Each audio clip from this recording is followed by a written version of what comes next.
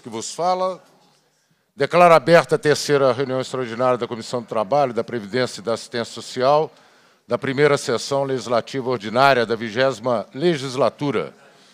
A presidência solicita que as deputadas e deputados façam seu registro biométrico no terminal, para tanto aperte o botão do comando registrar presença e posicione a digital no leitor. E onde que está aqui o meu? Ah, não. Oh, meu Deus. Já. Tá. Ah, já está. Ok.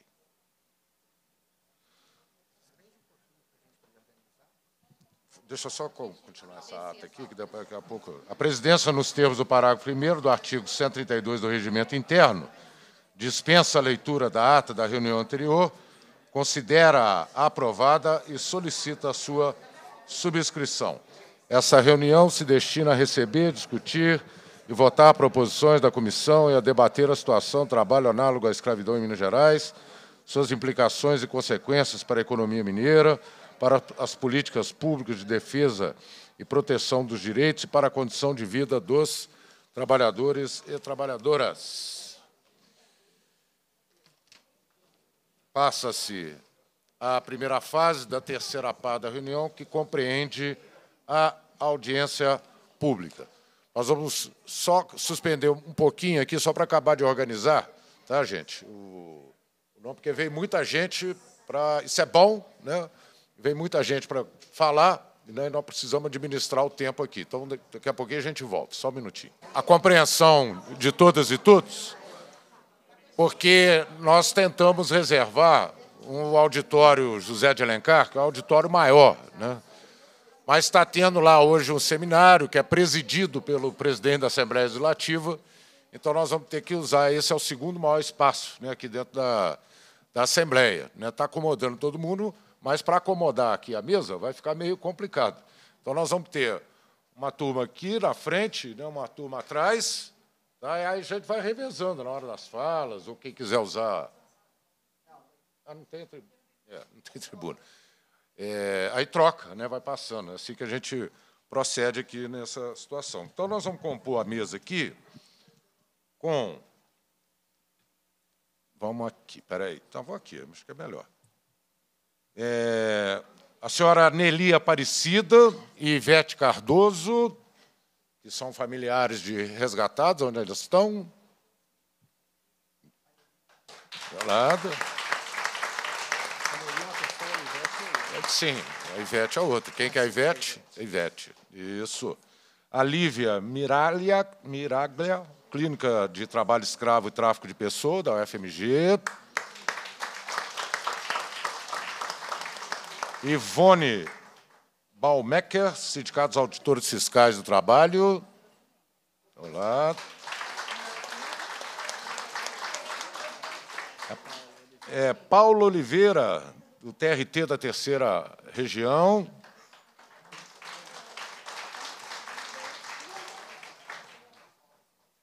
Carlos Calazan, superintendente do Ministério de Trabalho e Emprego. Cíntia Amara, auditora fiscal do trabalho. Jorge Ferreira, do ADERE, Articulação dos Empregados Rurais de Minas Gerais. Vereador Derli Pinheiros, do Sindicato Rural de Tombos.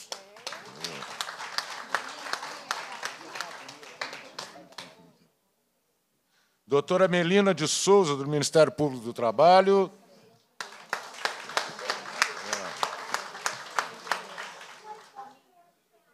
É, Val... Não, é Valdete. Não, Valdete está remoto. Ah, sim. Depois eu anuncio ela, então. Do, do, Melina já foi. É o Valdeci Campo, da Comissão Pastoral da Terra. Elizabeth Vitor, do Grupo de Mulheres Assalariadas Rurais. Meus corações. O Éder Fernandes, da FETRAF.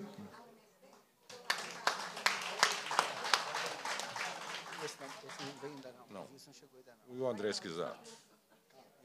O André já tem? André Esquisato, Comissão de Direitos Humanos da OAB. Acabou aqui, hein? Acabou ali? Já, já vai ter que ficar aqui. É, é aqui Isso, isso. Jairo Nogueira Filho, presidente da Central Única dos Trabalhadores. Também ainda não chegou. Igoreto, não. É, representando a secretária é, de Estado de Desenvolvimento Social, Elizabeth Jucá, é o Alexandre Norberto Canuto. Já está aqui sentado aqui para ter acesso. E, é. Aliás, quem quiser, pessoal que está em pé aí, quiser ocupar aqui na frente agora, né, já que nós temos. Então, é...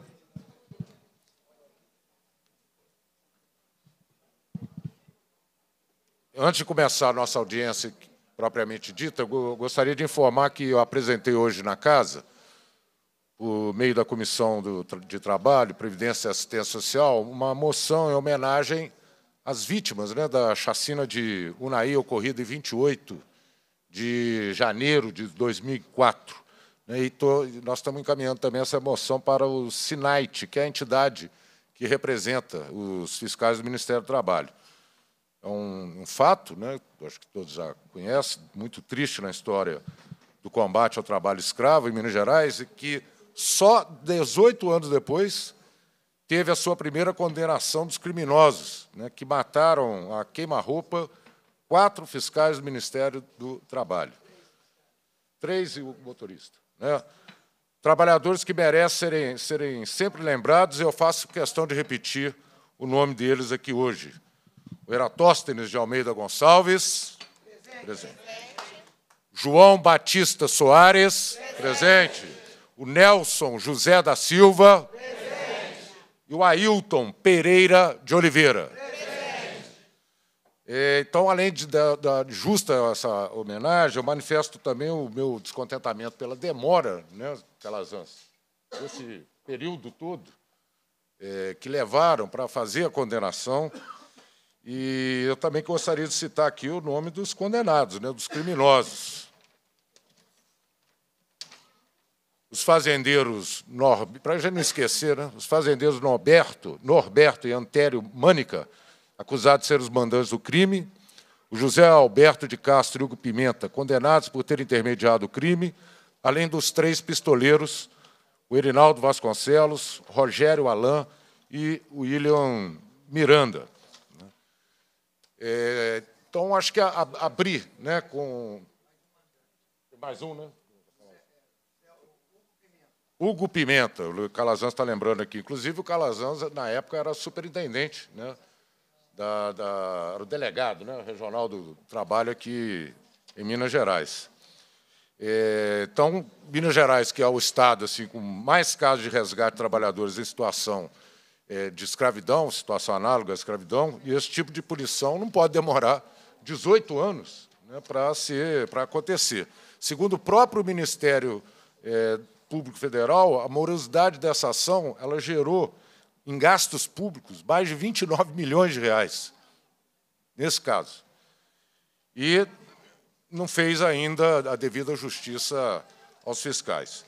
Então, nosso pedido também é pelo cumprimento das leis né, que punem esses criminosos e por celeridade. Eu vou fazer a leitura da moção só para conhecimento. Né, requerimento de comissão número 1491, é, o deputado que subscreve requer, nos termos do artigo 103, inciso 3 a linha C do regimento interno, que seja formulada manifestação de apoio ao SINAIT, Sindicato Nacional dos Auditores Fiscais de Trabalho, pela sua luta na fiscalização das devidas condições de trabalho, no combate ao trabalho análogo à escravidão e ao trabalho infantil, que, em 28 de janeiro de 2004, no cumprimento de sua missão, perdeu quatro servidores friamente executados por pistoleiros a mando de fazendeiros no município de Unai, norte de Minas. Lamentavelmente, somente 18 anos depois, foi publicada a primeira condenação dos criminosos que mataram a queima-roupa três auditores fiscais do Ministério do Trabalho e Emprego e o motorista Ailton Pereira de Oliveira. E requer ainda que seja dada ciência dessa manifestação ao SINAIT, é, a, a Delegacia Sindical de Minas Gerais, a Superintendência, né, e a outros entes aqui relacionados. Meus amigos, minhas amigas, nós estamos aqui com um problema, um bom problema, mas é um problema, que nós temos muitos convidados para falar, né, também nós vamos abrir para o público, e eu sei que tem gente que quer falar mais, outras pessoas têm todas as condições né, de estar tá, é, fazendo a sua fala em um determinado tempo. Nós estamos propondo aqui para a mesa, pergunto, se seria suficiente um tempo de sete minutos para cada um, quem precisar falar mais, a gente daria a palavra até no máximo 15 minutos. Aí eu peço a essas pessoas, se todos estiverem de acordo, que com 15 minutos que acessasse aqui o Miguel para poder avisar né, que vai falar é, durante os 15 minutos. Além, regra também válida, eu não, não posso fazer isso, mas eu peço aos deputados e deputadas que também Utilizo dessa regra. Eu mesmo vou. Então, gente, só para abrir aqui, eu sei que a Leninha, né, a deputada Leninha, ela precisa pegar um voo para retornar a Montes Claros, né, onde ela tem atividade. Só vou fazer uma rápida abertura aqui, já passo a palavra para a deputada Leninha e também a deputada Beatriz Ana Paula, se quiser fazer essas considerações logo no início. Né? Oh, desculpa, Andréia. Isso, sei. Então, em, em 2022, Minas Gerais ela se destacou, né, mais uma vez, como o estado que registrou o maior número de trabalhadores e trabalhadoras em situação de trabalho escravo, né, em uma situação que vem já de muito tempo. Foram registrados 75 trabalho, de tra casos de trabalho escravo só nesse ano, que corresponde a 27% dos casos registrados no Brasil. São 1.062 pessoas resgatadas, que representam 42% das pessoas resgatadas no Brasil. E entre as pessoas resgatadas, em Minas Gerais, 10 eram crianças e adolescentes. Né? É, só no campo foram 62 casos e 984 pessoas resgatadas. Então, a, a, essa, toda essa discussão que vem tomando corpo agora na, na, em Minas Gerais, né, do Brasil todo. Nós tivemos aquele caso da, da vinícola lá em, no Rio Grande do Sul. Aliás, eu esqueci de anunciar aqui, que está também com a gente remotamente, a doutora Valdete, que é juíza do trabalho no Tribunal Regional do Trabalho da Quarta Região e professora de Direito da Universidade Federal do Rio Grande do Sul e membro da ALJT, Associação Latino-Americana do Trabalho, é, que ela viria presencialmente, mas com problema de, de saúde, ela teve que ficar lá e ela vai participar remotamente. Então, toda essa discussão que está ganhando corpo né, tem também uma relação muito forte com a reforma trabalhista que foi feita na época do golpista do Michel Temer que flexibilizou tanto a legislação, colocou vários trabalhadores na condição de PJs, de, de microempreendedores individuais, ou sem qualquer relação né, com, com, assistência, com, com, relação de emprego, né, que acaba produzindo um número maior de pessoas que são contratadas é, em péssimas condições de trabalho, recebendo menos que o salário mínimo, com com jornadas exaustivas de, de, de, de trabalho. Né? Alguns relatos chegam a 12 horas né, consecutivas de trabalho, com uma parada se conseguir algum, comer alguma coisa, né, se, se alimentar.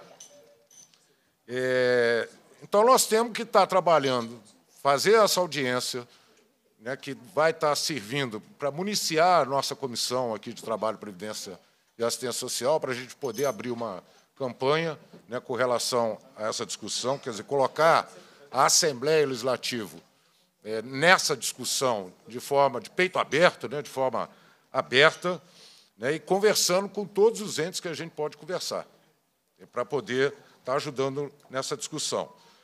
Ah, nós apresentamos aqui um PL, né, que já está tramitando na casa, da lista suja, né, que tem que ser divulgado o nome publicamente dos empregadores, das empresas né, que, que se utilizam desse tipo de trabalho, entrar na discussão né, de toda a cadeia produtiva, né, quem é o beneficiário final né, do trabalho escravo, que é muito importante, que nós vamos chegar, provavelmente, a grandes empresas, né, e trabalhar também no desmonte né, dessas reformas que foram feitas, ajudar nessa, nesse processo, nessa campanha né, que já está sendo articulado pelos sindicatos, que é a revogação da reforma trabalhista e a revogação da reforma previdenciária, né, além das condições de saúde do trabalhador, que, aliás, aproveito e já convido a todos e todos que estão presentes aqui para amanhã. Né, nós vamos ter um seminário aqui também na Assembleia Legislativa, é, é, coordenado pela Assembleia, pelo Ministério do Trabalho, né, o superintendente Carlos Calazans, pelo nosso mandato. Nós vamos estar fazendo seminário aqui amanhã também sobre as condições, a saúde e os acidentes de trabalho aqui no estado de Minas Gerais. Então, para a gente começar a, a nossa audiência, definitivamente, né? Como eu disse, eu vou passar a palavra aqui para a saudação da deputada Leninha. Leninha, faz favor. Quer falar agora não? Você quer falar agora?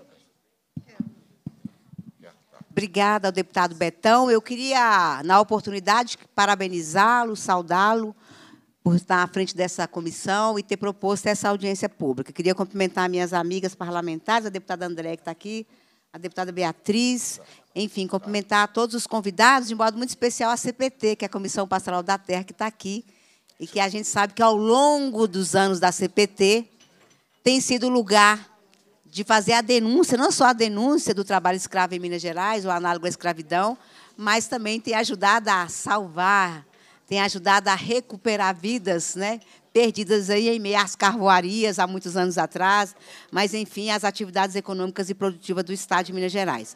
Tá, Bom, também queria saudar o Carlos Calazans e né, todo mundo que faz parte da estrutura do Ministério do Trabalho. Para a gente é um alento o governo federal ter retomado com força esse ministério tão importante para todos nós, porque, vergonhosamente, Minas Gerais ainda ocupa um, ranqueamento é, nacional é, alto com relação ao trabalho escravo.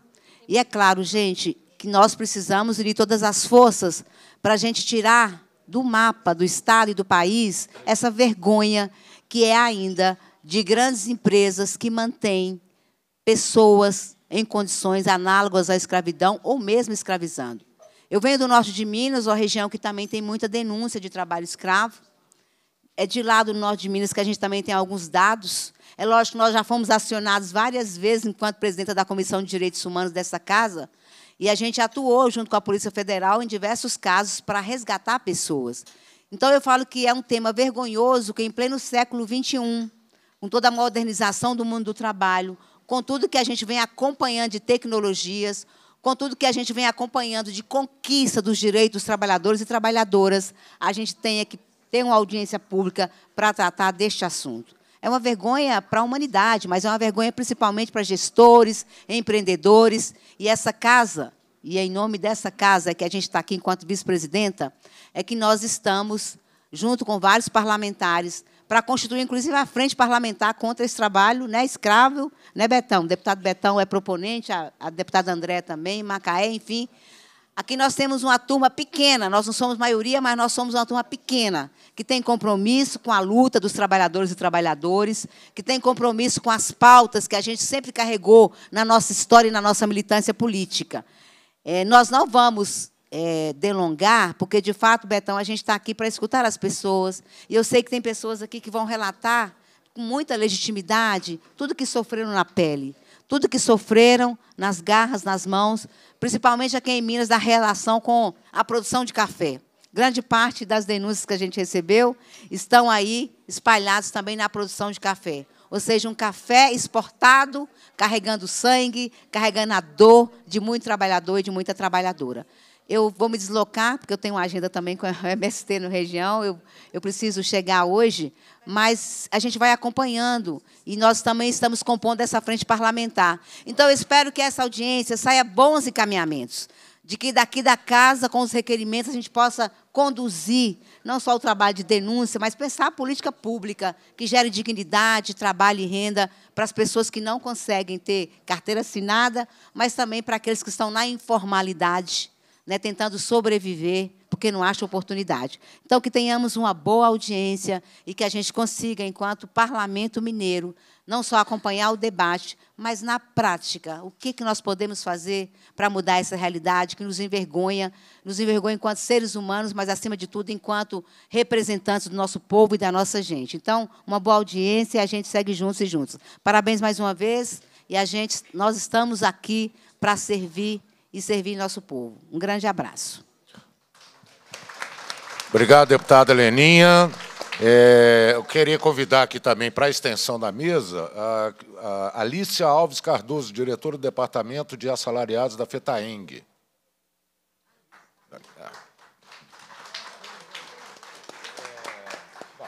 Presente aqui conosco também o deputado estadual Leleco Pimentel. E passa a palavra aqui para as considerações da deputada Andréa de Jesus. Obrigada, presidente. Quero cumprimentar a todas as pessoas que estão e dizer que essa casa, que é a casa do povo, sinta-se em casa para que a gente possa somar forças e enfrentar algo que o Estado brasileiro fecha os olhos. Nós estamos falando de trabalho escravo, mas dói muito ainda olhar e ver quem a cor das vítimas do trabalho escravo, né? Quem são as vítimas do trabalho escravo? Sou André de Jesus, fui empregada doméstica há muitos anos, diarista, porque é, de fato é um problema não ter Ministério do Trabalho. Mas o problema maior é saber que a maioria dos negros nesse país nem sequer a carteira assinada tiveram. E aí eu sou fruto de famílias inteiras que trabalhou a vida inteira e começou aos sete anos de idade, porque foi a idade que a minha mãe começou a trabalhar em casa de família, como se ela não tivesse família. E agora, até os 60 anos, ela nunca teve carteira assinada. O reconhecimento do trabalho negro nesse país ainda é naturalizado como o trabalho que não tem direito à remuneração, que não tem direito a ter direitos. E aí eu estou falando desses trabalhos que ainda estão nesses ambientes privados. E foi isso que motivou a Comissão de Direitos Humanos, em 2022, a fazer uma audiência aqui nessa casa, que foi muito criticada, porque durante a pandemia a gente estava discutindo trabalho escravo. A senhora teve presente, outras figuras aqui tiveram presente, justamente isso, deputado, para a gente entender por que é que, desde 1888, a gente não conseguiu abolir a escravidão. Por que, que a mão branca da princesa Isabel não conseguiu garantir a nossa liberdade? Por que, que naturalizam que o nosso trabalho não tenha direito à remuneração, que não tenha direito a descanso, que não tenha direito a ter filhos, a ter família, porque é essa a realidade, inclusive, de quem trabalha tanto no campo quanto na cidade, de não poder voltar para casa para passar aniversário com os filhos, que não pode voltar para casa e ter a garantia de levar os filhos para a escola, de fazer o para casa dos filhos. Essa imagem da família doriana sentada no café da manhã nunca foi realidade para o povo negro de poder levantar e olhar para os filhos, ter um companheiro dentro de casa. Isso é o que nós estamos descrevendo aqui é a realidade do trabalho escravo. As viúvas do café, as viúvas da, da cana, né, porque saem de suas terras, vão para o sul, e elas ficam lá, também escravizadas, mas sustentando as famílias e impedindo as famílias de ter de ser família, de ter seus, seus entes próximos. Então, nós fizemos uma audiência aqui, trouxemos a Madalena, e ela, emocionada, falou que, mesmo depois de resgatada de um professor universitário de sociologia, que era um professor universitário que estava escravizando a Madalena, um ano depois ela estava vivendo de favor. Então, nós temos um judiciário também conivente com essa situação. Porque as pessoas que são cometem um crime contra a humanidade, que é a escravidão, não são responsabilizadas. Nem sequer o patrimônio delas é alcançado. Então, nós temos um desafio muito grande de discutir patrimônio que está acima da vida, acima das relações trabalhistas, acima do direito humano, acima da abolição da escravidão. E com isso, nós fomos investigar também o que, que o governo do Estado estava fazendo. O governo do Estado está aqui representado. É, é, mas nós descobrimos que, nos últimos anos, a política de enfrentamento ao trabalho escravo começou lá com um orçamento de 10 milhões e caiu para 500 mil. Não é interesse do Estado de enfrentar isso com política pública. E precisa de política pública.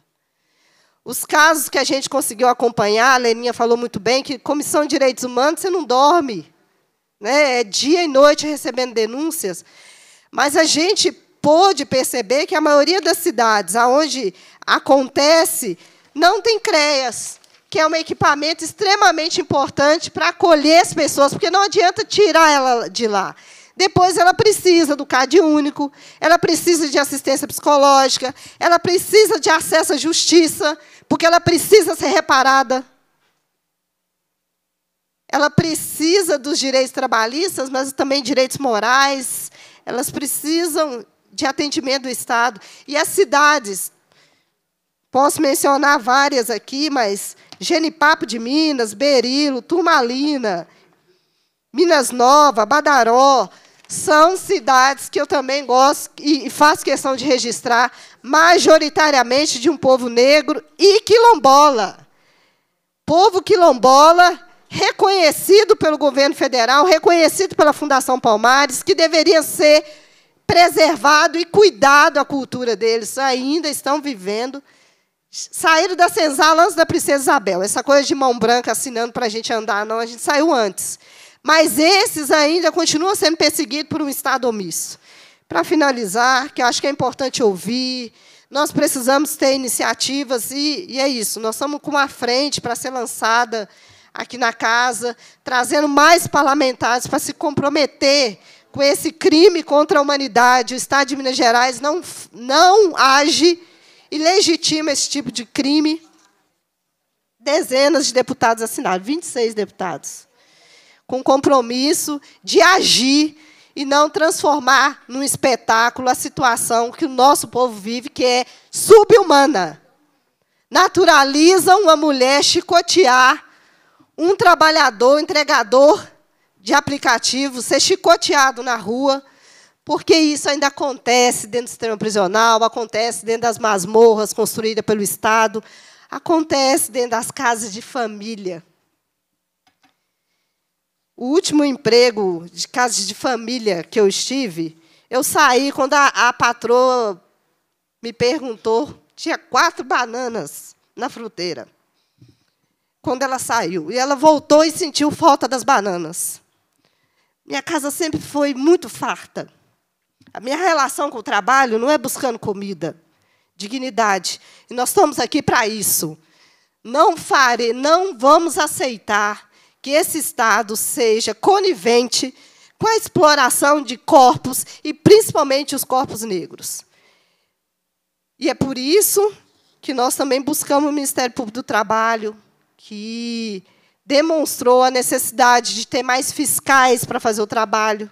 E é isso, os fiscais de, de Unai foram mortos. As pessoas estão dispostas a escravizar, elas matam para manter essa relação desumanizada com o nosso corpo.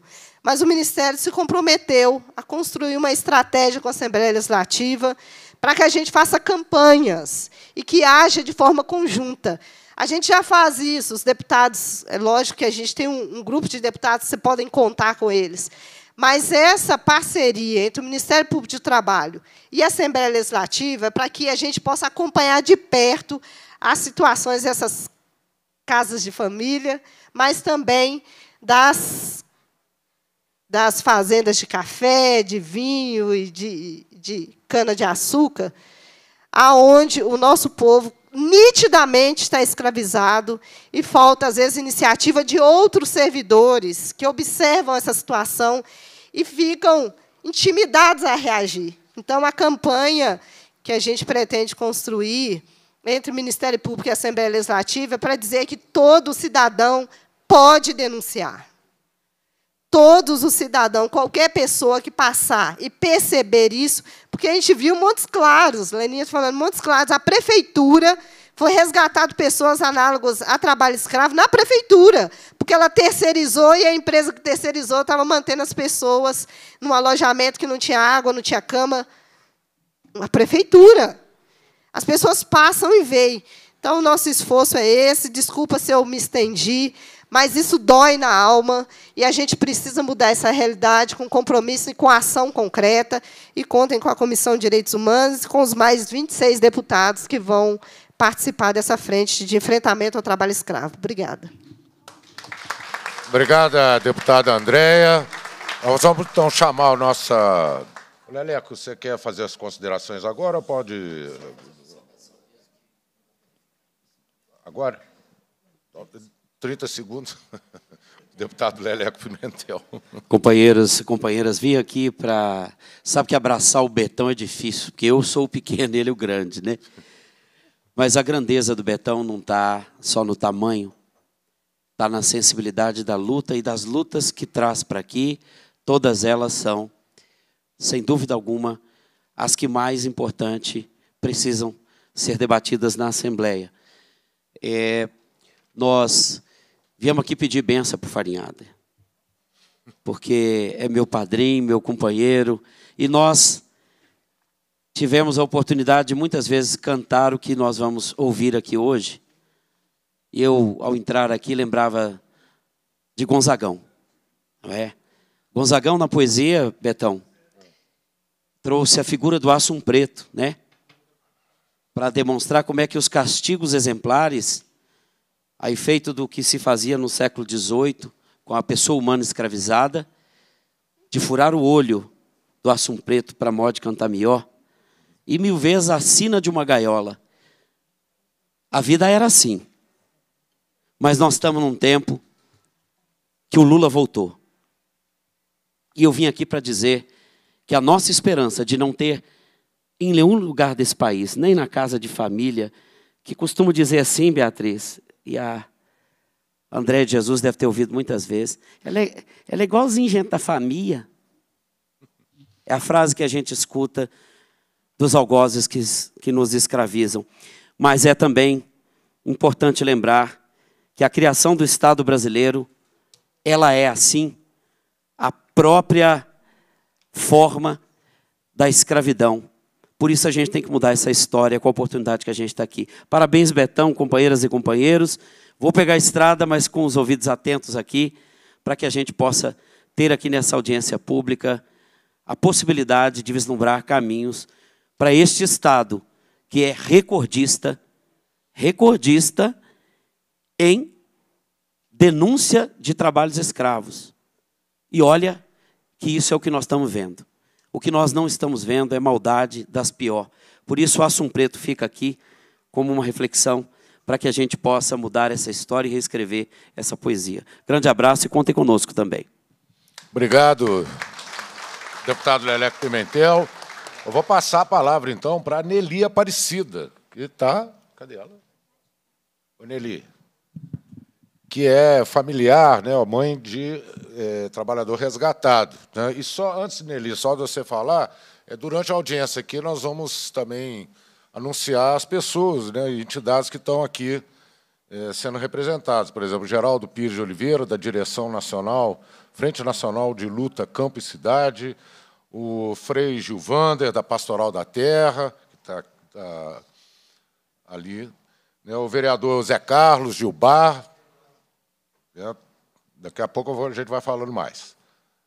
Então, gente, boa tarde a todos, né? Boa tarde. É, e compõe aqui o e cumprimento todos aqui da mesa aqui também, que está aqui com nós. Né? Eu sou de uma comunidade quilombola de, do município de Chapada do Norte, né? e lá é a comunidade Corgo do Rocha. Então, eu estou aqui hoje para me estar representando as minhas filhas, que foi resgatada no trabalho escravo, e a situação que elas passaram, né, era uma situação, foi uma situação muito desagradável, né? Eu, quando elas tirou foto da, da moradia que elas estavam, eu até fiquei um pouco emocionada e, e um pouco até desesperada com a situação que elas estavam passando. Né? Aí eu, eu pensei comigo, meu Deus, minhas filhas estão vivendo a mesma coisa que eu já vivi. Né? Eu trabalhei 18 anos né, na panha de café para poder criar eles, e agora eles vivendo a mesma situação que eu vivi no café. Né? Então, é, eu queria ver né, os, os deputados, os demais, né, para a gente né, gostaria de ver o que, que poderia estar tá, né, levando para o Vale de Jaquitionha, né, para poder diminuir né, a, a, migração dos nossos jovens. Porque hoje o que, o que mais tem lá no, na nossa região é os jovens, eles terminam do, o, o, o fundamental e eles vão eles vai migrar para o café, que é a, única, é a única porta de saída que tem para eles, é a migração. Né? E eles deixam, às vezes, não, não faz uma faculdade, não termina os estudos, porque a gente não tem condições de dar eles os estudos. Né? Então, eles acabam que eles vão migrar para o café. E aí acaba é, seguindo o mesmo exemplo da gente. Né? Então, é uma situação muito, é, muito pesada, muito difícil para as mães. Né? Todas as mães que vê os filhos dela seguindo o mesmo exemplo da gente. Né? Então, seria muito importante né, se fosse alguma coisa né, para o Vale de Jaquitionha, para poder a gente estar tá, é, diminuindo esse, esse trabalho escravo. Porque é, o lugar da gente tem. A gente migra porque não tem, uma, tem dificuldade de renda. Mas a gente tem um pedaço de terra que a gente pode estar tá cultivando, né? tem a moradia da gente mesma. Né? Então, o que falta é, na, no nosso município, no Vale de Jaquintionha, é, é política pública para poder estar tá levando é, melhoria para o município, o Vale de Jaquitionha. Obrigado, Nelly. É, é, é exatamente essa a intenção que, dessa discussão aqui na Assembleia Legislativa, que a gente possa ter ideias né, de políticas públicas e a forma de denunciar o trabalho sim, escravo. Sim, né? sim. É, vou passar a palavra para a Ivete Cardoso, tá do lado. Vitor.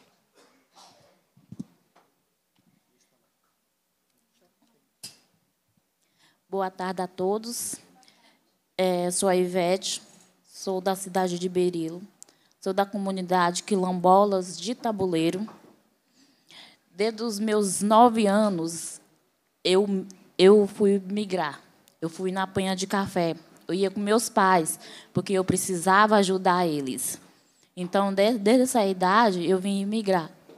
Chegava lá, a gente saía daqui pensando em uma coisa. Chegava lá, a gente era colocado num barracão, junto com outras pessoas que a gente nem conhecia. A gente não tinha um banheiro digno, era sujo. Quando a gente chegava lá, mato ao redor do barraco, a sujeira. A gente chegava às vezes, a gente chegava às madrugada, a gente tinha que limpar para a gente poder dormir. Era o fedor de, de bosta de ratos, então, é, desde essa época, eu comecei a migrar com meus pais para trazer o sustento para casa, porque a gente precisava ir. A gente tinha outro tipo de renda em casa. E tem coisas que a gente, a gente vê, a gente pensa que não vai acontecer na família da gente, mas acontece. O trabalho dos escravos aconteceu na minha família. Pessoas que foi resgatada, é, não tinha um banheiro digno, tinha o, o esgotamento, era na beira da casa, do barraco. Então é uma situação assim muito triste, sabe? E assim, a gente pede ajuda para estar tá levando alguns alguns benefícios para gerar emprego na comunidade quilombolas. Porque eu tenho uma filha, minha filha está terminando o terceiro ano agora, e eu não quero que ela vai migrar lá para fora, que ela passa o que eu passei. Eu quero um futuro melhor para ela. E também para as mães que ficam aqui com seus filhos e os pais vão, a gente não sabe nem quando volta. Né? E, então, a gente, a gente torna mãe e pai naquele momento. Porque a gente tem que cuidar dos nossos filhos. A gente tem que ser mãe e pai. E, assim, é muito triste ver que isso ainda acontece. Se tivesse como tivesse uma renda para essas mães estar trabalhando. É isso que a gente pede para vocês. Nos ajuda a criar nossos filhos, dar um futuro melhor para nossos filhos. Dar um estudo para nossos filhos. É isso que a gente pede. Obrigada. Obrigado, Ivete. Geração de emprego, isso aí. Né? Vamos passar a palavra para a Lívia Miralha. Hein? Aqui, né? Miralha, isso mesmo. Da Clínica de Trabalho Escravo e Tráfico de Pessoas da Universidade Federal de Minas Gerais. Lá na frente. É, boa tarde, deputado, deputadas, presentes, colegas autoridades. É, eu sou a Lívia, sou professora da Faculdade de Direito da UFMG, sou coordenadora da Clínica de Trabalho Escravo e Tráfico de Pessoas, e eu fiquei pensando, deputado, é, como que a universidade pública poderia contribuir para esse debate. Então, eu trouxe alguns dados, eu posso disponibilizá-lo para os senhores após essa audiência pública. Em breve, eles serão publicados também em um livro de uma pesquisa que a gente acabou de realizar aqui no estado de Minas Gerais. Aí eu não sei quem está controlando, se puder passar para a página 6, por favor. É, eu só. Isso, pode passar para a próxima, por favor. É, bom, só para explicar, contextualizar, e eu prometo ficar dentro do meu tempo, tá, deputado? É, a Clínica de Trabalho Escravo é um projeto de extensão da Faculdade de Direito da UFMG. E a gente é baseado no tripé da Universidade Federal, que é ensino, pesquisa e extensão. A gente atende de forma gratuita vítimas de trabalho escravo e tráfico de pessoas. A gente atendeu mais de 200 pessoas, já ajuizou 90 ações trabalhistas, já tivemos vários êxitos, alguns nem tanto, nesses oito anos que a clínica funciona. A gente também capacita os nossos alunos e vai às escolas públicas de ensino médio e é, principalmente de ensino médio, né, públicas e particulares do Estado de Minas Gerais, para poder conscientizar esses alunos sobre o trabalho escravo e o tráfico de pessoas é, que é um tema que eles às vezes têm né, vivência no dia a dia ali familiar. E a gente tem a nossa parte de pesquisa, a gente realiza pesquisa já há algum tempo, muito em parceria com o Ministério Público do Trabalho, que foi inclusive o órgão que né, destinou a verba para financiar essa pesquisa que a gente realizou, e com o apoio do Ministério do Trabalho e do Emprego, que foi o órgão que nos forneceu os dados com os quais a gente trabalhou. A gente analisou de 2017 até 2022 todos os autos de infração do Estado de Minas Gerais que diziam respeito a trabalho em condições análogas à escravidão. A gente analisou 335 relatórios, 104 TACs, que são os termos de ajustamento de conduta do Ministério Público do Trabalho, e 21 ações civis públicas nesse período. Pode passar. O que, que, a gente descobriu? A gente descobriu que, desses 335 autos de infração, infração lavrados aqui em Minas Gerais, em 174 houve a constatação do trabalho em condições análogas à escravidão, ou seja, em 51,2% das fiscalizações, o que é um dado muito importante, porque há um, um, né, um discurso que se pretende fazer de que a fiscalização acaba né, considerando que tudo é trabalho escravo, quando é um colchão fino, e eu acho que os dados falam por si só.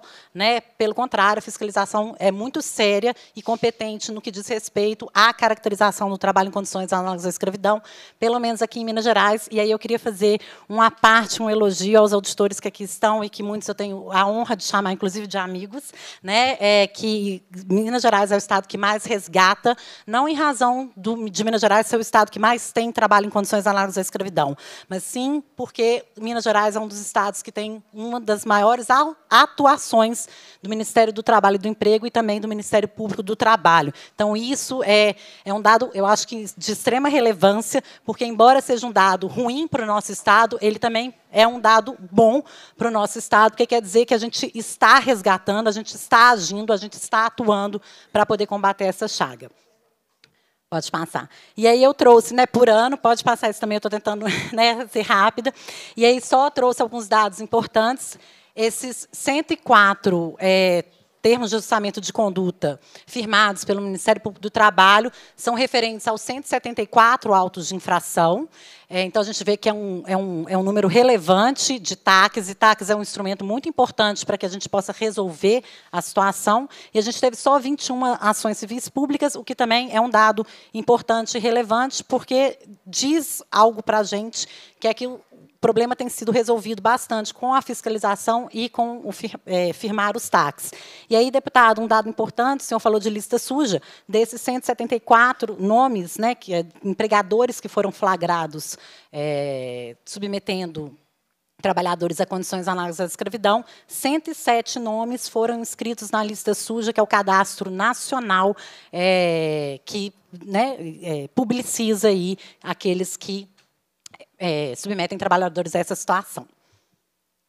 Aí eu trouxe os dados por região, porque eu achei muito relevante a gente tratar, né, aqui em Minas Gerais, aonde é que está localizado, principalmente, o trabalho em condições análogas à escravidão.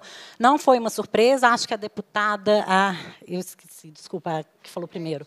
Não, a, a, Leninha, né, a deputada Leninha, ela falou do norte, de fato, né, pode ser uma percepção, a percepção dela está correta, 31,6% né, das, dos resgates aconteceram na região norte do nosso estado, sendo que João Pinheiro foi o município com o maior número de ocorrências, 10 ocorrências em João Pinheiro, sendo seis na atividade de carvoarias.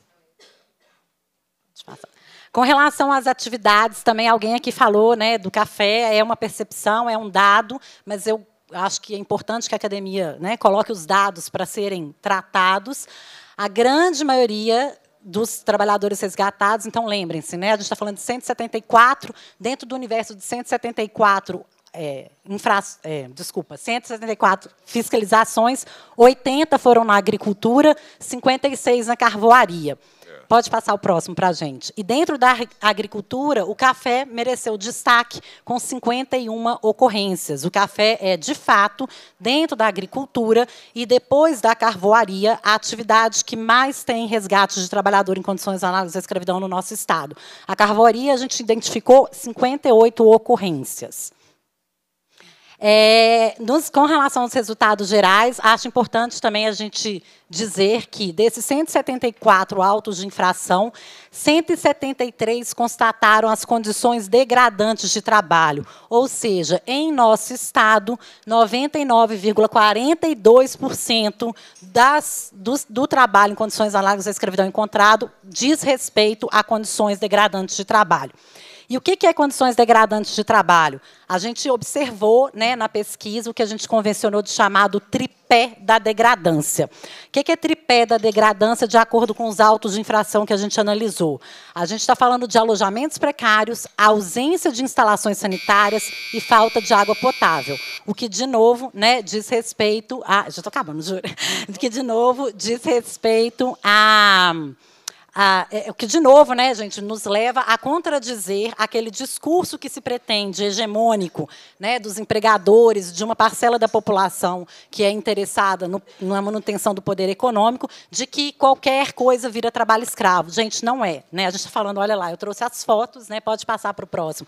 A gente está falando de locais, né, isso aí é um alojamento precário. Eu acho que basta ver para a gente saber que isso aqui é uma condição degradante de trabalho. A gente está falando de pessoas que não não têm aonde dormir, de pessoas que não têm instalações sanitárias, nem na frente de trabalho, nem no alojamento, pessoas que não têm acesso à água potável, nem para beber durante o, né, o trabalho e nem para poder cozinhar, se banhar, nem nada disso.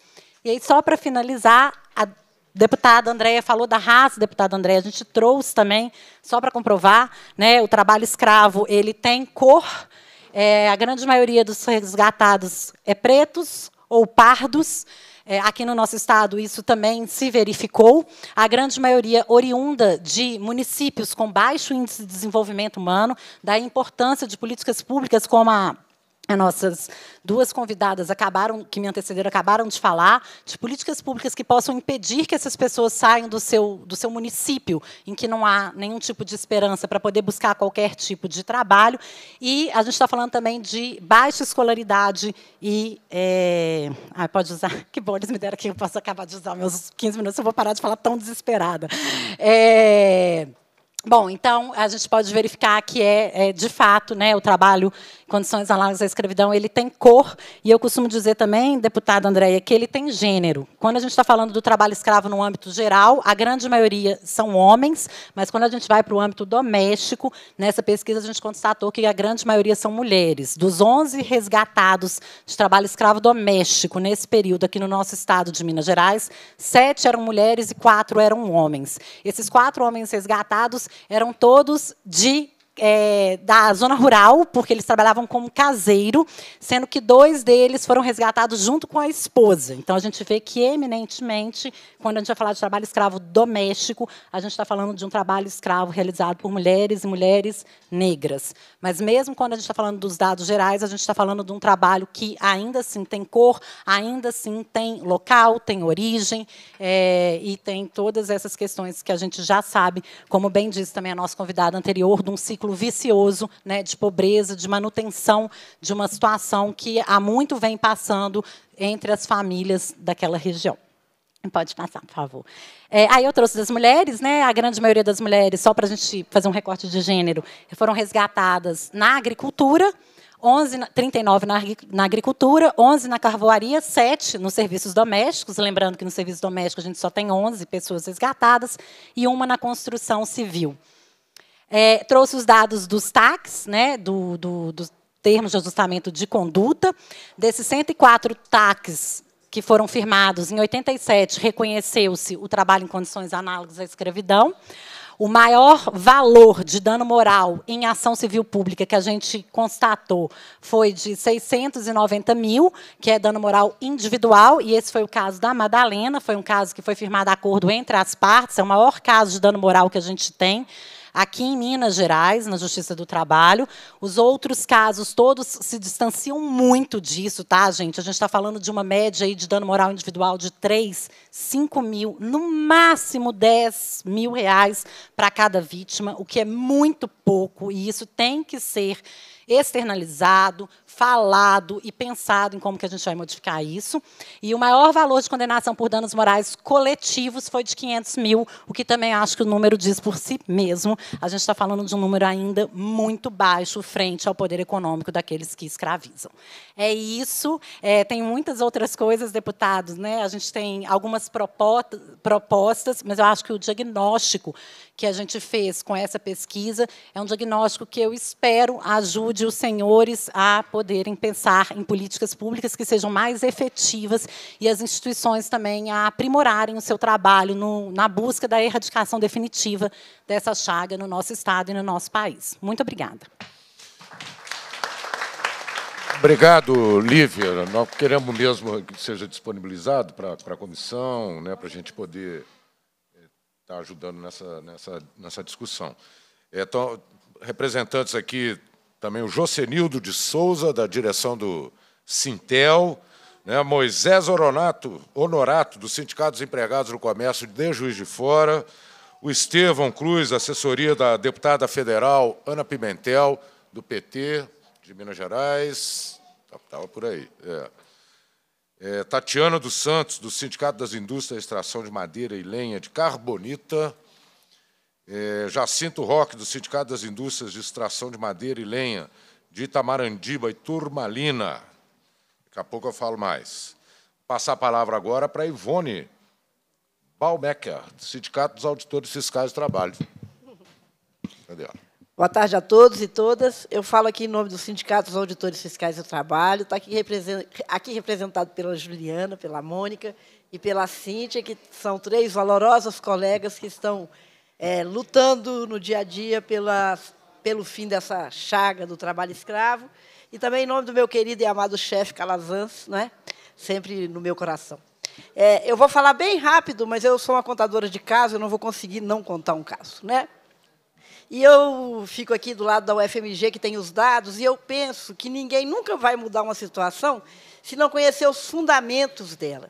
E eu, há 40 anos, vejo as formas como o trabalho se organiza e se degrada, e sempre penso na escravidão é, como essa, uma das formas mais permanentes e, infelizmente, mais difíceis de combater de toda a história da humanidade. É importante que a gente saiba que nós estamos na terceira escravidão.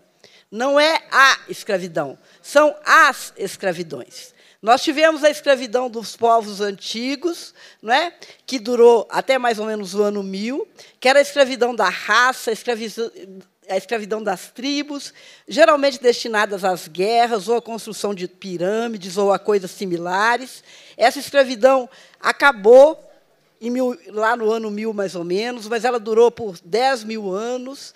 Depois nós tivemos uma escravidão inventada em 1492. Tem ata de invenção dessa escravidão. Ela foi inventada por um inglês que se chamava Carlyle, e ele inventou a escravidão quando decidiram explorar o açúcar nas ilhas do Caribe e descobriram que o trabalho era muito difícil e muito ruim.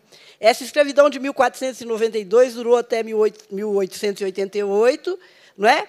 É uma escravidão em que a cor era o fundamento e, sobretudo, eu quero contar uma historinha dessa escravidão muito perto de nós. Aqui pertinho de nós tinha a mina de Morro Velho, né?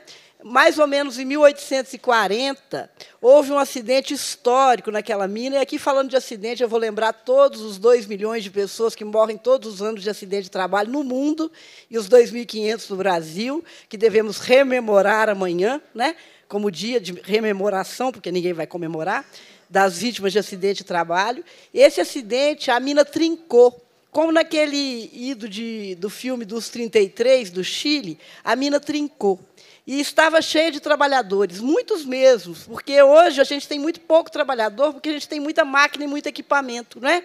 Eu entrei no Ministério do Trabalho há 40 anos, em 1983. A mina de Morro Velho tinha 4.800 empregados, dos, quatro, dos quais 4 mil morriam de silicose. Hoje ela não deve ter 480, deve produzir cinco vezes mais. Então, a gente imagina lá nos idos de 1840, quando não tinha nenhuma máquina, a produção da mina era em lombo de burro, e a detecção de gás era com passarinhos, para saber se eles morriam, porque aí as pessoas iam morrer, mas alguém ia salvar. E aí, lá nos idos de 1840, houve um acidente muito grave na mina, e os ingleses, que pasmem, nunca tiveram um escravo. Inventaram a escravidão, mas nunca tiveram um escravo, de tanto de vergonha que tinham do que tinham criado. Esses ingleses nunca tiveram um escravo em Minas Gerais, eles eram alugados, ou seja, aqueles escravos eram terceirizados. E a mina trincou e os escravos ficaram presos dentro da mina e tinha que tomar uma decisão. E a decisão dos ingleses, que é outra história de Minas, Minas talvez tenha sido o primeiro estado do Brasil que usou nitroglicerina, dinamite, que a dinamite é desse tempo. Eles resolveram dinamitar um curso de rio que passava perto da mina para que os trabalhadores morressem rápido, afogados, todos. Ninguém nunca soube o nome deles, ninguém nunca soube quantos foram. Teve uma socióloga mineira muito genial que chamava Ione Grossi, que escreveu um livro sobre a mina de Morro Velho, A Extração do Homem, e que ela conta essa história de uma tragédia impressionante. Qual era a responsabilidade dele com aquelas vidas? Zero. E nós temos a escravidão contemporânea, não se, é, talvez ela tenha a origem mesmo em todas, porque elas não se desmontam, mas essa escravidão contemporânea ela é diferente. E ela tem dois pilares, como todas as escravidões. A escravidão tem dois pilares. Primeiro, as condições de trabalho são péssimas. É difícil fazer, é muito tempo, é ruim, é perigoso, é exaustivo, é horroroso, é um trabalho que ninguém quer. E aí, se eu puder achar quem que não seja eu, eu vou entrar no outro pilar. O outro pilar é o escravo é diferente de mim. Sempre. Ele já foi diferente por raça, ele já foi diferente por cor, e, infelizmente, apesar da cor ficar, porque nós não resgatamos os escravos da segunda escravidão, então eles ainda são pobres, agora é a escravidão dos pobres é a porofobia. É, isso é muito feio. Tem uma socióloga é, portuguesa que estuda a porofobia, ela chama Adela Cortina. Eu nunca esqueço o nome dela, porque a cortina é dela, não é minha. e ela fala disso, e o padre Lancelotti fala com uma beleza extraordinária, como nós diferenciamos? Eu, nos meus últimos cinco anos de auditora fiscal, resolvi brigar com o shopping. Eu entrei no Ministério brigando com Minas Subterrânea e aposentei brigando com o shopping. Não sei o que é pior. E eu descobri que, que esse conceito da diferença no shopping está presente da mesma forma.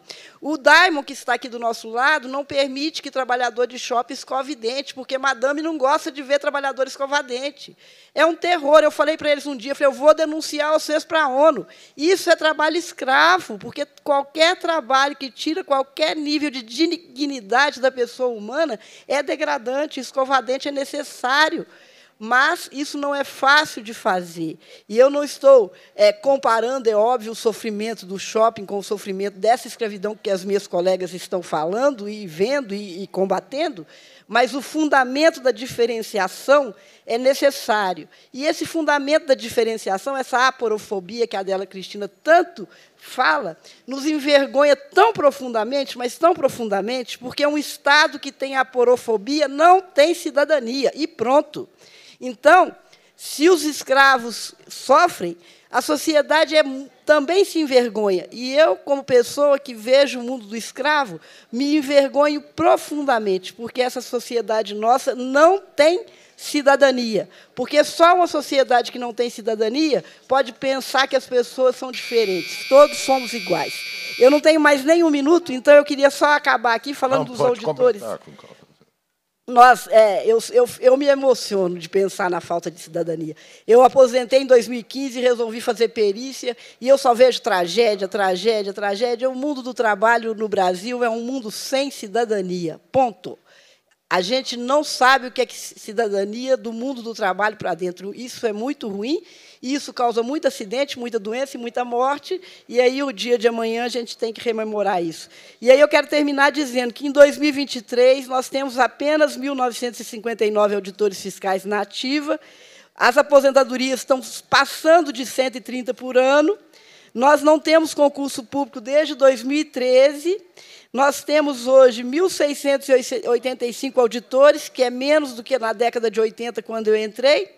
Temos 1.685 cargos vagos, ou seja, 40% dessas pessoas não existem. Vocês não tenham dúvida, se a gente fizer um gráfico do trabalho escravo versus o número de ações fiscais, eles vão cruzar assim, ó, menos auditores, mais escravos. Porque, infelizmente, essa chaga e essa mazela precisa de combate firme e forte. E os auditores fiscais são as pessoas que fazem esse combate firme e forte. Eu aguardo ansiosamente que a quarta escravidão nunca exista e que a humanidade aprenda, afinal, que a cidadania é o valor da sociedade onde todos são iguais, independente de qualquer coisa. Muito obrigada. Obrigado. Muito obrigado, Ivone. dados que trouxe aqui. Nós vamos passar a palavra aqui para a Paula é, Oliveira Cantelli, desembargadora do Tribunal Regional do Trabalho. Está também preciso trocar muito de lugar com alguém. É, está muito boa. Lógico, querida. Excelente. Boa tarde para todos. Cumprimento todos os integrantes da mesa, todos os presentes, na pessoa do deputado Betão, deputada Bia, deputada Andréia. Ficou bom? Mais para. É? Tá bom. É, eu, tô, eu, sou desembargadora do Tribunal do Trabalho, sou integrante do Comitê Estadual Judicial de Enfrentamento à Exploração do Trabalho Escravo e ao Tráfico de Pessoas, do CNJ. E estou aqui representando o presidente do Tribunal do Trabalho, o doutor Ricardo Morrale, que foi convidado. Agradeço, deputado, pela propositura dessa, dessa audiência pública. Agradeço o convite é, do Tribunal do Trabalho para participar dessa audiência, um, um tema que é prioritário para o tribunal, que é tão importante para todos nós que é a escravidão moderna. E eu vou fazer umas breves, breves considerações e começo falando o seguinte: agora, em 2023, nós vamos completar 135 anos da abolição da escravidão. E eu pergunto para os senhores: será que nós podemos realmente comemorar essa data? Nós podemos comemorar esses 135 anos? É claro que não podemos. Infelizmente, não podemos. Né? Nós continuamos num Brasil, num país que carrega uma herança de um sistema de racismo estrutural, como já foi falado aí amplamente, fundamentado numa sociedade com profunda desigualdade social, que ainda se curva à exploração do trabalho análogo à escravidão. E, e nós continuamos com essa forma desumana de exploração do trabalho do homem. E o que acontece é que os sistemas de produção mudaram, as formas de contratação mudaram, a exploração do trabalho humano foi alterado, a legislação e a própria escravidão, mas ela persiste, ela continua. E a, a, a, escravidão, como foi falado, ela é uma chaga, é uma doença que tem se transformado ao longo dos anos, que tem se transformado dia a dia com uma nova face, uma nova roupagem, com novos disfarces, cada dia mais, mais sórdidos, para tentar maquiar essa realidade. E essa versão moderna, senhores da escravidão, ela carrega a mesma essência perversa que sempre carregou, que é justamente a exploração do trabalho humano com o aviltamento da sua dignidade. E os números apresentados no Brasil são alarmantes, são horríveis. Segundo o Radar City, eu olhei ontem esses números, no período de 1995 a 2022, foram encontrados no Brasil 60.251 trabalhadores em condição análoga à escravidão. Em Minas Gerais, infelizmente, é, é, terrível também. Minas Gerais, nesse mesmo período que eu mencionei, nós temos 8.723 pessoas resgatadas, trabalhadores resgatados. E esses números também não param de crescer dia após dia. Até abril de 2023, né, esse mês, foram resgatados já 918 pessoas em condições análogas à escravidão. E infelizmente, dessas 900 pessoas, 18 pessoas que foram resgatadas, Minas Gerais Minas Gerais, Goiás Rio Grande do Sul, salvo engano, continua nesse ranking, continua liderando, continua com essa posição de destaque, né, destaque negativo é, em relação ao trabalho escravo. Isso é vergonhoso para Minas. É, Agora, em abril, foi publicado pelo Ministério do Trabalho, republicou né, a lista suja no período de 2018 e 2022 e foram constatados 289 trabalha, é, empregadores nessa lista suja. E o maior número de empregadores é no setor agropecuário. Mas também ele tem se intensificado a cada dia também nas tem vindo para a cidade a cada dia mais nas confecções, construção civil, agroindústria e prestação de serviços em geral.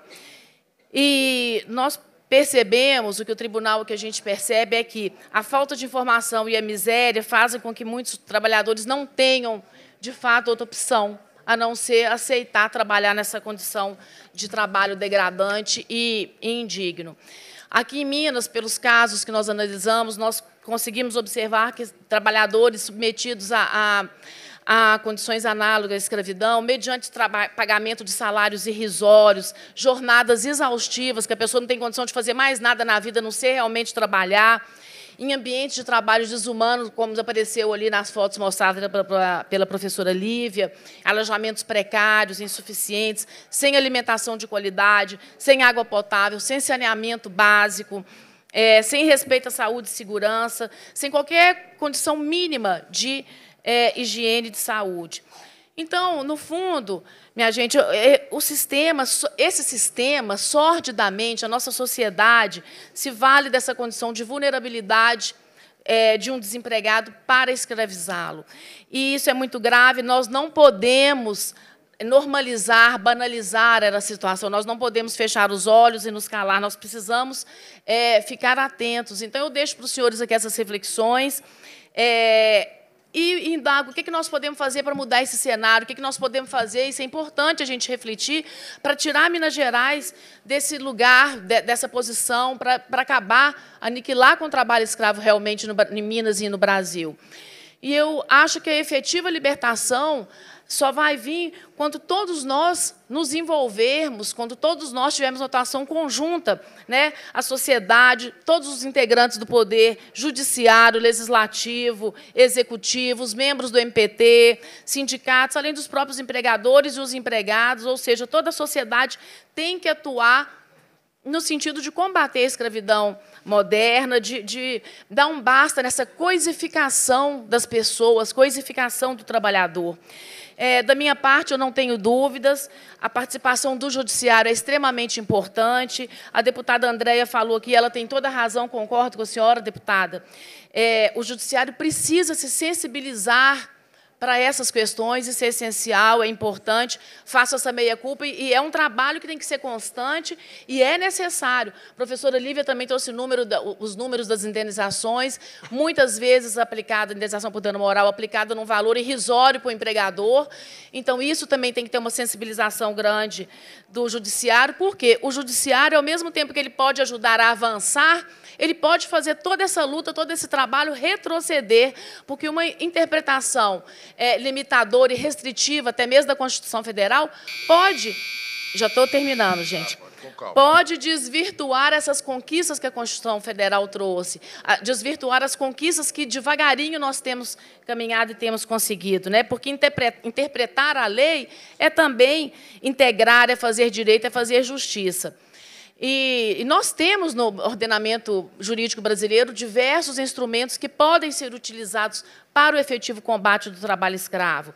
Não vou citar aqui o nome, de, mas eu trouxe diversas é, convenções internacionais, mas não dá tempo de eu falar. Mas, enfim, o, o, Conselho Nacional de Justiça, o CNJ, em 2022, ele recomendou que todos os integrantes do Poder Judiciário observassem as normas internacionais é, de, e tratados, normas e convenções internacionais de direitos humanos em vigor no Brasil, que o Brasil faz parte, e também a jurisprudência da Corte Interamericana de Direitos Humanos para que fizesse um controle de convencionalidade em relação às normas internas. E isso tem que ser utilizado para acabar com erradicar de fato a, a escravidão no nosso país, no nosso Estado. Cumprir os apontamentos da Agenda 2030 da ONU, ela é taxativa no sentido de que todos os, os países, os Estados parte, eles devem é, atuar no sentido de, de utilizar os instrumentos que nós podemos para poder erradicar o trabalho escravo no Brasil. Bom, outro ponto muito importante, que bem rapidamente eu vou falar, é em relação à responsabilização é, das pessoas físicas e jurídicas que atuam no sistema de cadeia produtiva é, para efeito do combate ao trabalho escravo. Recentemente, eu li que 84,3% dos trabalhadores que são submetidos à escravidão contemporânea estavam subcontratados por uma empresa interposta. Então, é imprescindível essa responsabilização de todos que utilizam e que se beneficiam. Recentemente, nós vimos o, caso do Sul, que era justamente, parece-me, né, eu vi só pelas notícias do, do da tele, da, dos noticiários, não sei, não estudei o caso, caso, mas parece-me que é o caso de subcontratação por empresa interposta. Então, pessoal, eu deixo aqui essas reflexões pra, do Sul, é do Rio Grande do Sul. Do, do vinho, da, das empresas Sim, de vinho. Ó. Eu deixo aqui essas reflexões para tentarmos, de fato, erradicar essa, essa doença, essa chaga que nós temos aqui, que tem nos acompanhado ao longo dos anos, né, dos tempos. É uma vergonha para o nosso Estado continuar nessa lista. Nós precisamos de fazer alguma coisa para poder, juntos, tirarmos o Minas Gerais desse destaque. E precisamos agir rapidamente. É imprescindível, por quê?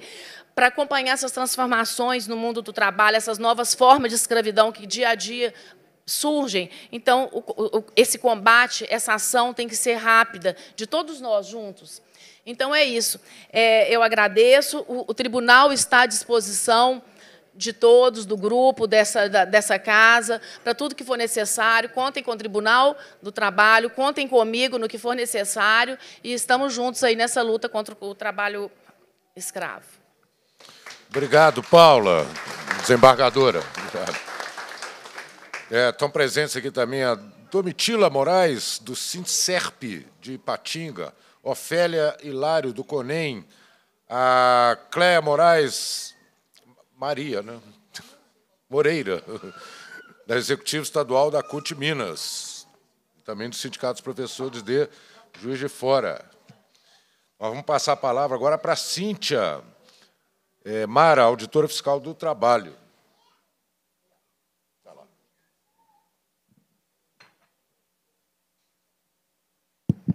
Boa tarde a todos e todas. É, eu quero cumprimentar os presentes, os componentes da mesa, doutor deputado Betão, que trouxe tão importante temática para a discussão, e os outros componentes da mesa. É, a Inspeção do Trabalho, junto com outras instituições, tem atuado ativamente e preventivamente na erradicação do trabalho escravo há muitos anos. E é essa parceria interinstitucional que tem contribuído para os êxitos das ações fiscais de combate ao trabalho escravo. É, no Brasil, nós temos uma portaria, que é a Portaria 3484 de 2021, que tornou público o fluxo nacional de atendimento às vítimas resgatadas do trabalho escravo, e ela apresenta o papel, a atuação de cada órgão nesse processo de resgate de dignidade de trabalhadores. Compete a nós, auditores fiscais do trabalho, da inspeção do trabalho, fazer essa triagem, das denúncias, do planejamento, a execução da ação fiscal de combate ao trabalho análogo de escravo. Compete a nós também promover o resgate do trabalhador, emitir guias de seguro-desemprego e articular o pós-resgate desses trabalhadores, juntamente com outros órgãos parceiros. No curso da nossa ação fiscal, é, nós encontramos quando nós encontramos trabalhadores em condições análogas às de escravos, nós lavramos autos de infração para cada irregularidade contra, encontrada. Esses autos de infrações, eles geram um processo administrativo e durante o processamento e do, dos autos de infração são assegurados aos autuados as garantias processuais do, é, do contraditório e da ampla defesa. Ao final desses processos, é, com o julgamento procedente para o trabalho análogo de escravo, o empregador é inserido numa lista suja. É o cadastro, que a gente chama de lista suja, né? que é o cadastro de empregadores que tenham submetido tra trabalhadores a condições análogas de escravo. É, essa atualização dessa lista ela é, ela é semestral e ela tem é, a finalidade de dar transparência aos atos administrativos do Ministério do Trabalho decorrentes das ações fiscais de combate ao trabalho escravo. É, é importante lembrar aqui que o Grupo Especial de Fiscalização Móvel atua em todo o território nacional e completa 28 anos de existência em 15 de maio de 2023. Desde 1995, são mais de 60 mil trabalhadores resgatados da condição análoga de escravo e mais de 132 milhões de reais recebidos pelos trabalhadores e trabalhadoras a títulos de verbas rescisórias e salariais. É, Minas Gerais é, tem um projeto específico no combate ao trabalho análogo de escravo desde 2013. Então, quando o pessoal fala assim, ah, Minas Gerais é o campeão, está no ranking do trabalho escravo. Aqui em Minas tem mais trabalho escravo? Não. Nós temos trabalhos de escravo em todos os estados de Minas. Mas aqui nós temos um grupo de auditores fiscais que atua ativamente no combate a essa grande chaga. É, nós também somos pioneiros no, com um projeto específico para o combate do trabalho escravo doméstico. E eu coordeno, junto com a minha colega que está ali, Juliana Marcondes, a, a Mônica teve que se ausentar, o projeto de combate ao trabalho análogo de escravo no âmbito doméstico. É, Minas Gerais é, tem, como eu disse, tem é, estado né, no ranking do trabalho, do número de resgate de trabalhadores escravos. Em 2022, nós tivemos 1.070 trabalhadores resgatados em condições análogas de escravo e foram realizadas 117 ações pelo Grupo Regional de Fiscalização Móvel, mais que o dobro de, eh, de ações de outros estados. É, desses, não, não, dessas atividades, desses resgates, dessas fiscalizações, as atividades econômicas que nós encontramos mais exploração de mão de obra em condição análoga de escravo foram no cultivo da cana-de-açúcar, nós conseguimos resgatar 326 trabalhadores. No cultivo do alho, no ano passado, nós resgatamos 157 trabalhadores, e esses dados são de Minas Gerais. E na produção do carvão, do carvão vegetal, foram 155 trabalhadores, e no cultivo do café, 126. Eu vou falar um pouco do trabalho escravo doméstico, que é o, tra o trabalho escravo que nós participamos ativamente das ações aqui em Minas. É, hoje é o dia 27 de abril, Dia Nacional dos Trabalhadores e Trabalhadoras Domésticas. A gente não pode deixar de referenciar esses trabalhadores que foram invisibilizados pela sociedade pelo Estado por muitos anos, que tiveram seus direitos trabalhistas reconhecidos tardiamente. A PEC das domésticas está fazendo 10 anos. E o índice de informalidade entre as trabalhadoras domésticas, e eu vou usar o termo trabalhadores, porque é um trabalho essencialmente feminino, ainda no Brasil, é, o índice de informalidade é muito grande. Então, a gente precisa hoje rever, reverenciar essas trabalhadoras que estão nos lares, que exer, exer, é, exercem um trabalho que é essencial para muitas famílias e que precisam ter seus direitos respeitados, suas, é, sua dignidade assegurada. E nós, nós estamos na frente de um trabalho de combate ao trabalho escravo, doméstico e na promoção do trabalho doméstico decente. Em Minas Gerais, é, o número de denúncias de trabalho análogo de escravo no âmbito doméstico tem crescido exponencialmente. Depois da divulgação do caso da Madalena Gordiano, que foi a, a, a Madalena resgatada em Patos de Minas em 2020, o número de denúncias só cresceu. Não que tenha mais trabalho escravo agora, mas eu acho que a sociedade está acordando e é importante que nós todos acordemos mesmo e começamos a denunciar esses casos dessas relações que ainda, eram naturalizadas. Nós, te, nós temos ainda uma mentalidade escravocrata em que se naturaliza a troca do trabalho por moradia e alimentação. Aquela mulher que está inserida no lar e que foi começou a trabalhar em troca de, de comida e casa e que não recebe salário, que não, nunca teve nenhuma garantia de seus direitos, esse precisa deixar de ser natural aos olhos da sociedade e a gente precisa largar esses, esses traços do nosso colonialismo. É, nós resgatamos, ano passado, nós, é, o número, só para se ter noção dos dados, em 2019 nós tivemos uma denúncia de trabalho escravo doméstico.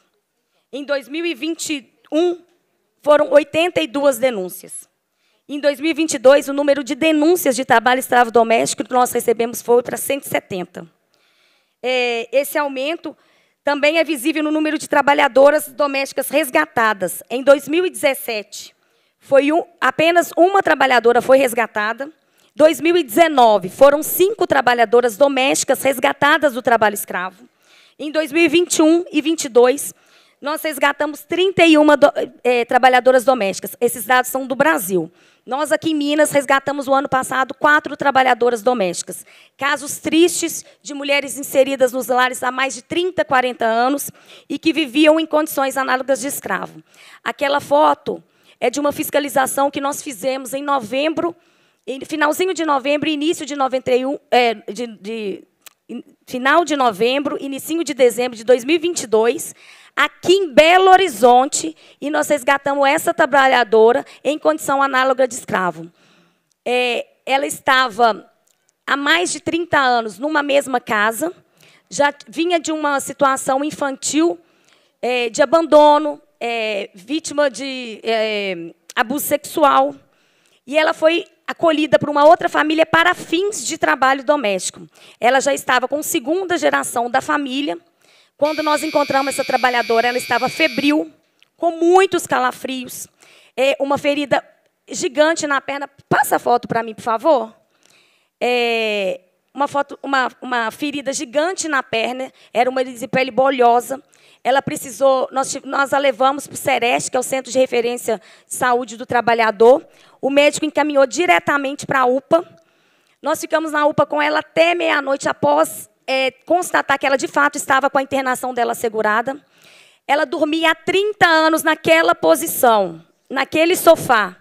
Na casa tinha cama disponível e ela não, a ela não tinha o direito. Ela dormia no meio da sala, então ela era a primeira a acordar, a última a dormir, naquela, naquele sofá que não segurava o mínimo de conforto para ela. Ela passou uma noite internada. No outro dia, ela teve uma para tomar uma medicação venosa, é, um antibiótico, que a situação da perna dela estava muito grave. Ela teve é, saiu com uma, uma, uma prescrição médica e nós a levamos para um acolhimento público, um abrigo aqui em Belo Horizonte, por onde ela ficou alguns dias até ser de fato direcionada para um acolhimento definitivo. Ela não possuía mais laços biológicos e familiares primários, e essa é uma característica que a gente tem encontrado entre as trabalhadoras domésticas resgatadas do trabalho escravo. Elas rompem os laços delas com as famílias ainda é, na infância. Elas, elas é, não tem para onde voltar, diferentemente do trabalhador resgatado na área rural, que normalmente ele é aliciado, ele tem uma família, ele tem para onde ir. Ela não tem. Então a gente precisa de políticas públicas eficientes e eficazes para que esse pós-resgate dela, de fato, seja assegurada o retorno à dignidade. Eu nem falo que é caso de resgatar, é de reinserir a dignidade, né? Porque elas nunca tiveram, elas nunca tiveram. Então elas precisam. É, as famílias costumam falar: "Ah, ela é da família, ah, mas ela está aqui, é como se fosse da família. Ah, eu, essa menina que eu peguei para criar. E na hora que nós vamos fazer a fiscalização e a gente faz uma apuração bem, é, é, bem séria, e colhemos depoimentos, elementos de provas, a gente constata que não tem nada da família. A elas nunca foi ofertado nenhum tipo de acesso a tratamentos médicos e odontológicos, não tiveram acesso à escolaridade, nunca tiveram amigos, é, relacionamentos amorosos, só podem sair na companhia da família. É, muitas sofrem é, cerceamento de liberdade, um racismo é, descarado na maioria dos casos, e eu vou falar agora numa experiência pessoal. Eu nunca participei de um resgate de uma trabalhadora doméstica branca. Todas negras ou pardas. E isso é uma característica que a gente tem visto em todo o Brasil. Normalmente são mulheres negras e pardas com baixa ou nenhuma escolaridade, que começaram com trabalho infantil doméstico. E Fátima hoje está bem, está nesse acolhimento está é, tendo a sua dignidade restabelecida, estabelecida e não restabelecida. É, passou por tratamentos médicos, por, por dentista, está fazendo um tratamento odontológico, está se alimentando bem, porque às vezes tinha, não tinha acesso à alimentação. Ela, era curate, ela é curatelada. A família que a acolheu usava o benefício BPC dela, o LOAS, em benefício próprio da família e não benefício da trabalhadora. Ela, é, as roupas que ela usava eram roupas doadas. E esse é o caso dela. Então, assim, nós temos trabalhado nesses. Pode, pode passar nas fotos, por favor. Nós temos é, essa foto é quando ela chegou no abrigo, ela estava com a boneca, elas todas têm um laço da infância que foi roubada, que elas preservam, normalmente gostam muito de um, de um objeto da, da infância. Ela no hospital, no momento que ela ficou é, internada. Pode passar, por favor? E durante a inspeção eles falavam: não, ela não faz trabalho doméstico, ela está aqui, ela é da família, ela só mora aqui. E, né, e nós constatamos, pode ir pulando, por favor. Ela, durante a inspeção, nós conseguimos tirar essas fotos dela fazendo todo o serviço doméstico. Esse momento da, dela na, com a colega auditora fiscal, a gente faz esse acolhimento da trabalhadora. É, essa foi uma outra fiscalização no interior de Minas Gerais. Nós é, é, resgatamos essa trabalhadora que passou por uma série de violações, não só trabalhistas, como de direitos humanos. Quando nós chegamos para fazer essa, essa fiscalização, essa trabalhadora estava com um roxo debaixo do olho. E nós perguntamos no primeiro momento o que era. Ela falou: ah, passou uma largata na hora que eu passei debaixo de um limoeiro. E nós fizemos o resgate dela. E no decorrer da ação fiscal, ela acabou nos contando é, que ela tinha toma, tomado um soco no olho do empregador durante, cinco dias antes de nós chegarmos lá. Ela passou por três núcleos da família, três gerações da família, foi retirada de um orfanato para fins de trabalhos domésticos, que a empregadora pegou porque precisava de alguém para trabalhar. Ela tinha muito medo do empregador e essa foto retrata muito bem isso. Ela está no colo da Juliana, a minha colega auditora fiscal, coberta com o paletó do procurador do trabalho que fez essa ação conosco, o doutor Paulo Veloso, escondendo do empregador, porque se o empregador soubesse que ela estava ali, ele ia presumir que a denúncia teria vindo dela e ela poderia sofrer algum tipo de retaliação. É, ela ela tinha um quartinho do lado de fora da casa principal. Ela morava com o único filho dessa família que a acolheu. Ele, quando recebia pessoas na casa, ele não deixava ela acessar o banheiro. Ela acessar o banheiro e ela, teria, e ela, ela retrata que ela fazia suas necessidades no chão, igual o gato. Ela falava, eu fazia o xixi, o cocô e jogava a terra por cima para os outros animais não ciscarem. Ela não tinha dignidade dela de, é, usar um banheiro assegurada. Ela sofreu sérias violações de agressões físicas, com machucados na cabeça, é, violações de abusos é, verbais, entre outros. ela também está numa, ela foi acolhida numa casa para violência para mulheres é, vítimas de violência doméstica num primeiro momento e também está numa outra casa de, de acolhimento definitivo junto com aquela primeira trabalhadora que eu mostrei. Essa também foi o ano passado. Essas fotos são como elas estão hoje. Aniversário dela, ela sendo presenteada no dia do aniversário. Pula outra para mim, por favor. E elas agora, é, você pode pular, por favor? e ela agora, as duas trabalhadoras sendo alfabetizadas. É, elas estão tendo a sua, a sua vida, é, tra trazendo a sua vida de volta. Então, eu só quero dizer aqui mais uma coisa. A do trabalho reafirma a, que a erradicação do, do, das, das formas modernas de escravidão continua sendo uma das prioridades no Brasil, tendo em vista o objetivo do desenvolvimento sustentável da Agenda 2030 da ONU. O trabalho doméstico ele ainda é uma atividade passível de servidão. A gente precisa romper a mentalidade do que como se fosse da família. Estou concluindo. Como se fosse da família. É natural e nós precisamos é, trazer de volta a dignidade das trabalhadoras domésticas e de todos os trabalhadores do Brasil. Eu vou aproveitar que eu não posso perder a oportunidade de deixar o canal oficial para denúncias de trabalho escravo do Ministério do Trabalho. É o denúncia.cite.trabalho.gov.br. Esse é o canal oficial de é, denúncias para o, é, de qualquer irregularidade trabalhista ou denúncias de trabalho escravo dom, é, doméstico ou trabalho escravo contemporâneo. Muito obrigada. Obrigado, Cíntia, pelas informações muito valiosas aqui. É, só repassando mais alguns nomes, estão presentes aqui os sindicatos empregados rurais da região sul de Minas Gerais, sindicatos empregados rurais de Conceição do Rio Verde, é o Luiz Fernando, vereador de Belmiro Braga. Obrigado, Fernando. O Rafael Coimbra de Souza, vereador também de Belmiro Braga. O Zé Carlos, vereador de Ubar, eu já falei. Vamos passar para frente aqui, que eu estava esquecendo, do Éder Fernandes, da FETRAF, que tem compromisso daqui a pouco. Né? Precisava falar antes, eu já estava me esquecendo de você, Éder. Estava lá, lá embaixo. Boa tarde a todos. Boa tarde a todos. Boa tarde. Isso. É, acho que é, agradecer né, o momento, é, acho que agradecer o Betão também por essa iniciativa e aí, é, eu acho que é uma forma também de agradecer a participação de cada um, né? Eu acho que tem aqui as pessoas que estão falando, mas é, eu estou vendo que quando as pessoas falam aqui, principalmente de quem foi resgatado, de quem viveu isso, a gente vê que a maioria dos que está aqui, principalmente quem é da roça, ou passou ou sabe de alguém que passou por isso. Né? Então, isso é muito forte. Eu falo porque eu estava ali, na hora que a, a menina falou aqui, Aí eu lembrei que em 2004, né, eu saí para apanhar café e aí é, o fazendeiro colocou nós numa, numa tulha que é onde colocava veneno. E aí ele falou com meu pai, não, mas essa caatinga aqui é só para falar que tem veneno. Ela não faz mal. E aí lembro bem que meu pai falou com ele, se você colocar os seus filhos, eu coloco o meu.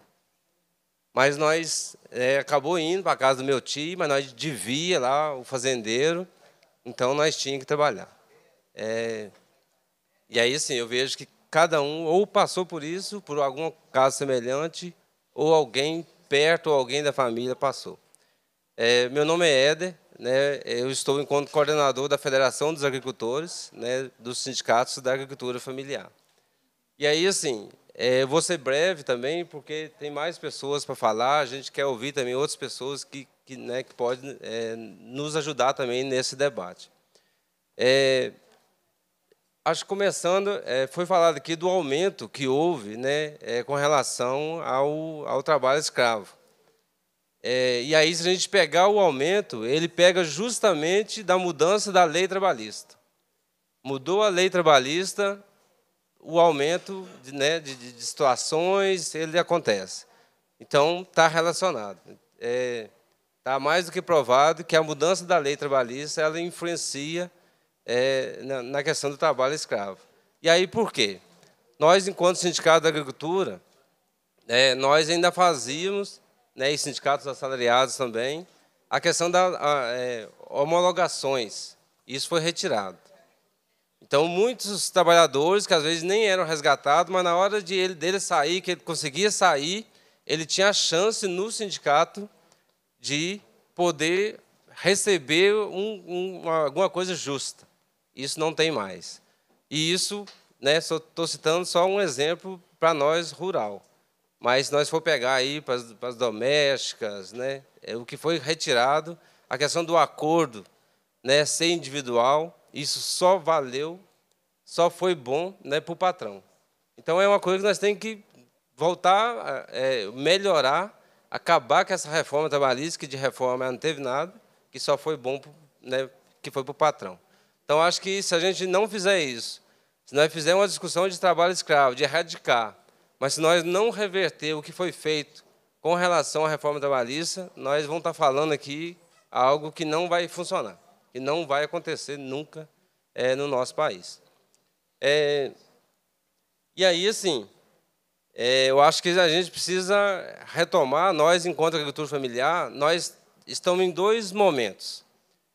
É, a gente luta né, para os nossos agricultores não serem explorados, porque nós temos muitos agricultores que têm lá um pedacinho de terra pequeno. Vou citar meu exemplo. Eu tenho lá 3 hectares, é, tem lá a produção de café, mas que eu ponho meu café lá com 15 dias.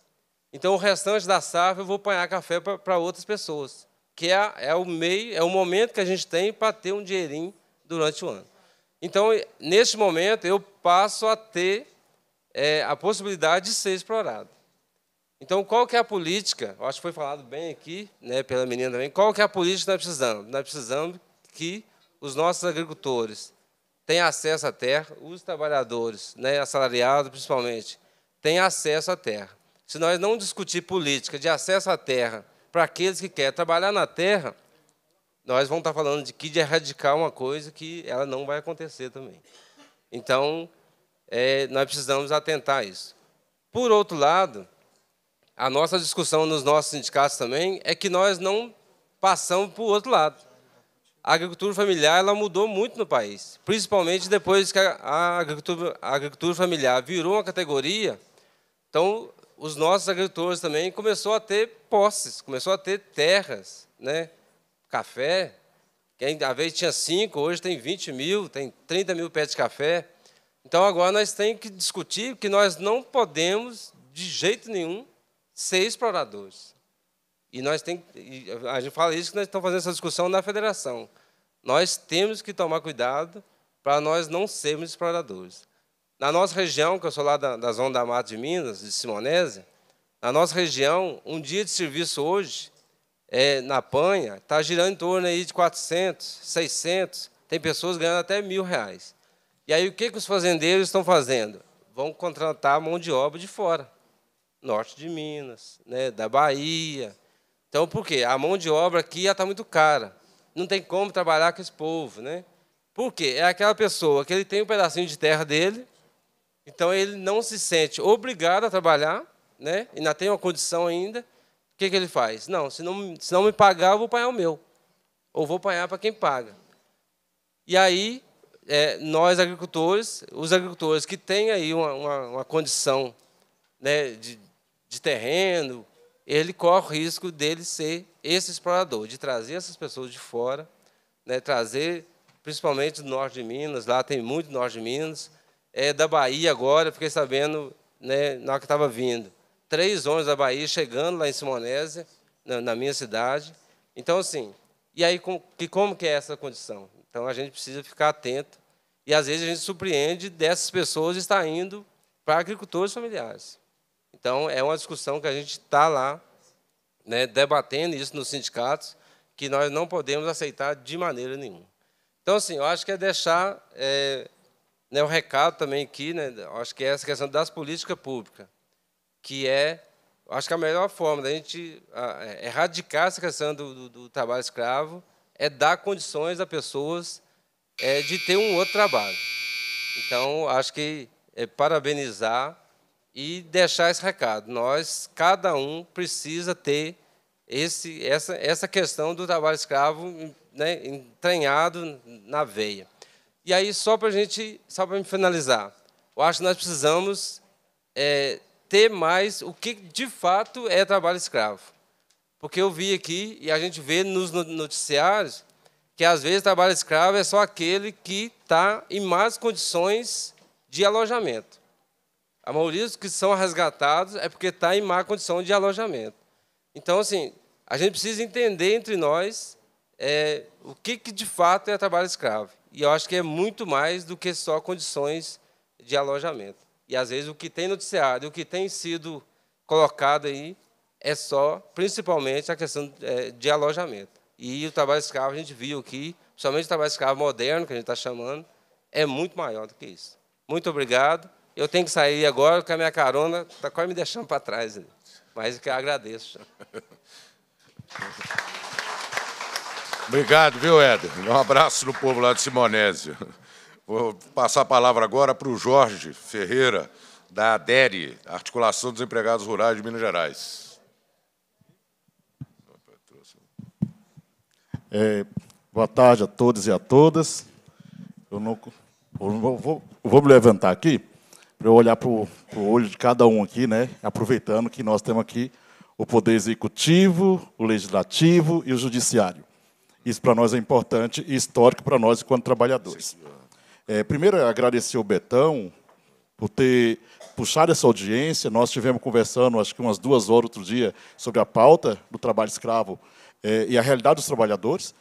É agradecer aí os outros parlamentares, a Bia, a Andréia, as autoridades aqui presentes e, sobretudo, os trabalhadores é, do Vale de Aquitionha, que está aqui, é, junto com a Nelly, com a, com a esqueci o nome da companheira, da a Ivete, né? Então, elas estão numa comissão de 12 trabalhadores aqui. É, essa comissão ela foi conversada a partir de dois encontros que nós fizemos no Vale de Quitionha, Betão. Sim. Nós fizemos um em Chapada do Norte, com em torno de 120 trabalhadores vítimas e impactados do trabalho escravo.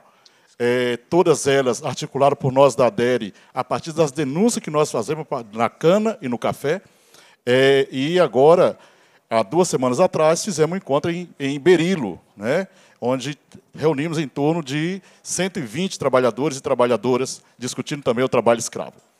E por que, que nós estamos satisfeitos já com essa audiência? Porque é uma discussão que está envolvendo o trabalhador.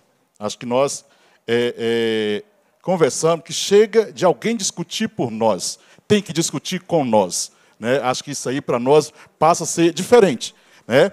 Vejam, é, fala-se de trabalho escravo, mas não dão nome aos bois, Betão. Nós queremos discutir isso.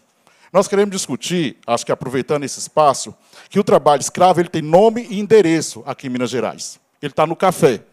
Mas o café é de quem?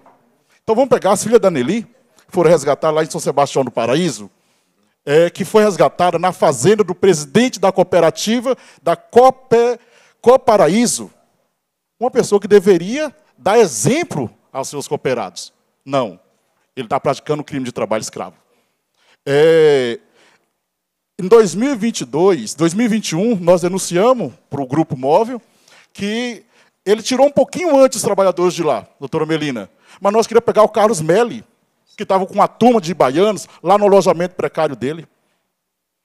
É, nós pegamos, o ano passado, o Betão, Sim. o presidente da Cochupé, a maior cooperativa do planeta, cobrando maquininha e gasolina no salário dos trabalhadores. É esses caras que nós temos que discutir no caso do trabalho. Ele tem endereço, ele tem nome. E nós não podemos ter medo de dar nome a esses bois. Né? Nós, esse café vai parar onde? Nós da DER estamos denunciando a Nestlé, a Starbucks, a McDonald's, a Ilha, a JDE, a dona do Café Pilão, que são esse povo que lucra com o trabalho escravo no café. E nós não vimos nenhuma movimentação do Estado brasileiro em cima desse povo até agora. E nós precisamos colocar a responsabilidade nele. Porque, assim, é muito fácil para nós denunciar o fazendeiro. Ele está cometendo crime, mas quem lucra não é ele. Quem vende o café a 20 reais o copo é a Starbucks. Como é que nós vamos pegar esse povo? Como é que nós vamos responsabilizar eles? Quem financia esse povo? Né? É, é, é, assim, eu fico me perguntando até que ponto, a doutora, aqui do Ministério do, do, da, do Ministério do Trabalho, não, do, do SINAIT, Né? Até quando vocês vão continuar resgatando e o ano que vem vai resgatar o mesmo trabalhador no outro, no outro de café? Até quando nós vamos enxugar esse gelo? E aí, Bia, você ter ideia, a dona Iracema está aqui. Dona Iracema, é, é, levante a mão pessoal, só o pessoal entender a senhora. Aquela mulher, ela é mãe e marido e esposa de resgatados. Dá para entender? O filho dela foi resgatado em 2017. Depois foi resgatado, encontramos em 2018. Depois encontramos em 2019, em 2021, em 2022. Até quando esse povo vai ser vítima do trabalho escravo? Nesse círculo vicioso, desgraçado, que ninguém interrompe ele? Até quando? Até assim, é, é, eu vou lá para o Vale de Jequitinhonha, Bia, e fico conversando com alguns jovens, né? Assim, triste de saber que o ano que vem eu vou encontrar esse pessoal, essa colheita agora, 2023, por exemplo, vou encontrar parte desse pessoal dentro de fazenda com o trabalho escravo e vou denunciar para o Ministério do Trabalho e o grupo móvel ou poucos auditores que têm co condições de fazer, vai lá e resgata, mas só vai liberar as verbas rescisórias, mais três parcelas de seguro-desemprego especial, quando não dá um ano, porque de um ano para o outro, né? É, não, veja, até quando essas coisas vão acontecer? Né? E, e, e, até quando eu vejo, cadê a companheira do Poder Judiciário? Até quando nós não vamos ver escravocrata de trás das grades?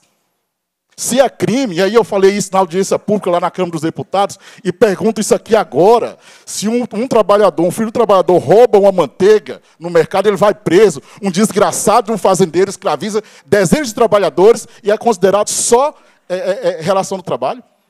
Ninguém prende esse povo. Então dá para entender que a justiça nossa, até o momento, posso, posso estar enganado, mas, e não estou. Mas a justiça nossa é classista, porque prende pobre, preto, não prende fazendeiro que escraviza, não derrubam, não afunda o, o, os navios negreiros. Porque assim, doutora Melina, a gente vê, é, é, eu sou negro, a maioria, e a Repórter Brasil traz isso, né? 82% dos, do, do, das vítimas é preto. Aí a senhora vai lá na comunidade da Dona Iracema, é uma comunidade quilombola. Vem aqui onde a Nelly mora, é uma comunidade quilombola.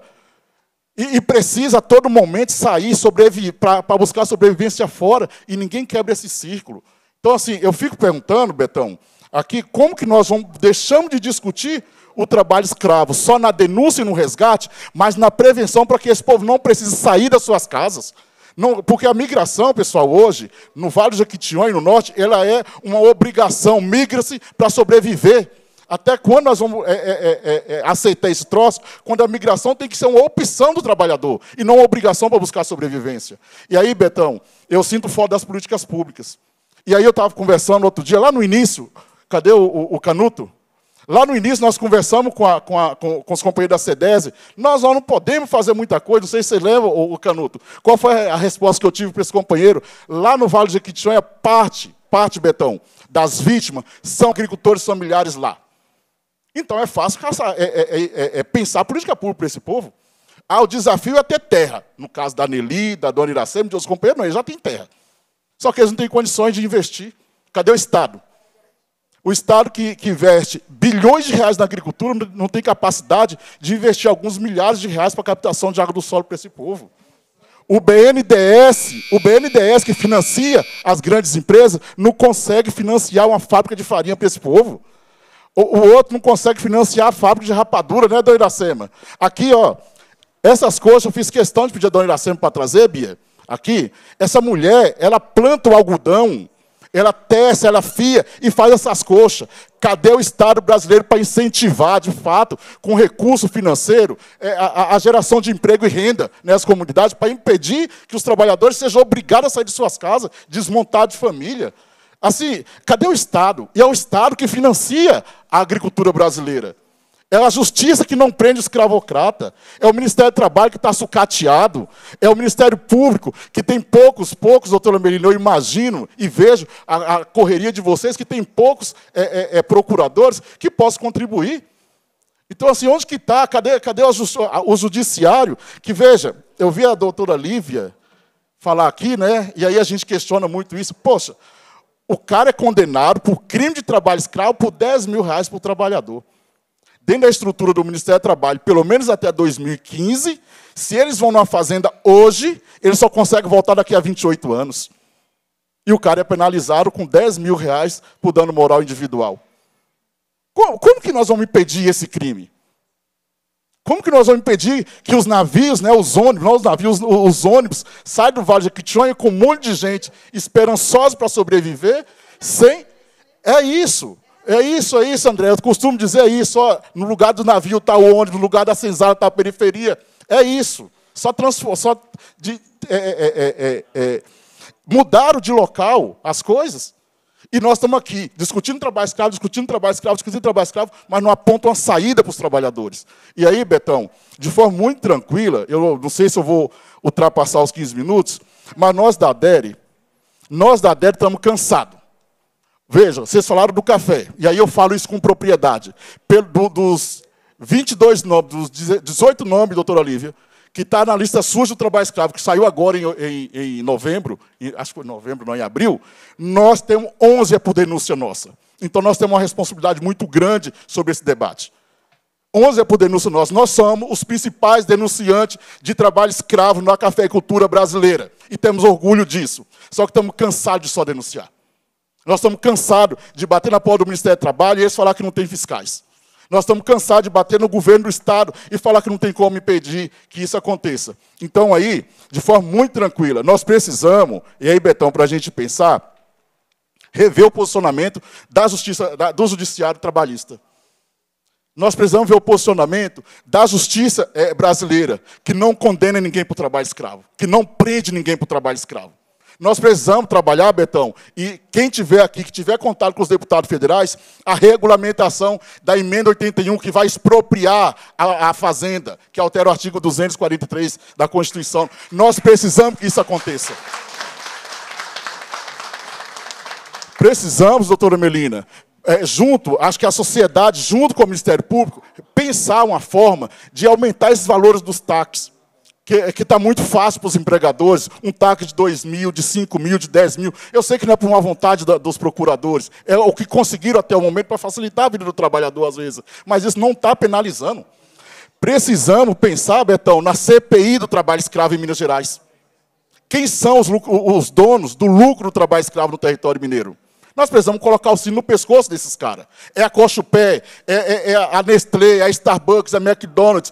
São, aqui, o, o, o, o, Andréia, vocês falaram aqui das cavuarias, mas a cavuaria por si só, ela, ela não, não existe. Ela tem a, a siderúrgica por detrás dela, ela tem as montadoras, tem a Gerdau. Como que nós vamos penalizar esse povo?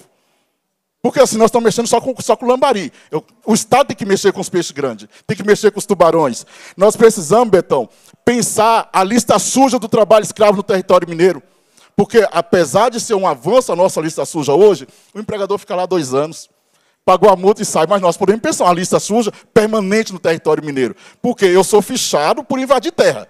Então a polícia vai lá, olha meu currículo.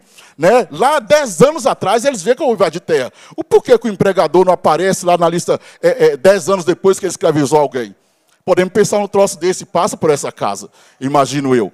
É, por fim, nós precisamos pensar, Betão, em, em, em, discutir melhor com as comunidades onde moram esses trabalhadores. É, nós, nesse encontro que nós fizemos, e aí eu estou encerrando, Conversamos com os trabalhadores, chamamos vereadores, chamamos alguns parlamentares para estar lá com a gente, para pensar junto com os trabalhadores. E aí eu faço esse convite, se a dona Iracema, os outros pessoal de Berilo e de Chapado me permite, que essa, essa comissão aqui, esse pessoal que está aqui discutindo agora, tenha a, a, a, sensibilidade de pisar o pé lá na comunidade onde os trabalhadores vivem e discutir com os trabalhadores políticas públicas. Acho que seria interessante. Né? É, é, é, tem uma comunidade lá da Dona Iracema, volta, volta a falar. A mulher planta o algodão, faz a linha, faz a coxa, mas não tem para onde mandar. Então tem condições de valorizar essa comunidade, tem condições de pensar de cobrar do governo do Estado investimento lá. E aí sim a gente começa a fechar. Não, não resgatar, mas fechar a porta para o trabalho escravo, dando condições de sobrevivência local para esses trabalhadores. Acho que é isso. Muito obrigado. Jorge, obrigado. Ô, gente, só para lembrar, tem o doce da dona Iracema aqui, ó. Hein? Não, ela está vendendo. Eu trouxe para provar aqui, ó, que ela tem produção, tá?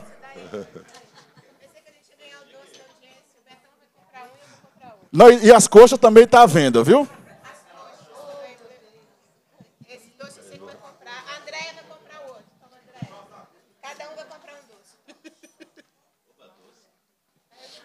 Jorge, obrigado pela explanação. O Jorge coloca uma discussão aqui muito interessante, que é, como eu falei, falei no início, que é sobre toda a cadeia produtiva, né, Joãozinho? É quem que se beneficia ao final desse. Né, então, tocou aqui no, no Café Pilão, Starbucks, que, né, que você paga 20 conto num cafezinho, né? Na, na, nessas lojas que tem por aí.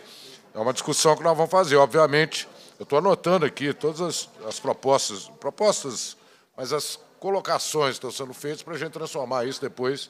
Com a palavra, uma, presidente, depois? Com a. Tá, deixa só, uh, deputada Andréia, é convidar o, o Jairo, Jairo, viu, Jairo, que eu já havia anunciado, o Jairo é o presidente da, da, Central Única dos Trabalhadores de Minas Gerais. É, só se não tiver lugar aqui, Jairo, você pode ficar lá mesmo onde você estava. É. É... Eu queria só a, contribuir. Depois eu vou chamar o Derli, que é vereador de Tombos. Sim. E antes a deputada André Jesus está pedindo um pela ordem aqui. É, eu fico. É, eu fui provocada aqui, talvez a gente debater, presidente, também com o Ministério do Desenvolvimento Social, o MDS, agora com o nosso presidente Lula. Porque nós precisamos disputar as políticas de assistência com recorte para atender prioritariamente as pessoas que estão de forma geracional sendo vítimas do trabalho escravo, né? Então tem políticas de desenvolvimento social, inclusive com recorte. Agora tem uma secretaria para atender os quilombolas dentro do Ministério do Desenvolvimento Social. Eu acho que é um ministério que nós temos que disputar para garantir o atendimento prioritário a esses que já foram vítimas do trabalho escravo, mas tem produção, está demonstrando aqui, não só pelo doce, mas que são terras que produzem e que tem que ser prioritariamente atendido pela política do governo federal. É isso, presidente. Obrigado, deputada Andréia de Jesus.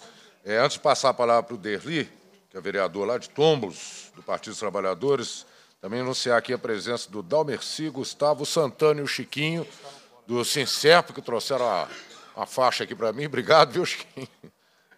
Então, o Francisco, é, o, o Chiquinho, aqui também a presença do Quilombo Tabuleiro, Quilombo Datas e o Quilombo Córrego Rocha. É isso mesmo? É isso, né? Emerson também, do Sind Eletro, está presente aqui na nossa audiência. Depois eu falo mais aqui.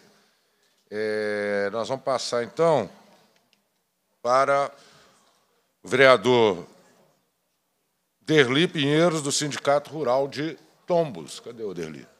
Ah, está lá. É, uma boa tarde, Betão. Boa tarde a todos os companheiros da mesa. É, o pessoal do Judiciário, companheiro do movimento sindical que está aqui. É Betão, quando você fala sindicato rural, se o pessoal lá de Tombos estiver ouvindo, que tem vários acompanhando, eles ficam bravos. Porque o sindicato rural é conhecido como sindicato patrão. Nós somos sindicato dos trabalhadores rurais. Tá bom? Então, olha bem. Depois de todas essas falas, que tiveram aqui, é, a gente fica até difícil a gente falar. Eu acho que a gente tem que fazer mais agora uma provocação. É, eu sou vereador lá, sou dos primeiros presidentes do sindicato na Zona da Mata, dos trabalhadores rurais, é, na década de final de 70 e 80. Vivi é, de perto essa situação que muito está se falando aí. Eu vivia assim, fazendo com 120 trabalhador que não tinha carteira assinada, que recebia meio salário mínimo. A, a, o que trabalhava ele não via dinheiro, porque o dinheiro ele comprava na, na, na, na armazém da fazenda. Então, assim, é uma situação precária. Eu presenciei trabalhador apanhando do administrador. Então, assim, eu vivi, como presidente do sindicato, uma situação assim, muito pesada para assim, mas quando você é presidente do sindicato? Eu fui o primeiro presidente do sindicato, apoiei o sindicato a vida toda, fui vereador, tenho quarto mandato de vereador, eh, fiquei um tempo fora da política, e voltei agora. Não estou encerrando minha carreira, não. Estou com 78 anos. Não estou encerrando a carreira, não, que não vou continuar a ouvir até 100 anos, se Deus quiser. E olha bem, então voltei no sindicato e a minha ideia é reformular. Meu pensamento que eu vim de um sindicato, uma luta, o sindicato foi criado pela CPT.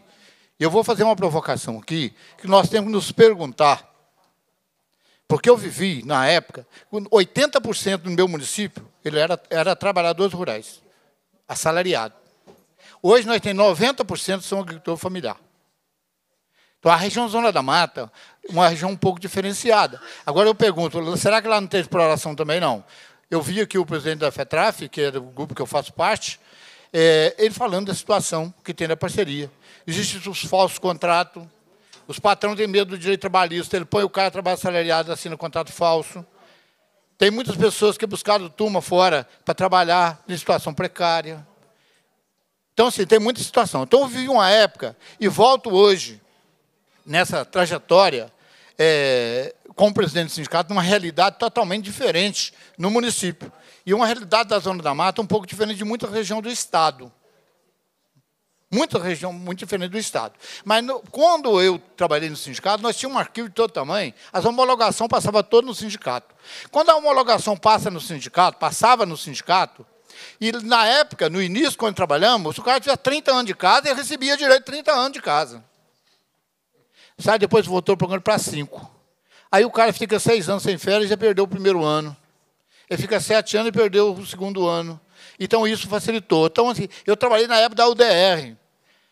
A Polícia Federal ficar na Zona da Mata, teve grande perseguição dos sindicalistas. Foi na época que foi que mataram aqui do Eloy Ferreira, a época do, do, do Júlio, pai da Cida de Unai. E na época eles queriam matar de todo jeito. Eu tomei tiro. A Polícia Federal ficou 60 dias. Hoje você não vê. É daquela forma, a violência daquela forma. Mas ela existe de uma forma sutil, de uma forma muito fácil. Então aí nós temos que nos perguntar. Eu, como sindicalista hoje, eu pergunto, fui a minha formação vim de igreja, vim de formação da CPT, de Sindicato Combativo de Luta. Os sindicalistas que nós temos, diante da situação que nós discutimos, da escravidão, como é que os nossos sindicatos estão? Nosso sindicato é, de fato, um sindicato combativo, que nós fiscalizamos essa realidade, como diz um formador, ciscando para ver as exploração, ou nós estamos fazendo, muitas vezes, o papel do Estado. O que é o papel do Estado? Mexer com a aposentadoria, que isso é função de governo. Mas nós podemos fazer. Mas será que nós ocupamos nosso tempo, esquecemos daquela grande luta do cara que tem um contato falso, o cara quando tem um salário, ele é explorado do salário, quando ele não tem formação de consciência para enfrentar o desafio, quando nós lutamos para os créditos, que é, é a partir dos créditos, as condições de geração de emprego, que nós vamos combater a miséria que acabou de ser falado aqui agora há pouco. Como é que está? Eu estou fazendo a minha provocação. Como é que está o Ministério do Trabalho? Todas as vagas estão preenchidas? Será que nós não temos que pensar política pública? Tanto da reforma trabalhista, que foi cada dia se destruindo, a desarticulação do sindicato para, para enfraquecer, desarticular o sindicato, que é o sindicato forte, combativo, que organiza, que conscientiza. Esse sindicato, ele leva esse senso crítico ao patrão. Será que esse poder, dentro do nosso, eu que sou vereador, por exemplo, hoje eu tenho um processo de cassação lá na Câmara. Eles marcaram para sábado me ouvir. Eu vou estar aqui. Eu não vou lá me ouvir, não. Pode pouca cassação. Porque a exploração hoje já não existe só numa, na zona rural, não é só nas empresas, não. Dentro das prefeituras. O prefeito nosso lá, a cassação que está propondo para mim, porque eu não, eu não consigo, eu, pelo meu princípio que eu venho, eu não aceito um trabalhador ser reivindicar ele ser cortado no salário dele.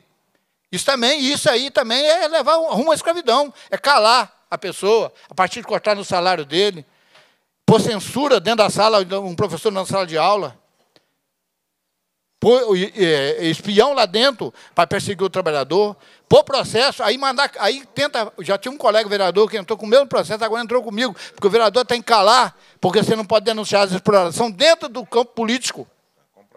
Então, assim, nós temos que olhar no todo. Igual falou, é muita questão da doméstica e outras áreas. Então, acho sim. E eu tenho uma militância como sindicalista, mas também a minha luta pela, no, no, momento pelos trabalhadores me levou a engajar na política. Mas fazer uma política não dá para me fechar a boca diante da injustiça dentro da política também não. Ou dentro de qualquer setor que ele for. E quando a gente fala, a gente paga caro. Às vezes a gente paga caro. Então, olha bem. Então aí fica aí minha interrogação. Nós, sindicalistas, qual o trabalho que estamos fazendo dentro dessa situação. Como que nós estamos? Como é que está o sindicato no nosso Estado? Ele conscientiza, ele faz formação, ele denuncia, ele corre atrás. Então, nós temos que nos perguntar também. Porque senão nós ocupamos o cargo, ficamos lá, fazemos trabalho lá, aqui, faz uma aposentadoria ali, uma previdência. E nós, da agricultura familiar, o perigo ainda é maior. Esquecemos de olhar que no meio do, entre 50 agricultor familiar, mas tem 10 lá que é assalariado. E às vezes trabalha para o pequeno produtor também. Eu costumo dizer que nós fizemos um trabalho de formação uma vez, tem o gato e a onça. O gato é parecido com a onça. Só que a onça, ela é forte e potente, ela devora. O gato, ele apenas pega o ratinho e o passarinho. Será que nós não temos que ter que ciscar e olhar que entre nós, agricultores e médio produtor, que deveria estar lutando pela causa dos irmãos mais pobres, será que nós não estamos vendo um gato de vez em quando, se nós não ter cuidado, nós vemos aquele gato que de vez em quando nós pega também, queremos imitar aquele grande que explora? Então, por isso nós temos que estar sempre nos perguntando, sempre nos refletindo. Então fica aí a nossa, a minha indagação, como é que está a estrutura pública? Como é que está a discussão? Como é que nós vamos puxar para fazer retomar os direitos trabalhistas que perdemos? Nós voltamos nesse último governo 40 anos para trás. Qual é a discussão política que vocês vão fazer? Como é que vai ser a estruturação do Ministério do Trabalho? Como é que vai ser nós, como sindicalistas, vamos fazer de fato um trabalho de base, que é onde nós possamos defender, e muito mais que defender, dar oportunidade para não ser, ser obrigado a trabalhar como um trabalho escravo ou suportar patrão. Quem mora na roça tem que ter sua terra, quem mora na, na cidade tem que ter sua casa. Então é assim que nós vamos se libertando. Muito obrigado. Muito obrigado, Derli. Anotado aqui. Passar a palavra agora para a doutora Melina de Souza, do Ministério Público do Trabalho. É, boa tarde. Eu quero cumprimentar é, todos os presentes na pessoa do excelentíssimo deputado Betão.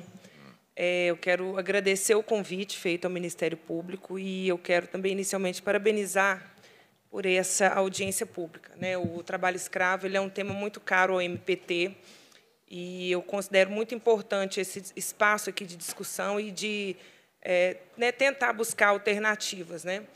E, inicialmente, é, eu quero também registrar.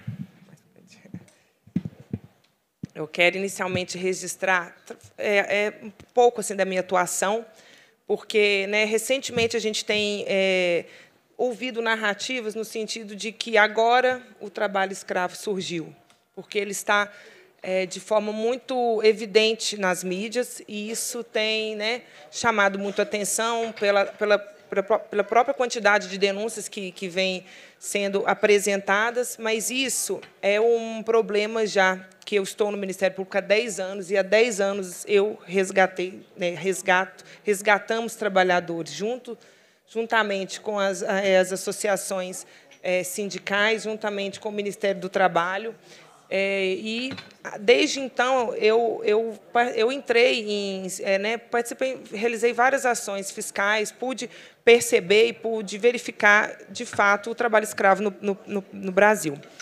Então, é, por que, que é importante a gente fazer isso? Né? Porque a gente constantemente é bombardeado com é, afrontas à própria é, atuação dos órgãos competentes, tanto do Ministério Público do Trabalho como do Ministério do Trabalho e Emprego, que né, é, fazem é, alegações no sentido de que o, qualquer hoje irregularidade é trabalho escravo, quando na verdade não é. Trata-se de um trabalho muito sério dos, do, das autoridades e dos agentes competentes para fazer o resgate e a fiscalização do trabalho escravo e também recentemente de que isso é, foi, algo, foi algo que o Ministério Público do Trabalho começou a fazer as ações, quando, na verdade, não. Desde então, eu estive no sul do Pará, é, fui é, em várias cidades, em várias ações, e a gente é, sempre participei de, de resgates no sul da Bahia, e atualmente eu estou é, lotada no sul de Minas Gerais, onde há a predominância do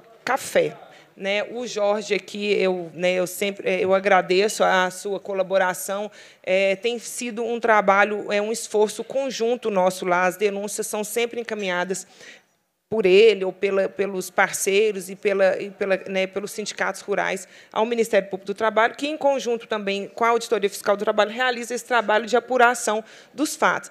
E tem sido muito recorrente, desde 2020, a gente percebeu um agravamento é, da situação, da, das condições e dos resgates. Houve um incremento é, considerável dessa, dessa, dessa situação no sul de Minas Gerais. E é, é importante atribuir isso, eu, eu acho que é muito importante entender o problema, né? não só sobre o aspecto da nossa atuação, de que é procurar a responsabilização, mas sobre um aspecto das causas. Né? Para a gente trazer uma solução para o problema, a gente precisa entender esse problema e ver o tamanho desse problema.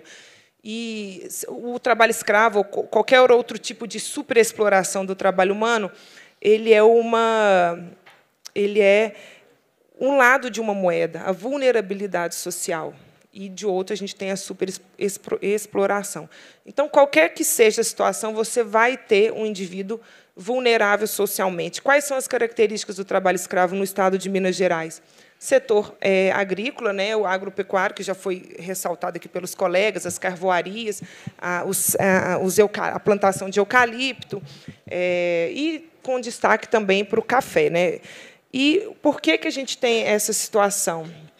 Trabalhadores migrantes, né, que saem da sua cidade de origem para bus buscar melhores condições de vida, sob falsas promessas de garantia dos direitos trabalhistas. Não acontece, obviamente. O analfabetismo, pobreza, ausência de qualificação profissional, ausência de educação mínima, é, são pessoas que geralmente é, vieram do trabalho infantil e, por isso, eles perpetuam a sua situação de vulnerabilidade social. Né? É um, um caso clássico ali que foi quer dizer, é evidente, fica muito é, claro para a gente é, as repercussões do trabalho infantil na vida de uma pessoa, né? como que a, aquela empregada doméstica ela não pôde superar né, e como que ela conseguiu, alguma, de alguma forma, se sentir melhor dentro do hospital foi com uma boneca, porque ela não passou por aquela etapa da vida dela.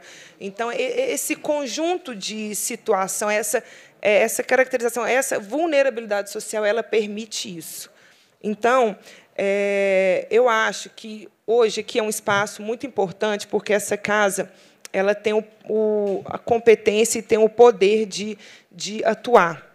E eu quero aqui é, trazer algumas propostas, algumas sugestões que, enquanto Ministério Público, né, a gente a gente continua fazendo nosso trabalho, a gente, né, é, nossa missão é, é erradicar, é, é combater, é responsabilizar, mas a gente também enxuga gelo, a gente também tem a mesma sensação do que o Jorge trouxe aqui, de que sempre estamos falando está é, acontecendo sempre mais do mesmo e desse, desses últimos dois anos. Por quê? Por conta da pandemia e por conta das alterações legislativas principalmente a questão da terceirização é, houve um incremento. E porque a sociedade se tornou talvez mais informada né? Isso trouxe a atenção da mídia e agora as, as pessoas elas estão tomando conhecimento e de, de, por algum aspecto eu acho que isso aí também trouxe a, a, a, o assunto na pauta do dia.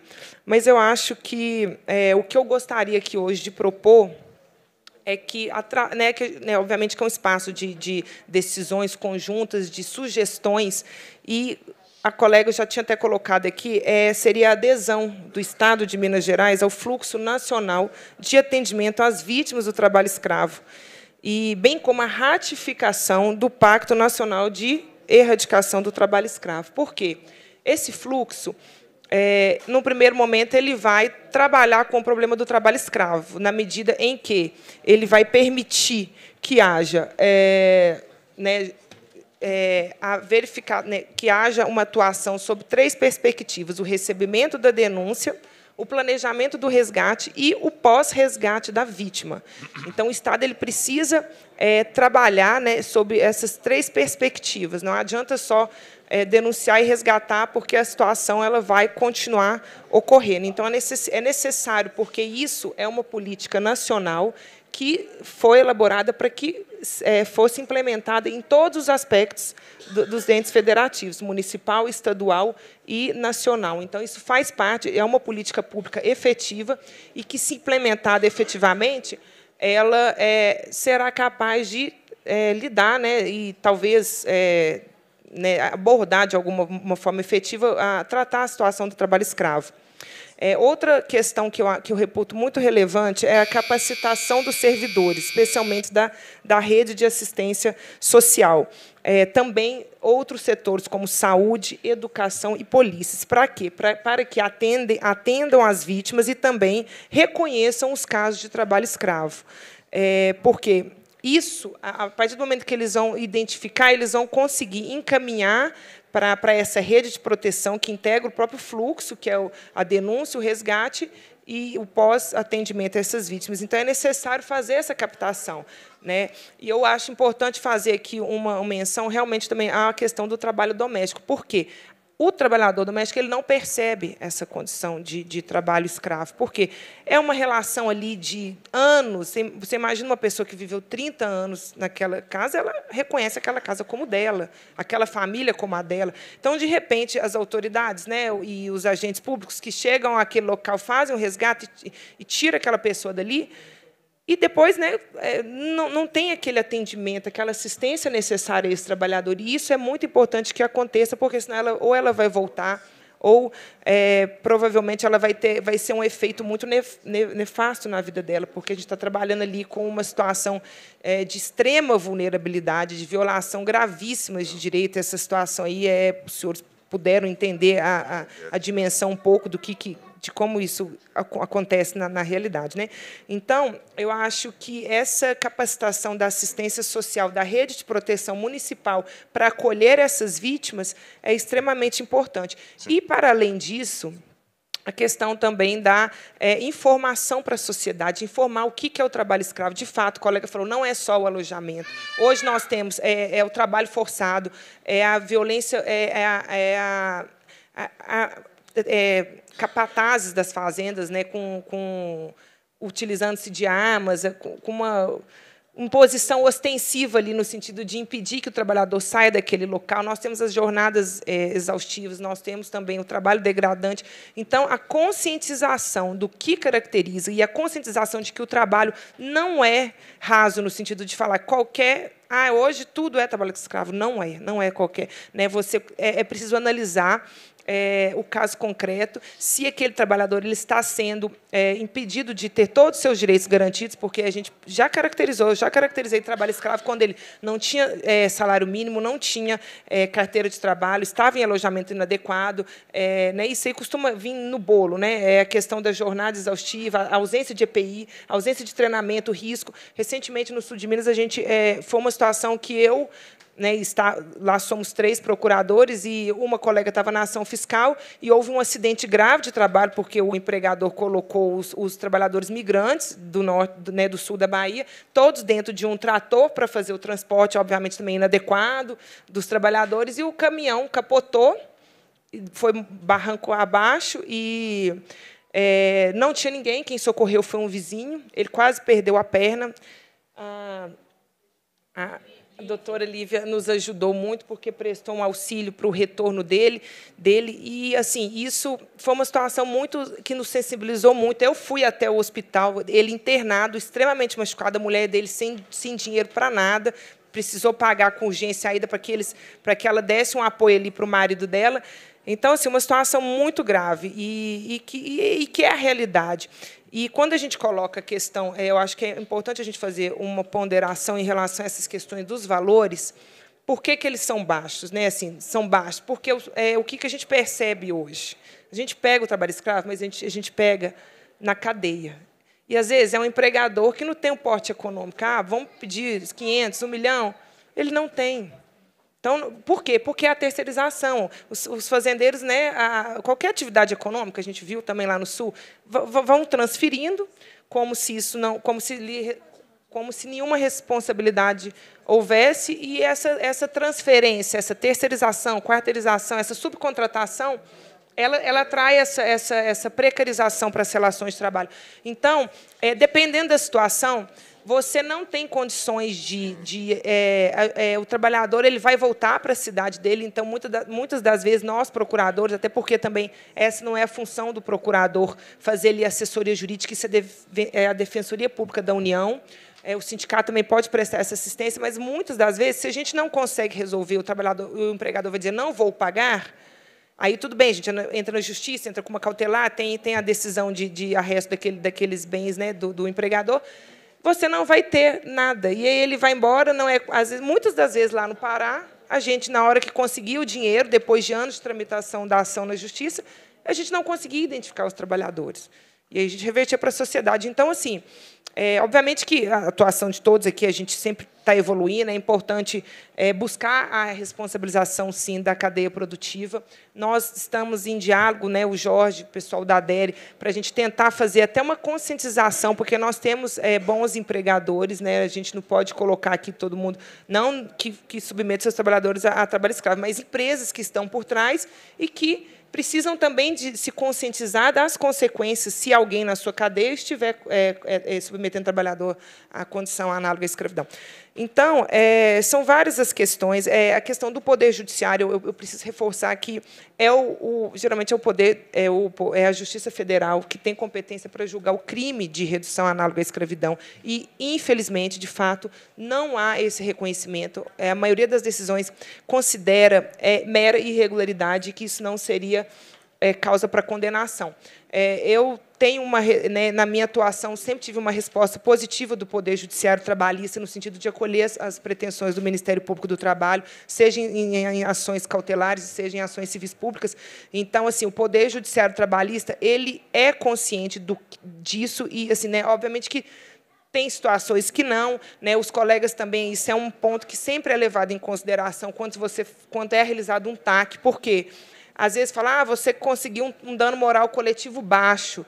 E aí existem tribunais, sim, no Estado, em, em re outras regiões, que não acolhem de forma alguma a tese do Ministério Público. Então, você vai bater na, justiça do, na, na porta do Poder Judiciário, isso vai, a gente vai ter uma negativa de, dessa resposta, né, no sentido de pedir a reparação e a gente não ter essa condenação. Então, várias questões são analisadas. Né, o pote daquele empregador, a resolução da, daquele, daqueles trabalhadores ali que têm a necessidade, merecem receber. Obviamente que nenhuma renúncia, não se defende aqui renúncia de direito trabalhista, mas, enfim, são questões que eu acho que eu já extrapolei meu tempo aqui, eu queria falar mais. É, eu quero, então, né, fazer mais um final para terminar aqui. Eu, que, eu acho importante também, como encaminhamento, além dessas questões que eu coloquei, adesão ao fluxo e a ratificação do, do, do Plano Nacional de Erradicação, a capacitação de servidores e fortalecimento também nas redes de educação, saúde, né, é, educação e profissionalização, porque é importante você tirar o trabalhador de uma situação de vulnerabilidade, é o fortalecimento da atuação das coetrais, que em Minas Gerais é a Comitrat, né, que são as comissões é, estaduais que vão enfrentar e, e traçar políticas públicas é, para a, erradicação do trabalho escravo. Então, é, o colega aqui, Canuto, eu acho que ele vai ter oportunidade de falar, mas eu acho que esse apoio financeiro, esse apoio institucional para o exercício é, das atividades dessa comissão, que é um exemplo de, de, de, de unidade, que tem a sociedade que participa da formação de políticas públicas, é algo que tem relevância e que precisa ser, ter o olhar de cuidar dessa casa. É isso. É, o Ministério Público do Trabalho ele, ele, é nacional, né? eu quero informar aqui, eu estou em Minas, mas já estive no, no, no Pará, já estive na Bahia, é, estou aqui representando meu colega, meus colegas, seria o doutor Roberto e o doutor Arlélio, e estou, estamos à disposição, denunciem também os casos ao Ministério Público e contem conosco para qualquer iniciativa que, relacionada a essa temática. Muito obrigada. Tá, obrigado, doutora Melina. Melina, isso. As, as sugestões estão anotadas, né, para depois a gente passar, tá bom? É, estão, presentes, estão presentes aqui também o Djavan Marques, que é do Sindicato dos Trabalhadores das Indústrias de Extração de Madeira e Lenha de Santa Bárbara. Obrigado. Gilberto Rocha, vereador de Espinosa, é isso? Presidente do Sindicato dos Agricultores Familiares e Rurais. E o Roberto Nery, assessor do deputado federal Patrus Aranias. E eu passo a palavra agora à doutora professora Valdete, que está de forma remota. Está me ouvindo, professora? Estou ouvindo. Vocês estão me ouvindo bem? Sim, sim. Se pudesse, talvez, um pouquinho mais próximo do microfone. Vamos ver aqui. Estou com o microfone aqui, ó, grudado. Opa, melhorou bastante. então, tá bem. Posso iniciar, então? Pode. Em primeiro lugar, eu quero agradecer muito o convite por estar aqui, porque esse é um dos temas que me parecem mais caros de serem discutidos no mundo do trabalho. Pedir desculpas por não estar presencialmente, eu estou, enfim, enfrentando um, uma gripe um pouco forte e não me senti em condições de, de ir até vocês, mas uh, fiquei feliz de poder, pelo menos, participar de forma remota. Eu consegui ouvir algumas falas, porque como eu fiquei aqui também, fiquei atendendo a jurisdição, então tive que me ausentar em alguns momentos, mas escutando algumas das falas que me precederam, eu fiquei pensando que talvez a contribuição que eu pudesse trazer, eu estou falando aqui do Rio Grande do Sul, de Porto Alegre, e como vocês devem saber, o meu estado está é, em segundo lugar entre os estados onde mais pessoas foram resgatadas em condição de escravização nos últimos anos. Só esse ano já foram, já foi um número muito expressivo de pessoas. Tivemos recentemente aquele caso é, das vinícolas aqui do Sul, mas também logo em seguida Uh, outros trabalhadores foram encontrados em condição de escravização em uma lavoura de arroz, e não são casos isolados, infelizmente. Então, pensei que talvez a contribuição que eu possa trazer uh, para esse debate que é tão importante é que a gente comece a pensar no que está acontecendo, se a gente precisa fazer em 2023 uma audiência pública para falar de uma situação de escravização de pessoas, porque, como foi mostrado, inclusive, numa das falas que eu acompanhei, é, com dados da pesquisa feita aí em Minas Gerais, não são situações é, simplesmente de extensão de jornada, que já seria grave, são situações de condição degradante de trabalho, são pessoas que muitas vezes têm o seu passaporte ou seus documentos retidos que estão em locais onde não há banheiro, onde não há condição para dormir. Existe uma característica muito grande é, desse trabalho escravizado uh, se, se verificar em alguns setores especialmente, então a gente consegue identificar no meio rural, a gente consegue identificar no setor de vestuário, a gente consegue identificar no trabalho em âmbito doméstico. E então me parece assim, a gente precisa, em primeiro lugar, tentar entender como que é possível que em 2023, com uma Constituição como a de 88, com tudo que também foi dito aqui por quem participa do sistema de justiça, principalmente, né, o MPT, o Poder Judiciário, do que já existe em termos de regras legais e de iniciativas, como que então essa situação se perpetua? E quero dizer para vocês que quanto mais eu tenho estudado sobre isso, mais eu me convenço que se a gente ainda tem trabalho escravizado no Brasil é porque nós temos uma racionalidade escravista. E é importante a gente entender isso. O que é essa racionalidade escravista?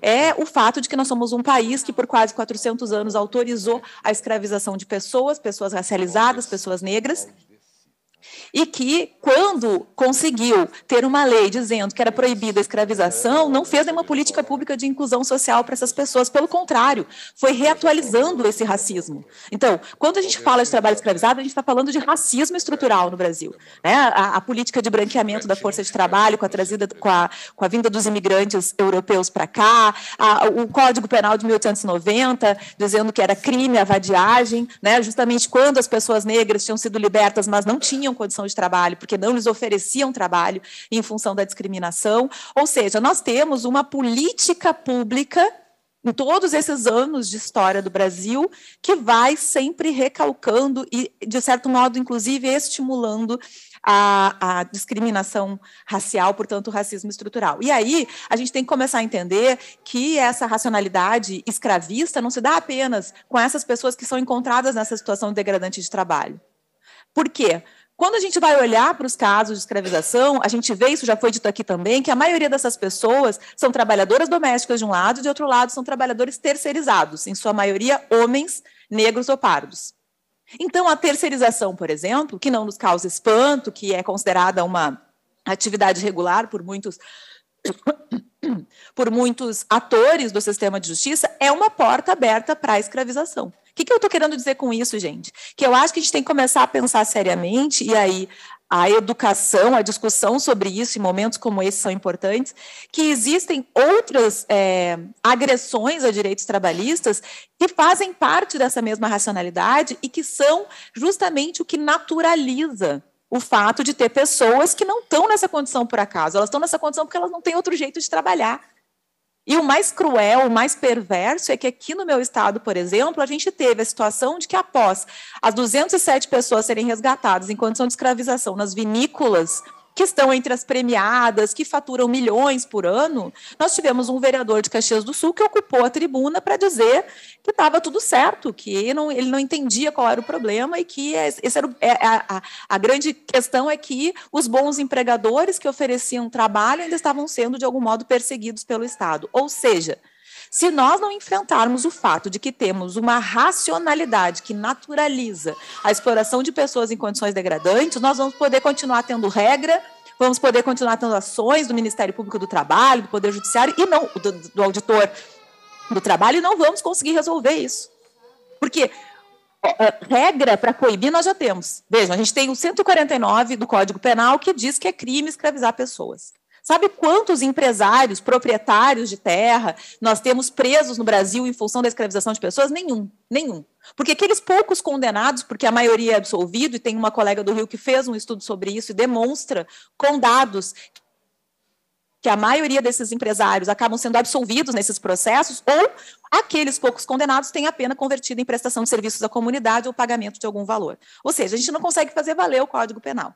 Nós temos uma regra na Constituição, que é o artigo 243, que diz que, e vejam, não depende de nenhuma outra regra para ser aplicado, vocês depois leiam para ver, ele diz claramente que a propriedade em que for encontrada pessoa em situação de escravização tem que ser expropriada sem indenização e utilizada para reforma agrária.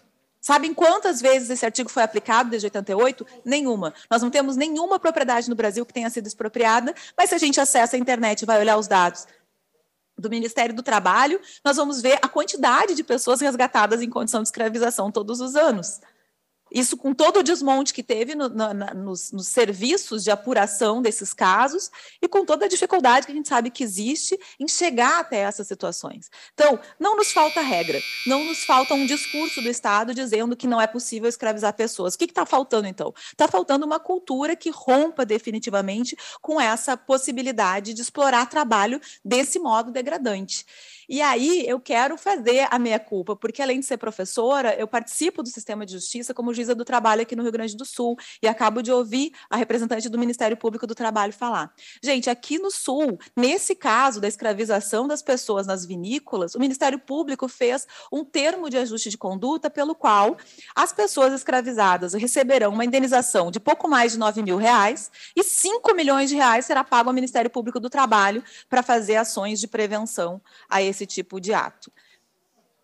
Desculpem, mas assim, isso não é razoável, isso não é possível. É, eu não consigo realmente conceber como é possível que se faça termo de ajuste de conduta com escravista.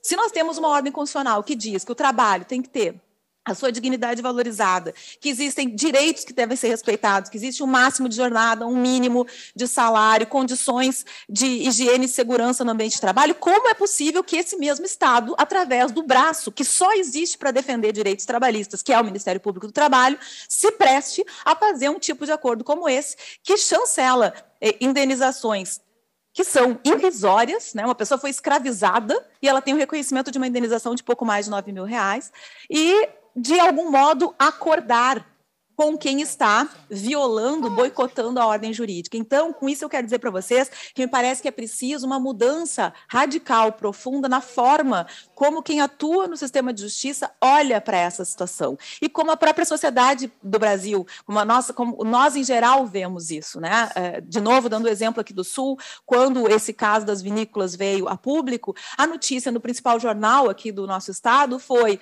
trabalhadores são encontrados em situação de trabalho irregular. Poxa, gente, não é trabalho irregular, é trabalho escravizado. Ou a gente se horroriza com isso e dá uma resposta eficiente, que signifique dizer, na forma do que já diz a Constituição da República, que quem escraviza não pode empreender, não tem direito de continuar proprietário da terra, ou nós vamos continuar realizando audiências públicas ou medidas paliativas, mas lidando com esse problema por muitos e muitos anos ainda. Afinal de contas, a gente tem 353 anos de escravização institucionalizada pelo Estado brasileiro e 135 anos desde que a Lei Áurea foi publicada, como eu disse, sem nenhuma política pública de inclusão social para as pessoas pretas e pardas. É mais do que urgente que a gente entenda que não é possível conviver com escravização ou com quem escraviza, e isso depende de uma mudança de cultura. Por isso que eu vou encerrar a minha fala agradecendo de novo a oportunidade de estar aqui, dizendo que momentos como esses são importantes, porque o ouvir as pessoas, como a gente ouviu aqui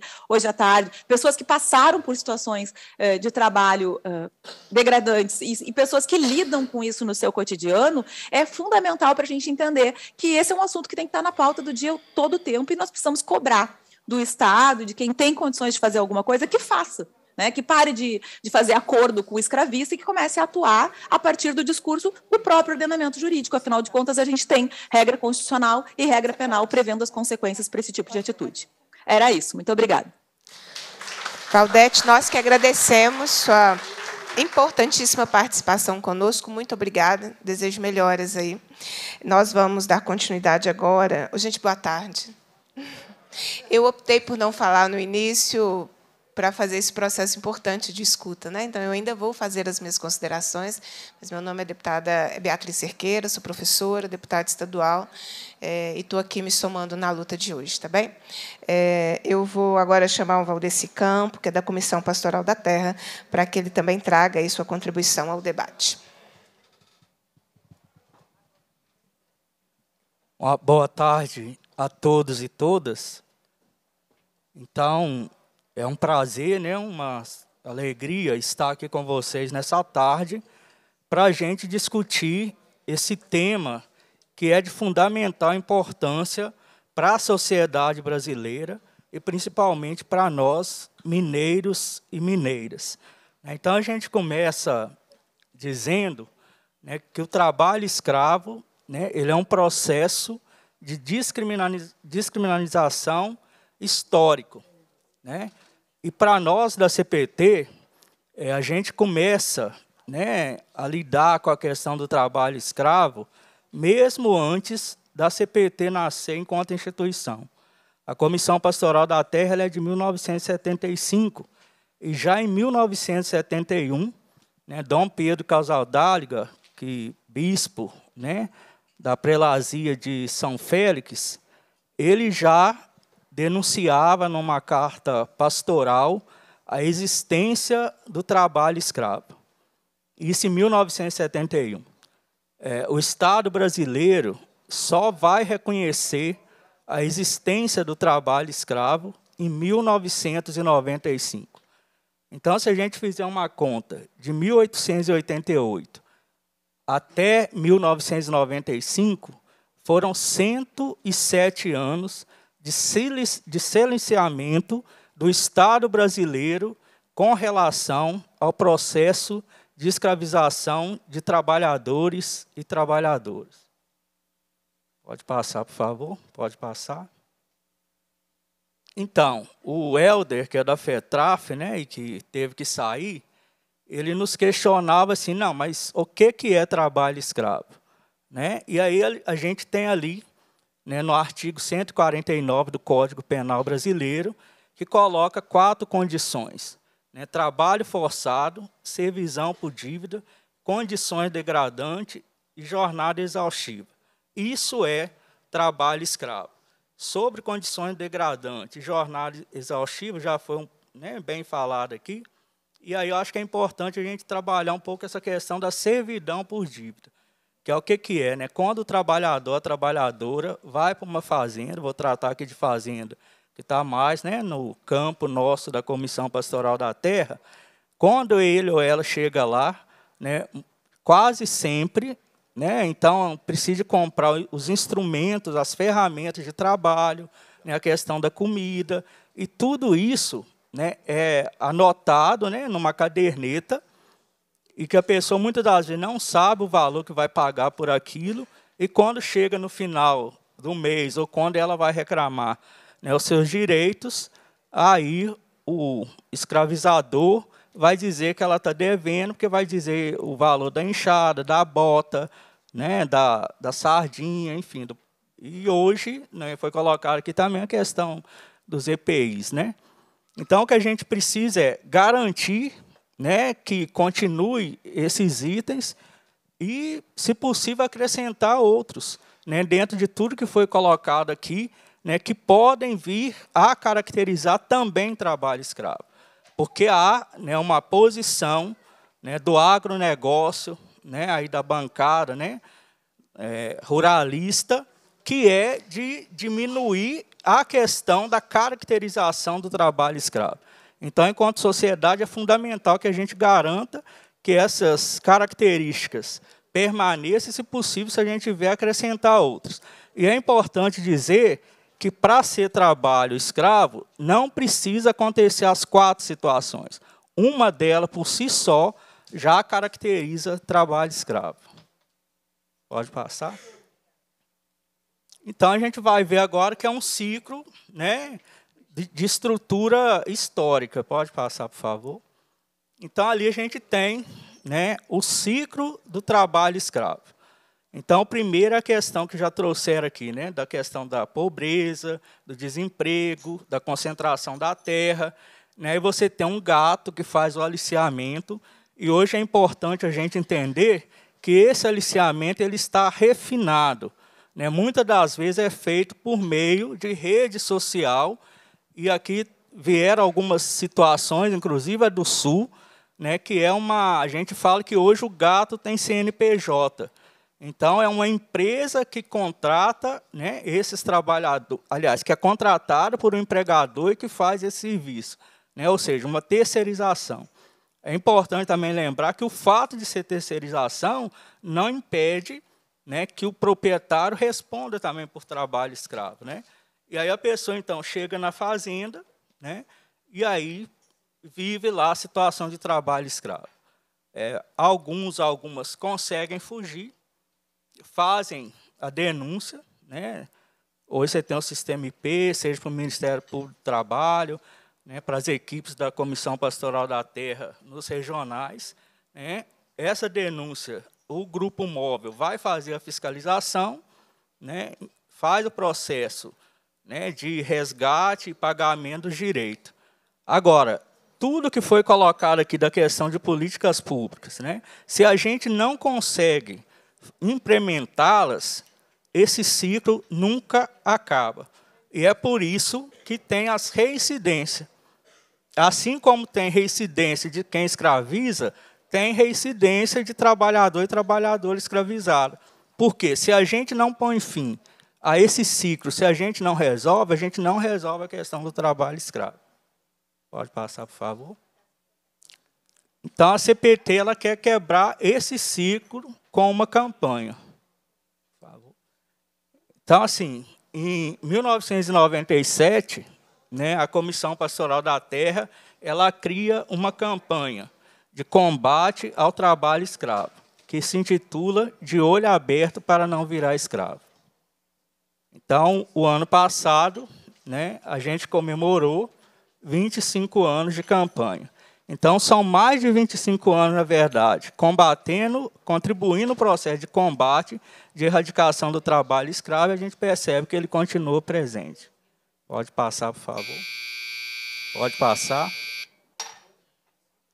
Então, e aí a campanha, a gente trabalha com sete estratégias, né, sete ingredientes que é a questão da prevenção, a questão da informação e formação, a questão de denúncia, seja em órgãos nacionais como também internacionais, né, a cobrança de políticas públicas por parte do poder público, mobilização da sociedade, organização, para que a gente possa ter mudanças reais.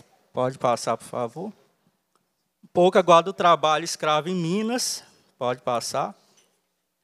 Bom, então, é, de 2013 a 2022, né, foram resgatados 4.010 trabalhadores e trabalhadoras mineiros.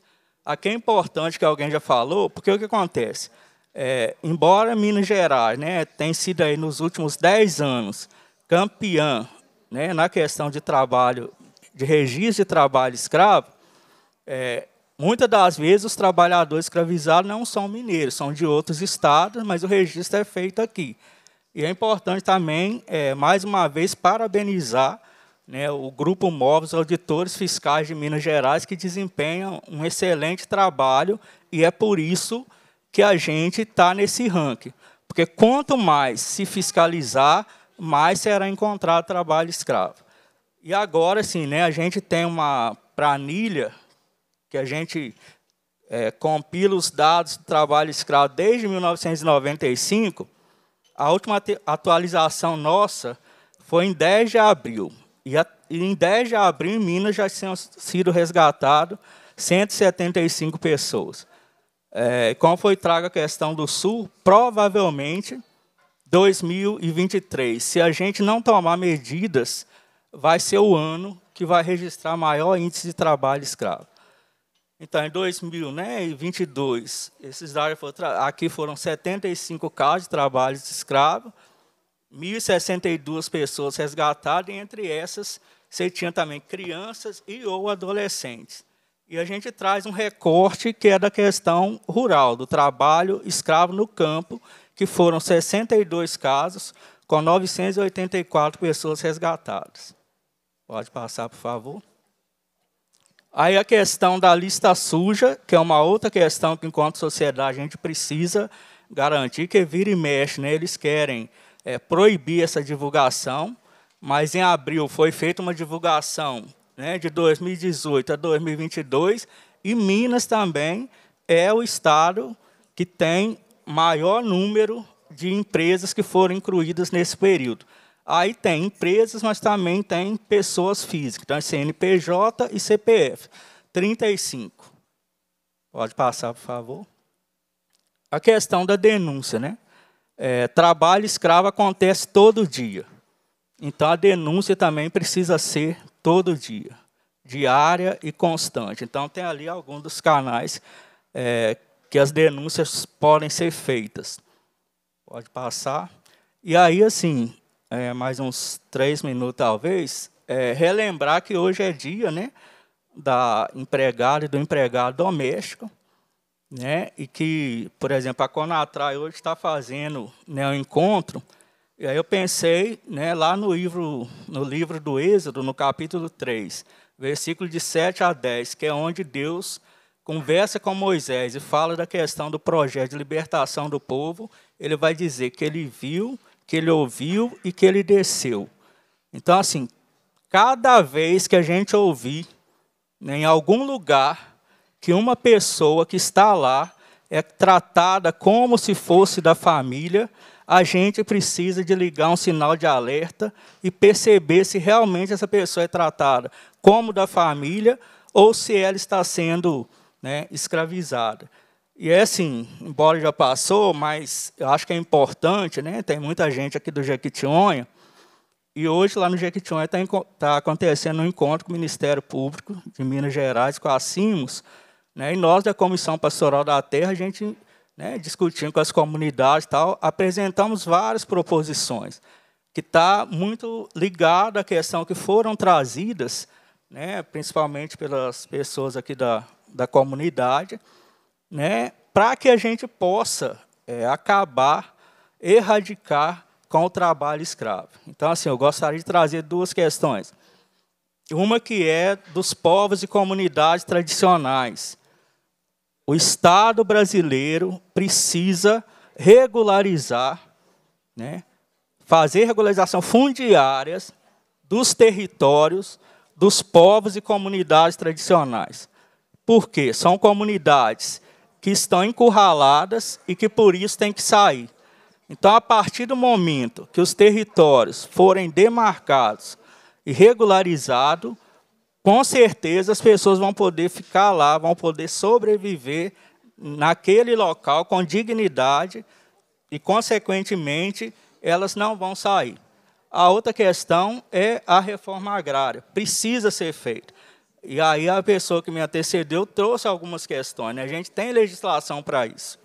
Né? Então tem um projeto que está sempre para ser regulamentado, né? que precisa. A lei diz que fazenda onde se encontra trabalho escravo tem que ser desapropriada para fim de reforma agrária e de forma gratuita. A gente precisa fazer isso. Uma outra questão é: ninguém é preso por trabalho escravo. A gente precisa, é necessário que comece a prender as pessoas, criminalizar e prender, né? Para ver que dessa forma a gente consegue mudar esse panorama, porque aí, né? São cent, é, décadas e décadas né, dessa situação que não está mudando. Então a gente precisa, além de fazer cumprir as legislações existentes, também construir outras, né, para garantir que a gente realmente erradique né, a questão do trabalho escravo no Brasil, que já vem aí né, há uns dois séculos, pelo menos, essa situação. Obrigado. Obrigado, Valdeci, pelos dados aqui que você trouxe muito importantes. Eu passo rapidamente a palavra para o superintendente do Ministério da Superintendente do Trabalho, companheiro Carlos Calazan, que também tem ainda outra atividade. E ele vai falar de lá.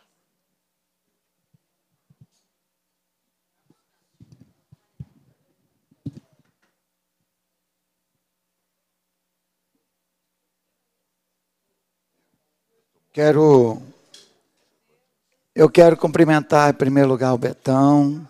Quero cumprimentar a Beatriz, minha amiga, companheira, Betão, meu amigo, sindicalistas, os dois, e agora cumprindo essa honrosa função de estar aqui na Assembleia. E cumprimentar toda a mesa, né? A Andréia saiu, mas um grande abraço para essa deputada negra, também guerreira.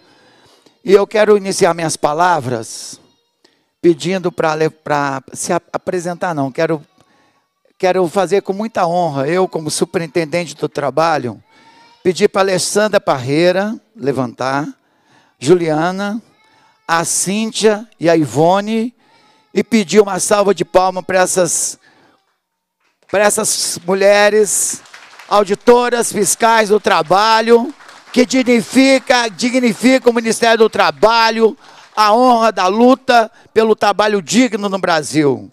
Alessandra Parreira, Juliana, Ivone, Cíntia, minha honra trabalhar com vocês, essas mulheres que dignificam esta luta. Muito obrigado estar trabalhando com vocês, cada uma de vocês. Hoje, nós estamos aqui todos reunidos.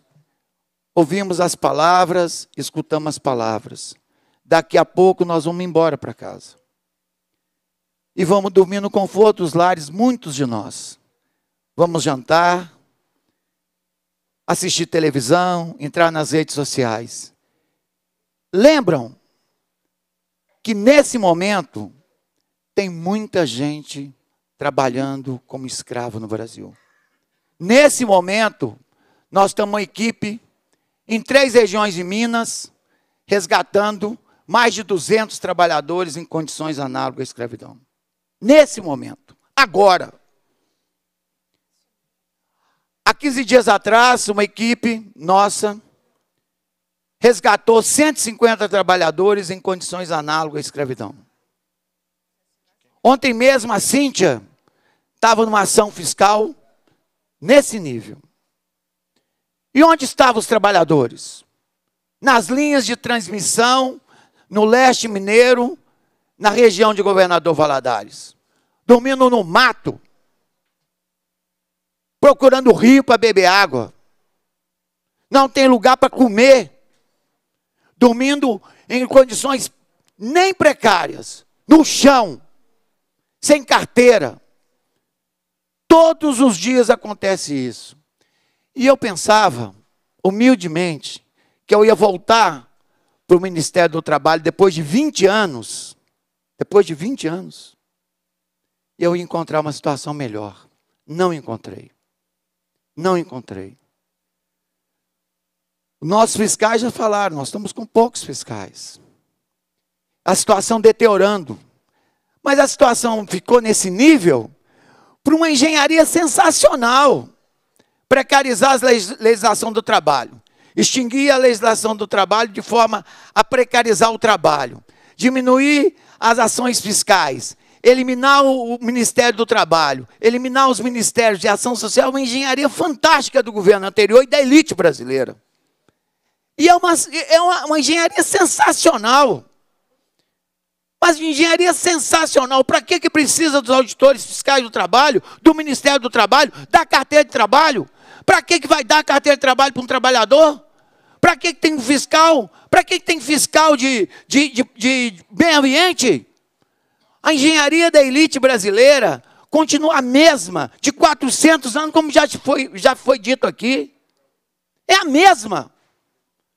Não foi à toa que a Cintia acabou de dizer as empregadas domésticas, escravas, resgatadas, todas negras.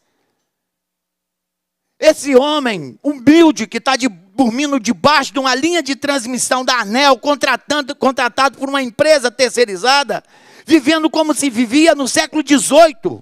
O que mudou? O que mudou? Nada. Há 20 anos atrás, quatro servidores do Ministério do Trabalho foram interceptados na região de Unai. Todos tomaram um tiro na cabeça. Todos morreram.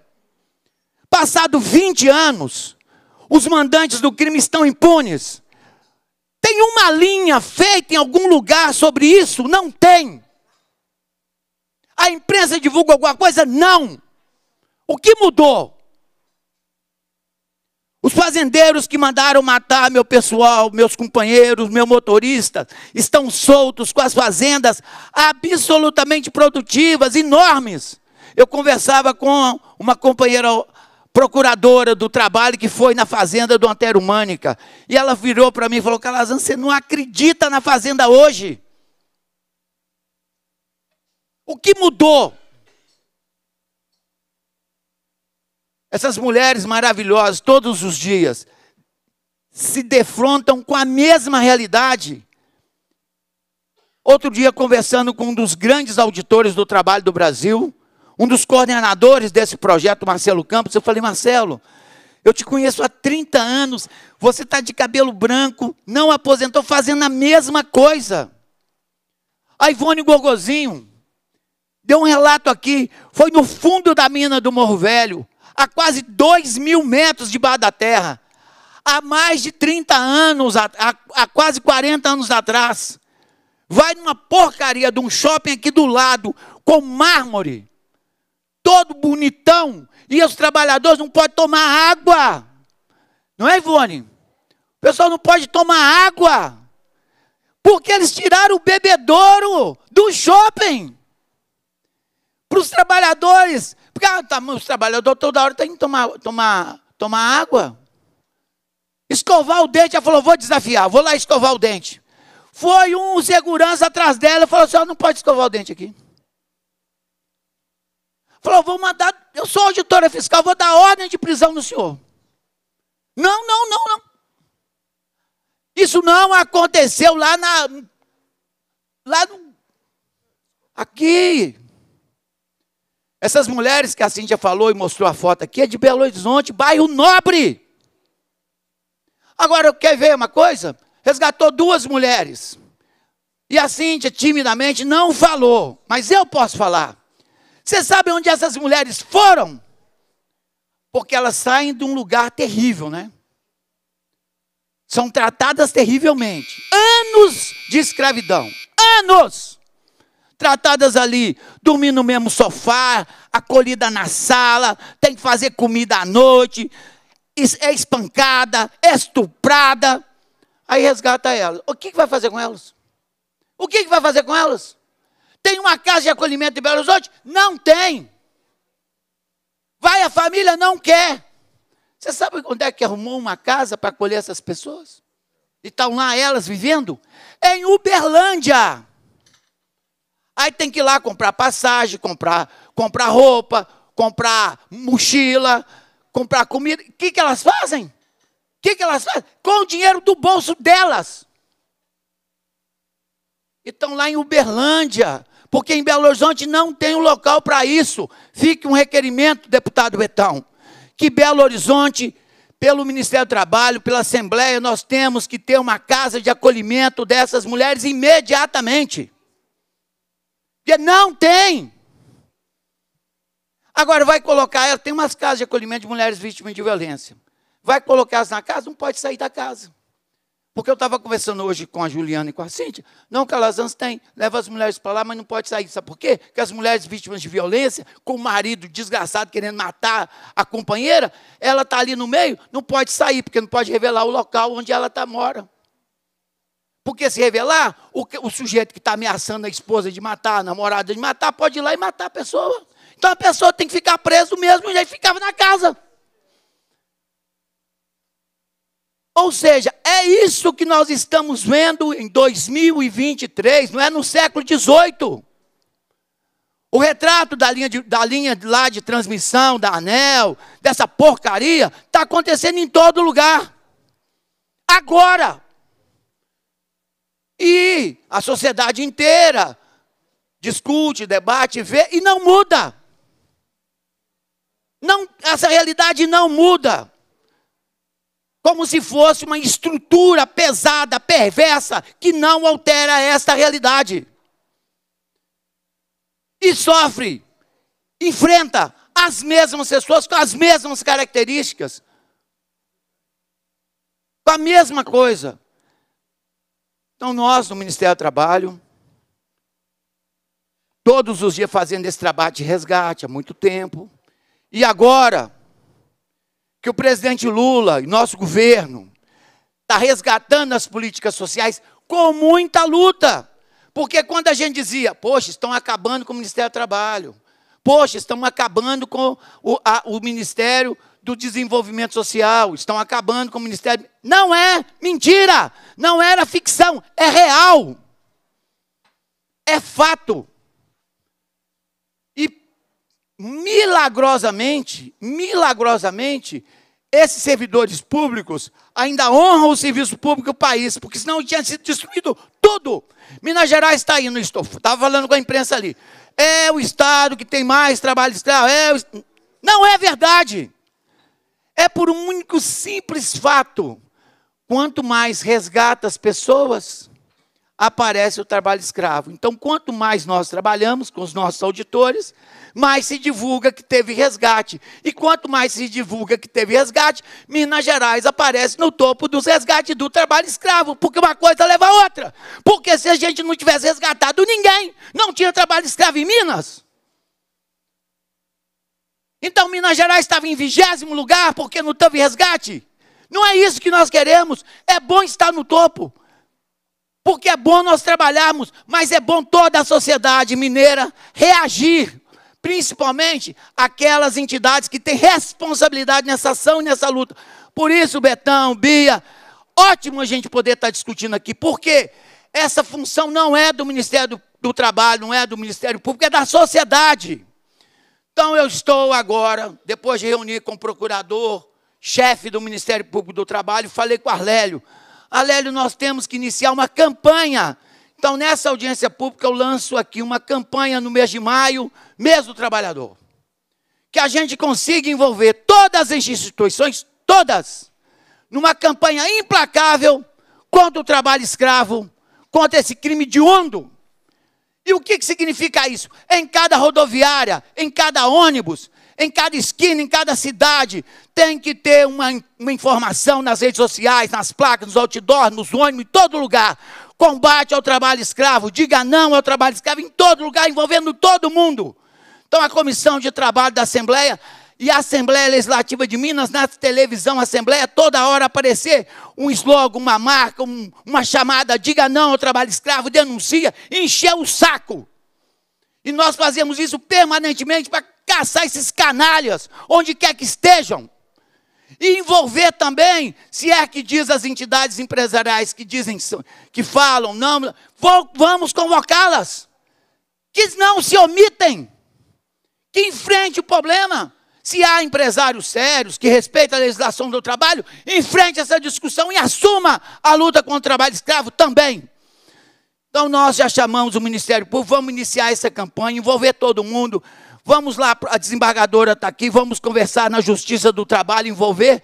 E no dia 8, está marcada uma audiência, eu e Rogério Correia, eu como governo federal e o deputado federal Rogério Correia, nós marcamos uma audiência com a doutora Mônica Cifuentes, que é a presidente do Tribunal Regional Federal da Sexta Região.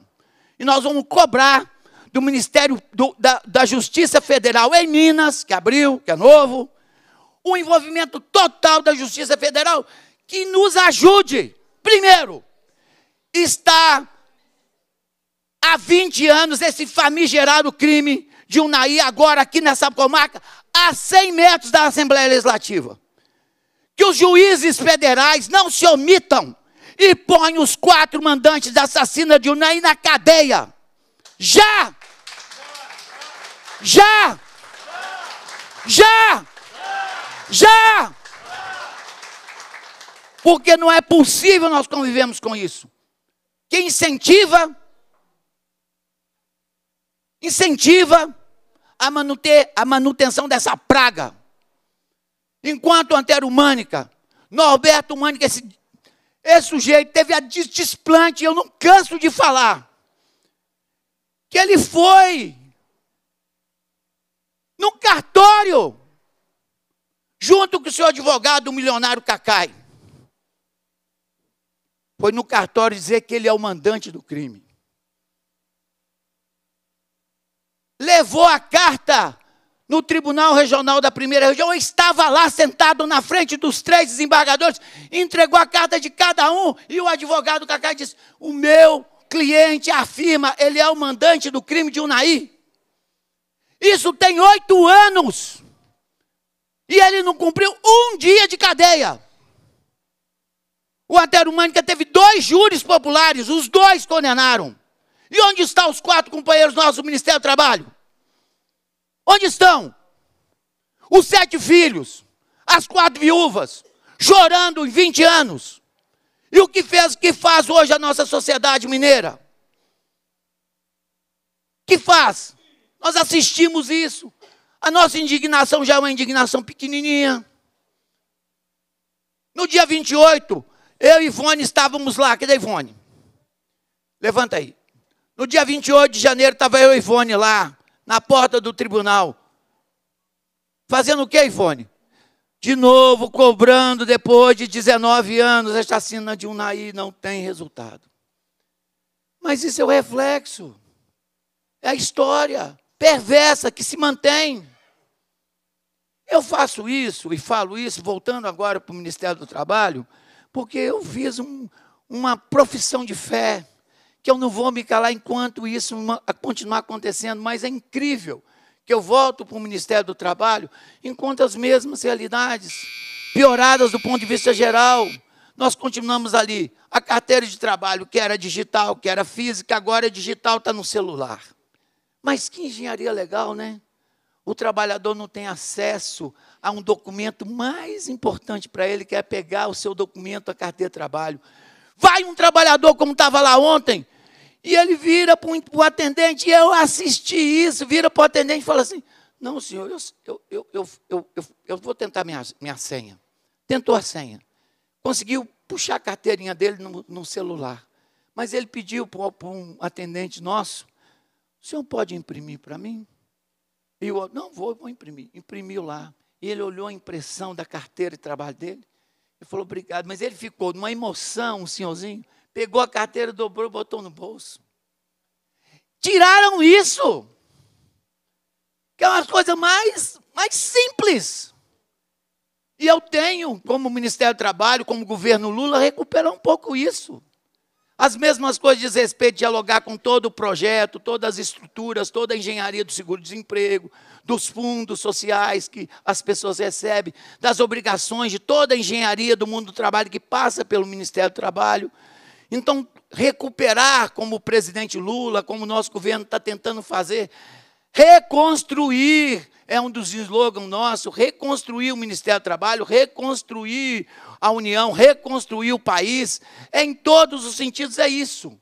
Então, Betão, Bia, meus companheiros sindicalistas, auditores, procuradores, juízes das entidades sociais. Então, eu estou aqui iniciando o mês de maio, começando aí o primeiro de maio, um apelo, que a gente faça essa irmandade, que essa, que essa, essa pactuação de lutarmos incansavelmente contra o trabalho escravo, é uma consciência da sociedade, nas escolas, as universidades, os sindicatos, e falar em sindicato, e não me estendendo muito, quero, paralelamente essa campanha, e aí já falando um pouco também sobre o governo Lula e do nosso ministro, do ministro Marinho, nós, e eu particularmente, quero que a gente inicie também uma grande campanha, já envolver também um, uma moção para o Betão, na comissão de trabalho, um movimento para valorização dos sindicatos em, com todos os sindicatos, uma valorização dos sindicatos. Trabalhador, valorize o seu sindicato no mês de maio. Vá no sindicato, valorize o seu sindicato. É, um, é o único instrumento nosso de ação também. E quero fazer uma. Outra coisa, gente. Eu fico lembrando cada coisa, me dá uma angústia. Betão, Bia, vou terminar, porque eu falei muito. Acabaram, atenção, acabaram com a homologação. Acabaram com a homologação. O Ministério do Trabalho não faz. Os sindicatos não faz. Quem está fazendo a homologação para o trabalhador? Quem está fazendo a homologação para o trabalhador? O sujeito senta na.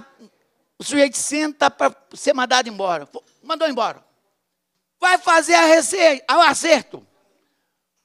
Seu AC deu 500 conto. 500 conto, doutor? Deu 500 Mas não tem direito às férias? Não. Um terço de férias? Não. Está ruim? Não, senhor, não. É só 500 conto, é. Não, você pode procurar a justiça ou procura um advogado. Está aqui o dinheiro, assina aí. Isso está acontecendo agora no Brasil inteiro.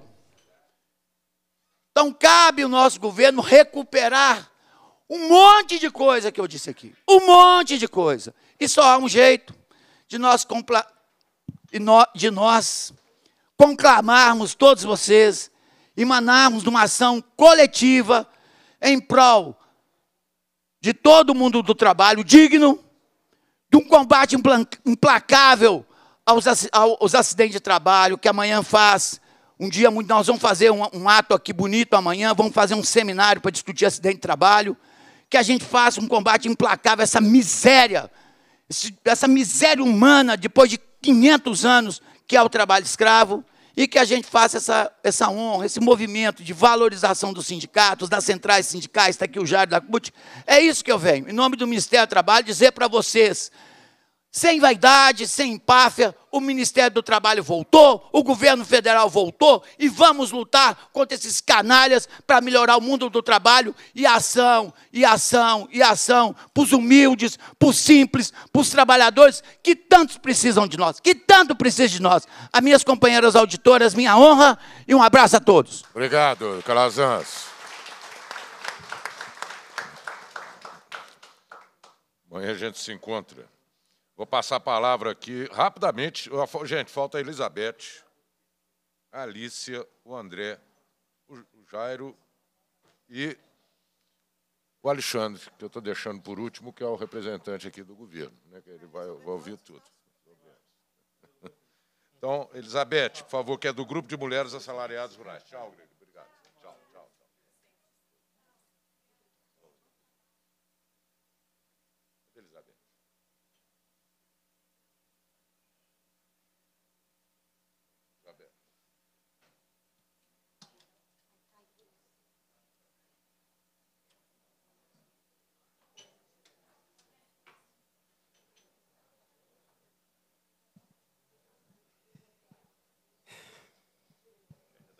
Boa noite, né? Ou boa tarde, pessoal. Eu vim.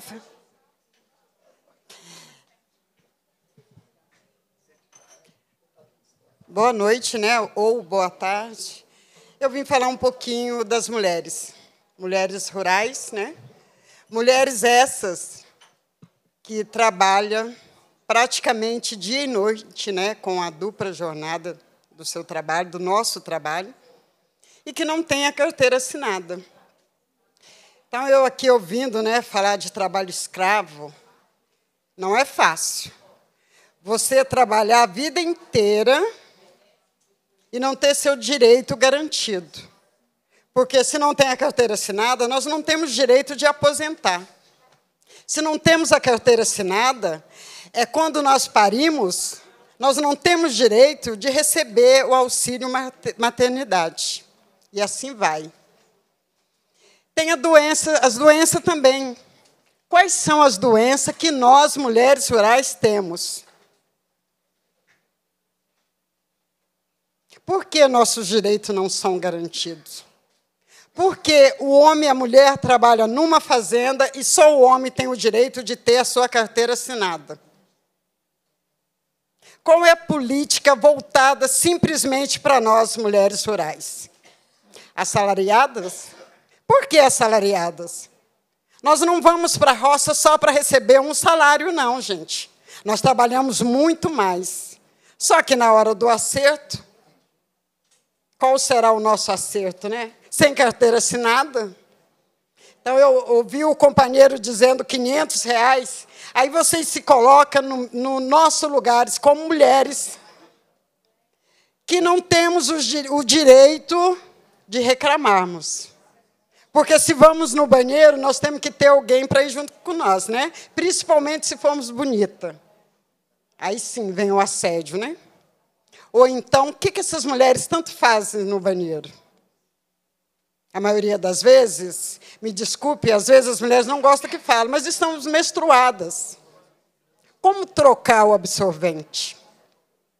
É interessante, né? É vergonhoso. Eu falando de menstruação. Nós temos cólicas. Nós ficamos doentes, mas não temos o direito de deitar. Simplesmente nós temos que continuar trabalhando, trabalhando, e assim vai. Aí eu me coloco no lugar de uma mulher, 35 anos trabalhando na roça. Ela está com câncer no céu da boca. Não tem a carteira assinada. É dia e noite com dor e ela continua trabalhando. Às vezes ouvimos do patrão, você fala bonito, aqui não é o seu lugar.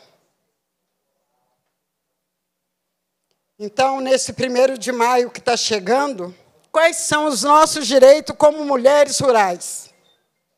Nós não queremos piedade, nós queremos os nossos direitos garantidos. Somos nós que trabalhamos. Às vezes é, é eu ouço, né? É, outro dia a moça falou para mim, minha amiga, como vamos fazer para uma senhora de 80 e poucos anos aposentar? Como vamos fazer, gente? Vamos fazer o quê? Já fizeram a soma de quantas mulheres já morreram nas grandes lavouras de café? Quantas de nós ainda vai precisar morrer para alguém entender que nós somos aquelas que produzimos sem direito algum. Não podemos falar, porque se falarmos, nós não teremos o um emprego o ano que vem. Então é para se pensar qual é a política que teremos, que conseguiremos para nós, mulheres rurais, que se diz assalariados que na verdade ganhamos muito mais, mas nossos direitos não são garantidos. Qual é a próxima pauta? Precisamos saber o que está matando nós, quais são as doenças e que política vamos produzir para que nós tenhamos nossos direitos garantidos. Não é fácil. Precisamos aposentar ou encostar, morrer ou viver com qualidade.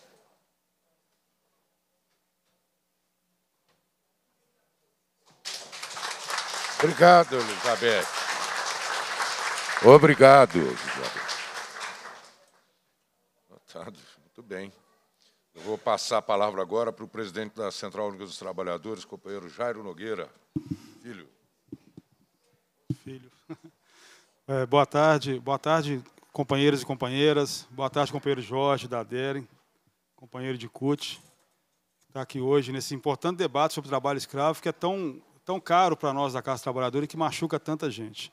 Boa tarde, representante do governo. Boa tarde, companheiro Betão, companheira Beatriz Cerqueira. É, e, e, a gente vive, é, toda a discussão que foi feita aqui, tá, em Minas Gerais está na frente da questão do trabalho escravo, além do que foi colocado pelo companheiro Calazans, da fiscalização, é uma questão também cultural. Né? A, gente tem, a gente conversa, dialoga muito com o Jorge a respeito disso aqui em Minas Gerais, a questão do café, da questão rural em Minas, de como que a questão do trabalho escravo parece que está dentro da cultura do povo mineiro, infelizmente, do grande capital mineiro, do grande fazendeiro mineiro, que acha aquilo normal. E agora a gente vem ampliando isso para o setor urbano, né? E é uma coisa muito didática. Parece, a gente vem aqui falar sobre trabalho escravo, e a imprensa divulgando sempre agora sobre trabalho escravo, nos dá a impressão que esse, que esse processo, Betão e Bia, ficou represado por seis anos. O processo de denúncia. Que o trabalho escravo se ampliou no Brasil pós o golpe de 2016 e se fortaleceu no Brasil após a eleição de Bolsonaro e Zema. Bolsonaro que disse durante a sua campanha eleito que era melhor ter trabalho do que ter direito. Afirmou isso durante todo o seu mandato. Que era mais importante ter trabalho do que ter direito. Isso é um recado direto para o grande empresariado, é um recado direto lá para o dono de fazenda, é um recado direto, inclusive, para alguns trabalhadores trabalhadores que acharam que dali normal. Era importante ter o trabalho, o direito ficava em segundo plano, depois a gente vê isso. Ter a carteira assinada, ter uma jornada condicente, ter um local digno para dormir, ter a condição de uma comida é, que, que, que seja aceitável. Isso tudo foi segundo plano nessa fala do presidente. E vem para complementar essa fala em Minas Gerais, quando o governador Zema diz que era fácil contratar uma empregada doméstica em Minas Gerais por 300 reais. 300 reais. Então é didático o que os dois fizeram. É didático o que os dois fizeram no Brasil. Tanto a nível de Brasil com Bolsonaro, quanto o Zema aqui em Minas Gerais, que fecha os olhos para a exploração que está acontecendo em Minas. Fecha os olhos para a exploração que está acontecendo no campo em Minas Gerais, na cidade e na mineração, onde o trabalho escravo está a rodo também aqui em Minas Gerais. Essa descoberta de trabalhadores da energia, está aqui o companheiro Emerson do Sindialeto, né? infelizmente não é normal para é normal para a gente isso, infelizmente, depois que a terceirização veio para dentro do setor elétrico em Minas Gerais, se encontrar trabalhadores em condições de escravidão em Minas Gerais no setor elétrico, infelizmente é normal. Nós tivemos um processo desse em 2013, Betão. Bia, nossa presidente da Central Única dos Trabalhadores no período, 2013, e encontramos trabalhadores escravizados na CEMIG, na região metropolitana de BH. Aqui em Contagem, né, Bia? Aqui do lado, num galpão, gente. Não foi, sabe, lá no, no final do interior. Aqui, aqui dentro, foi encontrado trabalhadores e trabalhadoras em situação análoga ao escravo, numa empresa que tem um lucro de 3 bilhões de reais por ano. Porque ela é a contratante daquela, daquela terceirizada. Ela deixa acontecer, ela fecha os olhos, mesmo com toda a denúncia, com todo o trabalho do sindicato, ela deixa acontecer o trabalho análogo ao escravo dentro das suas, das suas instalações. Porque as condições dos trabalhadores terceirizados dentro da CEMIC são muito diferentes dos trabalhadores próprios da empresa Betão. São muito diferentes e deixa acontecer isso dentro do nosso Estado. E a, e a condição do trabalhador só vai piorando. Eu acho importantíssimo esse dia de hoje, Bia e Betão, e todos os companheiros que provocaram essa audiência, porque a gente está discutindo aqui como é que faz para acabar com isso. Lógico que nós estamos discutindo aqui muitos problemas. Mas logo, logo nós vamos estar voltando aqui para trazer quais as soluções que nós conseguimos construir juntos para acabar com essa condição que está aqui no nosso país em Minas Gerais. Vendo o que foi colocado ali, Betão, sobre o artigo, acho que é 149, né? Que fala, o companheiro trouxe, não foi isso? Pode não. Então, por, por esse artigo, a gente pode dizer que os trabalhadores, Bia, de aplicativos, estão sendo escravizados no Brasil. Porque tem, tem jornada de trabalho extensiva, extenuante, e o trabalho também, as condições deles também são, de, são degradantes. Se a gente rodar aqui dentro da Contorno aqui em Belo Horizonte, você vai encontrar depósitos que pegam essas encomendas que a gente recebe em casa, que chega para a gente em casa, são depósitos que estão ali. Aqui na Floresta tem um, tem um aqui na Afonso, no Alto Afonso Pena, perto da Avenida Brasil, um depósito grande. Você passa lá na porta, está cheio de companheiros e companheiras de moto, entregadores de aplicativo, que ficam na rua o dia inteiro, não podem entrar no depósito, para não dar vínculo empregatício. Não tem onde ir ao banheiro, não tem o que comer, esperando que aquela encomenda que chegou lá no aplicativo chegue para ele, está na porta, ele pega e vai entregar. Essa é a condição que está colocada para esses trabalhadores e trabalhadoras. Trabalhadores e trabalhadores de Uber que começam o trabalho às quatro da manhã e vão terminar às dez da noite. Vai para casa, descansa um pouco e volta na mesma jornada, de segunda a segunda, que é onde ele talvez consiga tirar uma renda melhor. Isso é trabalho análogo ao escravo ou não? Isso é escravidão moderna que chegou para a gente ou não? Ou isso é normal hoje? Virou uma normalidade que a gente consegue conviver com ela quando recebe algum produto em casa, quando pega um Uber para poder ir para o trabalho, para poder ir para casa, para poder ir para uma festa, sem saber as condições que aqueles trabalhadores e trabalhadoras estão vivendo. Então a questão está muito séria da questão da escravidão moderna, do que está sendo colocado e do que o empresariado se aproveitou nessa onda da extrema-direita, da, da onda neoliberal de Zema e Bolsonaro, de que é normal isso. Você está tendo seu dinheiro, precisa ter direito. Para que você vai preocupar com direito? Para que você vai preocupar com sindicatos? Nós fizemos uma reforma trabalhista que acabou com os sindicatos. Que acabou com o financiamento do sindicato, aquilo que, tinha, que o trabalhador tinha como a sua proteção. Hoje os sindicatos nossos estão todos facelados. E aí a dificuldade, ficam lutadores e lutadoras aqui do movimento sindical, juntamente com o Ministério do Trabalho, com os deputados que estão aqui nos representando, tentando fazer a luta que está difícil de fazer porque a gente foi criminalizado por muito tempo, o movimento sindical, foi tirado o financiamento do movimento com essa intenção. Porque quando você enfraquece quem representa o trabalhador e trabalhadora, o empresariado mau caráter, e aí não é o empresariado todo, mas o empresariado mau caráter, o patrão mau caráter, ele se aproveita disso para ganhar muito dinheiro. Para ganhar muito dinheiro. E aí, com o rentismo que está no Brasil hoje, ele ganha rasga de ganhar dinheiro em cima do trabalhador e da trabalhadora. Nesse processo de terceirização, de escravidão, colocado hoje no nosso país e que está nadando de braçada. E a gente agora, num processo, com a volta do Ministério do Trabalho, como disse o companheiro Calazans, nesse processo de reconstrução, de ver como é que a gente consegue barrar todo esse processo que está no nosso país e que, que, infelizmente, o que nos parece e a gente precisa dialogar muito com os nossos colegas de trabalho, traba companheiros e companheiras de trabalho, que o pessoal acostumou tanto a apanhar que está achando normal apanhar. Está achando normal tomar o tapa na cara todo dia que chega no emprego. Está achando normal a humilhação que chega todo dia no emprego. Está achando normal o assédio moral coletivo todo dia no trabalho. Está achando normal o assédio sexual. Então a gente precisa quebrar essa lógica que foi colocada, que é mimimi como dizia o último governo, né? Como as pessoas dizem, isso é um mimimi, isso é frescura, isso não existe. E a gente precisa, de novo, dialogar com esses trabalhadores e trabalhadoras, fazer esse tipo de trabalho que nós estamos fazendo aqui na Assembleia, que tem uma audiência muito grande, tem uma repercussão muito grande, juntar as centrais, os sindicatos, o Ministério do Trabalho, o Ministério Público do Trabalho, com os governos que tiverem interesse de discutir isso com a gente, e o que não tiver interesse, a gente ir para cima dele e forçar que isso aconteça, para que a gente consiga acabar com esse câncer que está no Brasil, que é o trabalho escravo. Que está desde o setor rural, como foi trago aqui, que é, que é o, o grande volume de trabalho escravo, nas plantações de café, de cana, seja onde esteja acontecendo, mas que também está dentro da cidade. Está dentro da cidade. A coisa explodiu do número de denúncias e de recuperação de trabalhadoras domésticas com trabalho escravo.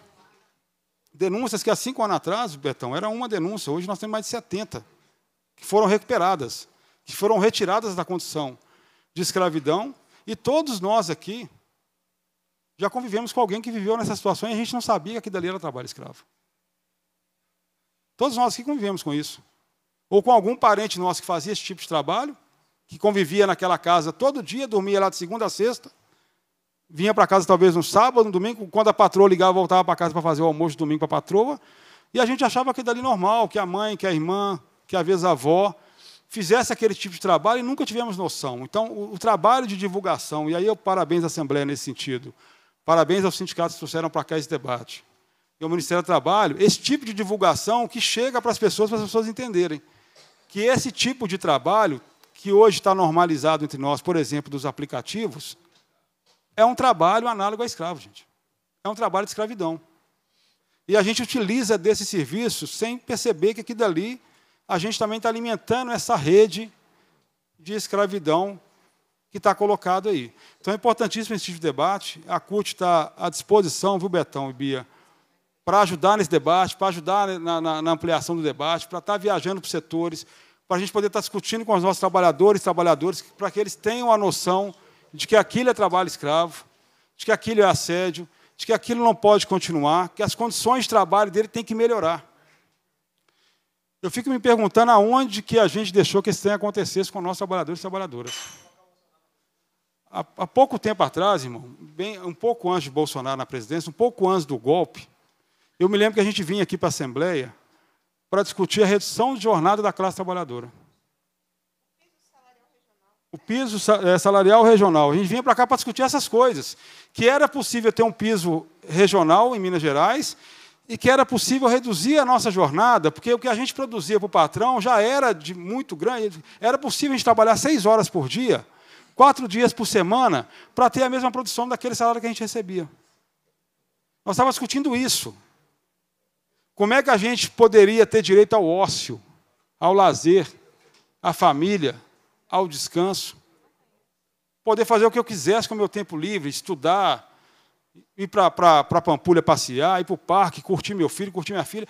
Hoje nós estamos discutindo com a galera que está entrando no mundo do trabalho, seja através da terceirização, que também tem uma jornada extensiva, seja a uberização, seja o companheiro ou companheira que está no campo, que está normal trabalhar 12 horas por dia. Que está normal trabalhar 16 horas por dia.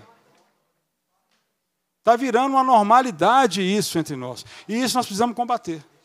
Por isso, esse apelo da gente continuar com esse debate, continuar batendo nessa tecla, que não pode existir trabalho escravo em lugar nenhum, que não pode existir jornada extensiva em lugar nenhum, que não pode existir as condições hoje colocadas de metas, de coisas colocadas pelo mundo do trabalho, Betão, que está adoecendo a classe trabalhadora. Amanhã nós vamos fazer um debate sobre isso, né? Mas o adoecimento mental, por conta do trabalho escravo, por conta da jornada, por conta das metas, por conta de tudo o chicote que está comendo solto, no local de trabalho, virou uma pandemia dentro do mundo do trabalho. Uma pandemia dentro do mundo do trabalho, o adoecimento mental e o número de suicídios que estão acontecendo no mundo do trabalho por causa das condições precárias que as pessoas não suportam viver nela.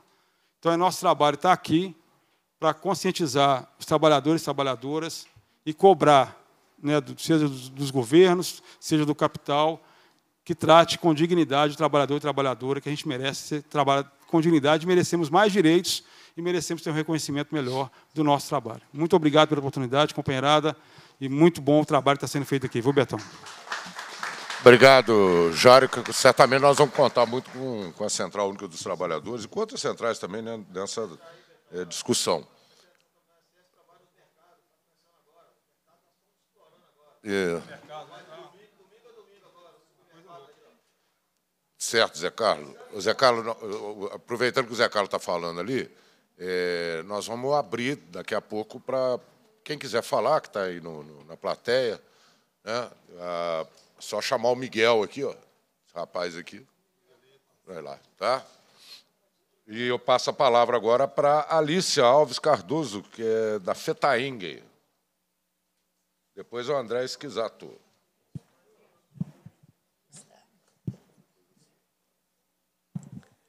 É, boa noite.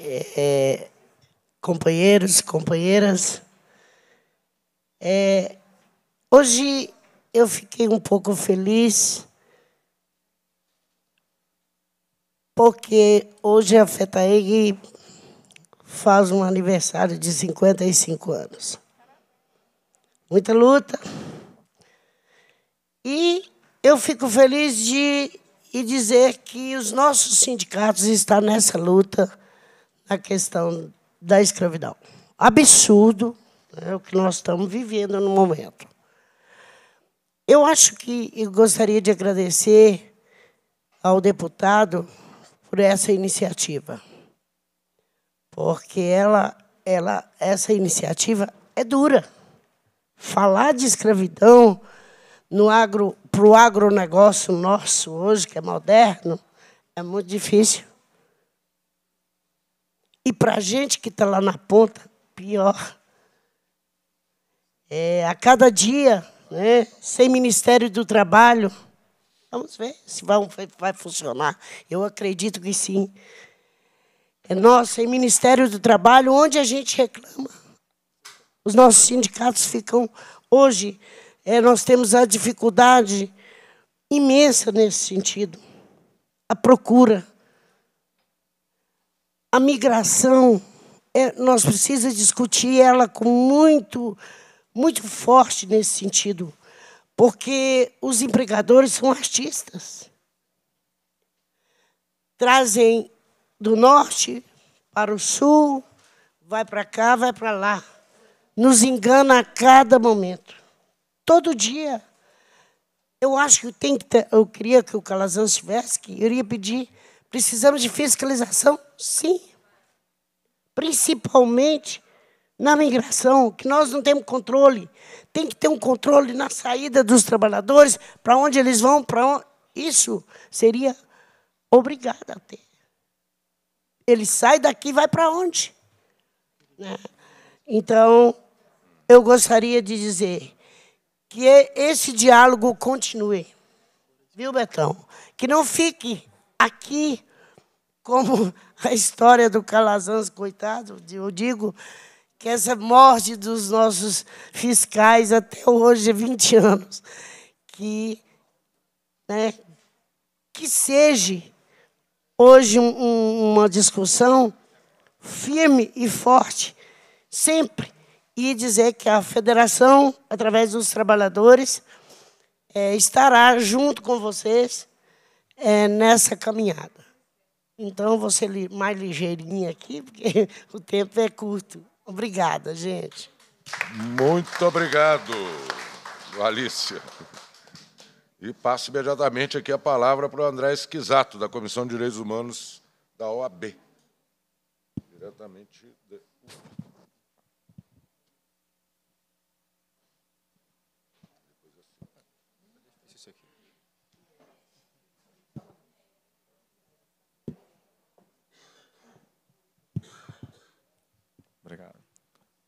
Já é boa noite a todos, né? É, parabenizar a todos e a todos que aqui estão, principalmente aqui é, a deputada Beatriz Cerqueira, né? esteve conosco em um bar, discutindo também a condição dos trabalhadores, né? Lá era acidente de trabalho. E veja como é difícil a situação do trabalhador no Brasil, né? Ora é a escravidão, ora são as mutilações. E, embora esse tema vai ser discutido amanhã, é só para registrar, né? Ontem a gente vindo para cá, mais um jovem, 19 anos, teve seus dedos mutilados no maquinário do Polo Moveleiro de Ubá. Quer dizer, só esse mês de abril são três acidentes com mutilações. Né? E mais uma vez, o Betão, que está conosco nessa luta também. Parabéns muito obrigado pelo convite. Eu posso dizer que aqui é, foi muito bom ter estado aqui, porque a gente ouviu e aprendeu muito com todos e todas que falaram aqui. É, discutir direito no Brasil passa obrigatoriamente pela nossa herança escravista. Ela está presente nos presídios, ela está presente na distribuição da terra e não é diferente no direito do trabalho. Ela também está presente no direito do trabalho. Desde 1 de maio de 1941, quando a Justiça do Trabalho foi totalmente implementada é, no território brasileiro, é que há esse desprestígio, esse ataque pela Justiça do Trabalho, pelos direitos dos trabalhadores. E não é somente o setor, né, ou parte do setor empresarial, esse ataque ele vem de várias frentes. E nós vimos, de 2016 para cá, se a gente pode dizer isso, esse ataque vinha até de figuras do próprio judiciário. Em uma reunião, é, uma palestra no Reino Unido, em 2016, o senador, o ministro Luiz Barroso, do STF, ele disse que o Brasil era responsável por 98% das ações trabalhistas do mundo. O site UOL questionou qual era o dado. O gabinete do ministro respondeu que isso foi uma reportagem que ele leu do Flávio Rocha, que é o presidente das lojas Riachuelo. o site foi até o presidente da Riachuelo e questionou qual era o dado e confirmava isso. Ele não soube responder. No contexto da reforma trabalhista, que retirou vários direitos importantes né, da nossa classe trabalhadora, o ex-presidente do Tribunal Superior do Trabalho, ministro Ives Granda, ele faz a seguinte fala numa entrevista ao site Conjur. Se me permitam aqui a breve leitura. Quanto mais rígido o sistema, menos protetivo ele é. As empresas quebram e os trabalhadores ficam sem emprego. Daí que o período de crise não é apenas propício, mas até exigente de uma reforma legislativa que dê maior flexibilidade protetiva ao trabalhador. Dizer que em períodos tais, quando os trabalhadores estão fragilizados, não se deve promover reforma, é esquecer que também as empresas estão fragilizadas.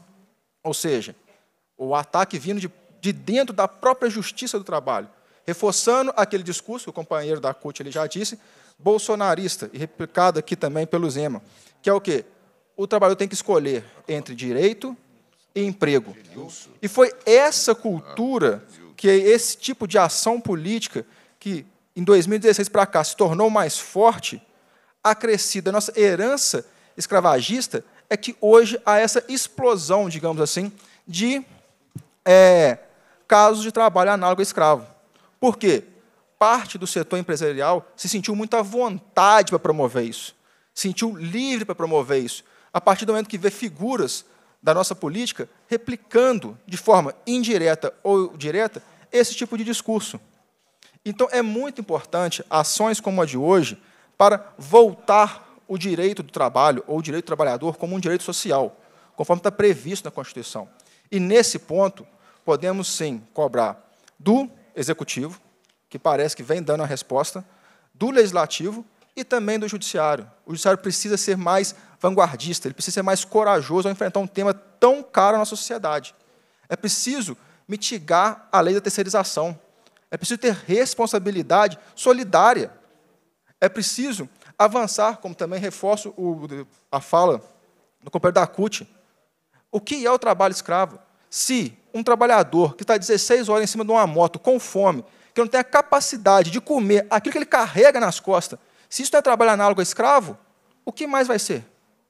Então, é preciso endossar esse discurso e avançar nessas pautas. Então, assim, esse tipo de ação é muito importante para promover novamente o diálogo e a discussão de políticas públicas para pôr um fim ou então voltar a inibir esse tipo de ação, que infelizmente, de 2016 para cá, nós vimos um fomento dessa conduta, que precisa agora ser rapidamente rechaçada. Então, aqui, muito obrigado pelo convite, que foi assim, é, de grande valia e aprendizado. Obrigado, André. André Esquisato, da OAB, e eu passo imediatamente a palavra para o nosso último convidado, que é o Alexandre Canuto, coordenador do Núcleo de Apoio Imigrante em Enfrentamento ao Trabalho Escravo e Tráfico de Pessoas, representando a Beth Chucá, da SEDESE. É, boa noite a todos, todas e todes. É, em nome da nossa secretária Elizabeth Chucá e do nosso subsecretário de Direitos Humanos, do Duílio Campos, agradeço o convite e a oportunidade aqui das pessoas do deputado Betão e da deputada Beatriz Cerqueira por essa oportunidade e cumprimento a todos os presentes na pessoa da Ivete, nas pessoas da Ivete, do Valdeci, que são trabalhadores como todos nós aqui presentes. Segundo, agradeço a paciência e prometo que não vou me delongar muito. Bom, Primeiramente, os desafios. Nós temos basicamente três grandes desafios, não só do executivo estadual, mas em relação ao enfrentamento e à prevenção do trabalho escravo e de outros crimes correlatos, como o tráfico de pessoas. Um é recurso. Os recursos, como bem lembrou a deputada Andréa de Jesus, diminuíram não só no governo estadual, mas também a gente tem sinais nos últimos anos no governo federal, há uma escassez de recurso. Mas será que é só recurso? Não necessariamente. Nós temos uma outra dimensão de problemas, que é todo mundo quer ajudar, mas às vezes as pessoas não sabem como. E eu digo pessoas, não só indivíduos, mas também instituições. A articulação como essa entre legislativo, executivo, órgãos de controle, sociedade civil é primordial. A gente não consegue fazer nada sozinho, porque cada um dos aqui presentes vai ter suas competências. A fiscalização, a fiscalização é específica do Ministério Público do Trabalho e das superintendências regionais do trabalho em cada unidade da federação, que agora fazem parte do Ministério do Trabalho e Emprego. Os municípios. Os municípios e as organizações locais são importantes, sim, porque são aqueles que estão na ponta, próximos, não só dos trabalhadores, mas também daquelas vítimas resgatadas.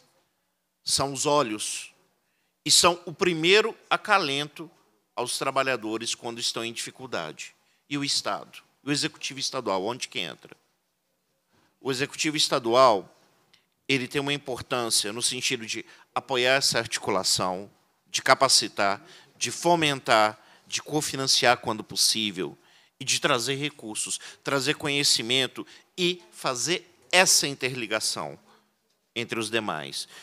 No nosso caso, nós temos um, uma, um órgão colegiado, que é o nosso Comitê Estadual de Atenção ao Migrante, Refugiado, Apátrida e de enfrentamento ao tráfico de pessoas e erradicação ao trabalho escravo de Minas Gerais, onde alguns colegiados como a ADERE, o Jorge, a gente encontra muito lá, onde o Ministério Público do Trabalho, o Legislativo Estadual também tem assento, onde a gente discute a pauta e traz ali propostas que vão surtir efeito posteriormente na ponta.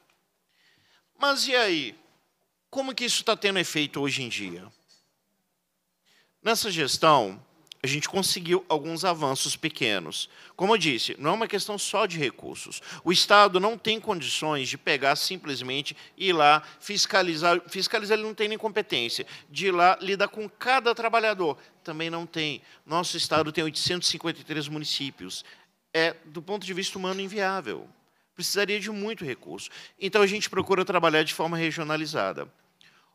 E, com isso, nós conseguimos o seguinte, como foi falado pela Melinda, aqui, representante do Ministério Público do Trabalho, a questão do fluxo nacional. Existe um fluxo de atendimento às vítimas. Sim, nós temos um fluxo desenhado. Nós pegamos o fluxo nacional, adaptamos à realidade de Minas Gerais. Isso já está pactuado dentro do Comitrate que é a nossa mais importante arena para discussão e construção coletiva de políticas. O fluxo está pactuado. Agora a gente está partindo para uma segunda fase, que é preparando, terminando uma proposta de parceria onde a gente não vai gastar recurso, mas com apoio da Organização Internacional do Trabalho, do Fundo Global de Erradicação da escravidão moderna, de organizações da sociedade civil, como Repórter Brasil, Instituto do Trabalho Decente, o próprio Ministério Público do Trabalho, implementando uma capacitação para assistência social que nos é muito cara, e é a porta de entrada da maioria das vulnerabilidades dos cidadãos no local, no município. A nossa intenção agora, este ano, agora no segundo semestre, a gente vai capacitar determinadas regiões do Estado, onde há um fluxo, principalmente por causa da cultura do café, que a gente sabe que, infelizmente, ainda emprega muitos trabalhadores em condição análoga de escravo.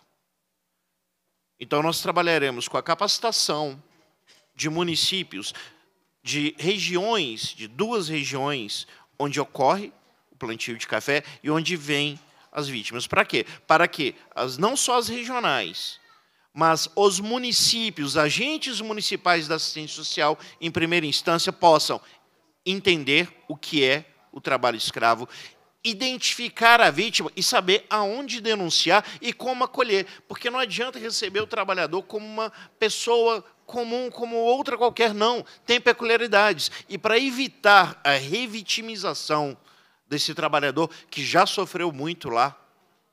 Tem que saber lidar com ele. Então, é um apoio psicológico, é um encaminhamento adequado ao serviço de saúde e um olhar para denunciar e para dar acolhimento. E, se for da região, colocá-lo numa situação de menor vulnerabilidade e incentivar a sua reinserção socioeconômica. Se for de outra região ou até mesmo de outro estado da federação, que muitas vezes acontece, é ter condições de saber para onde encaminhar com o apoio do nosso núcleo.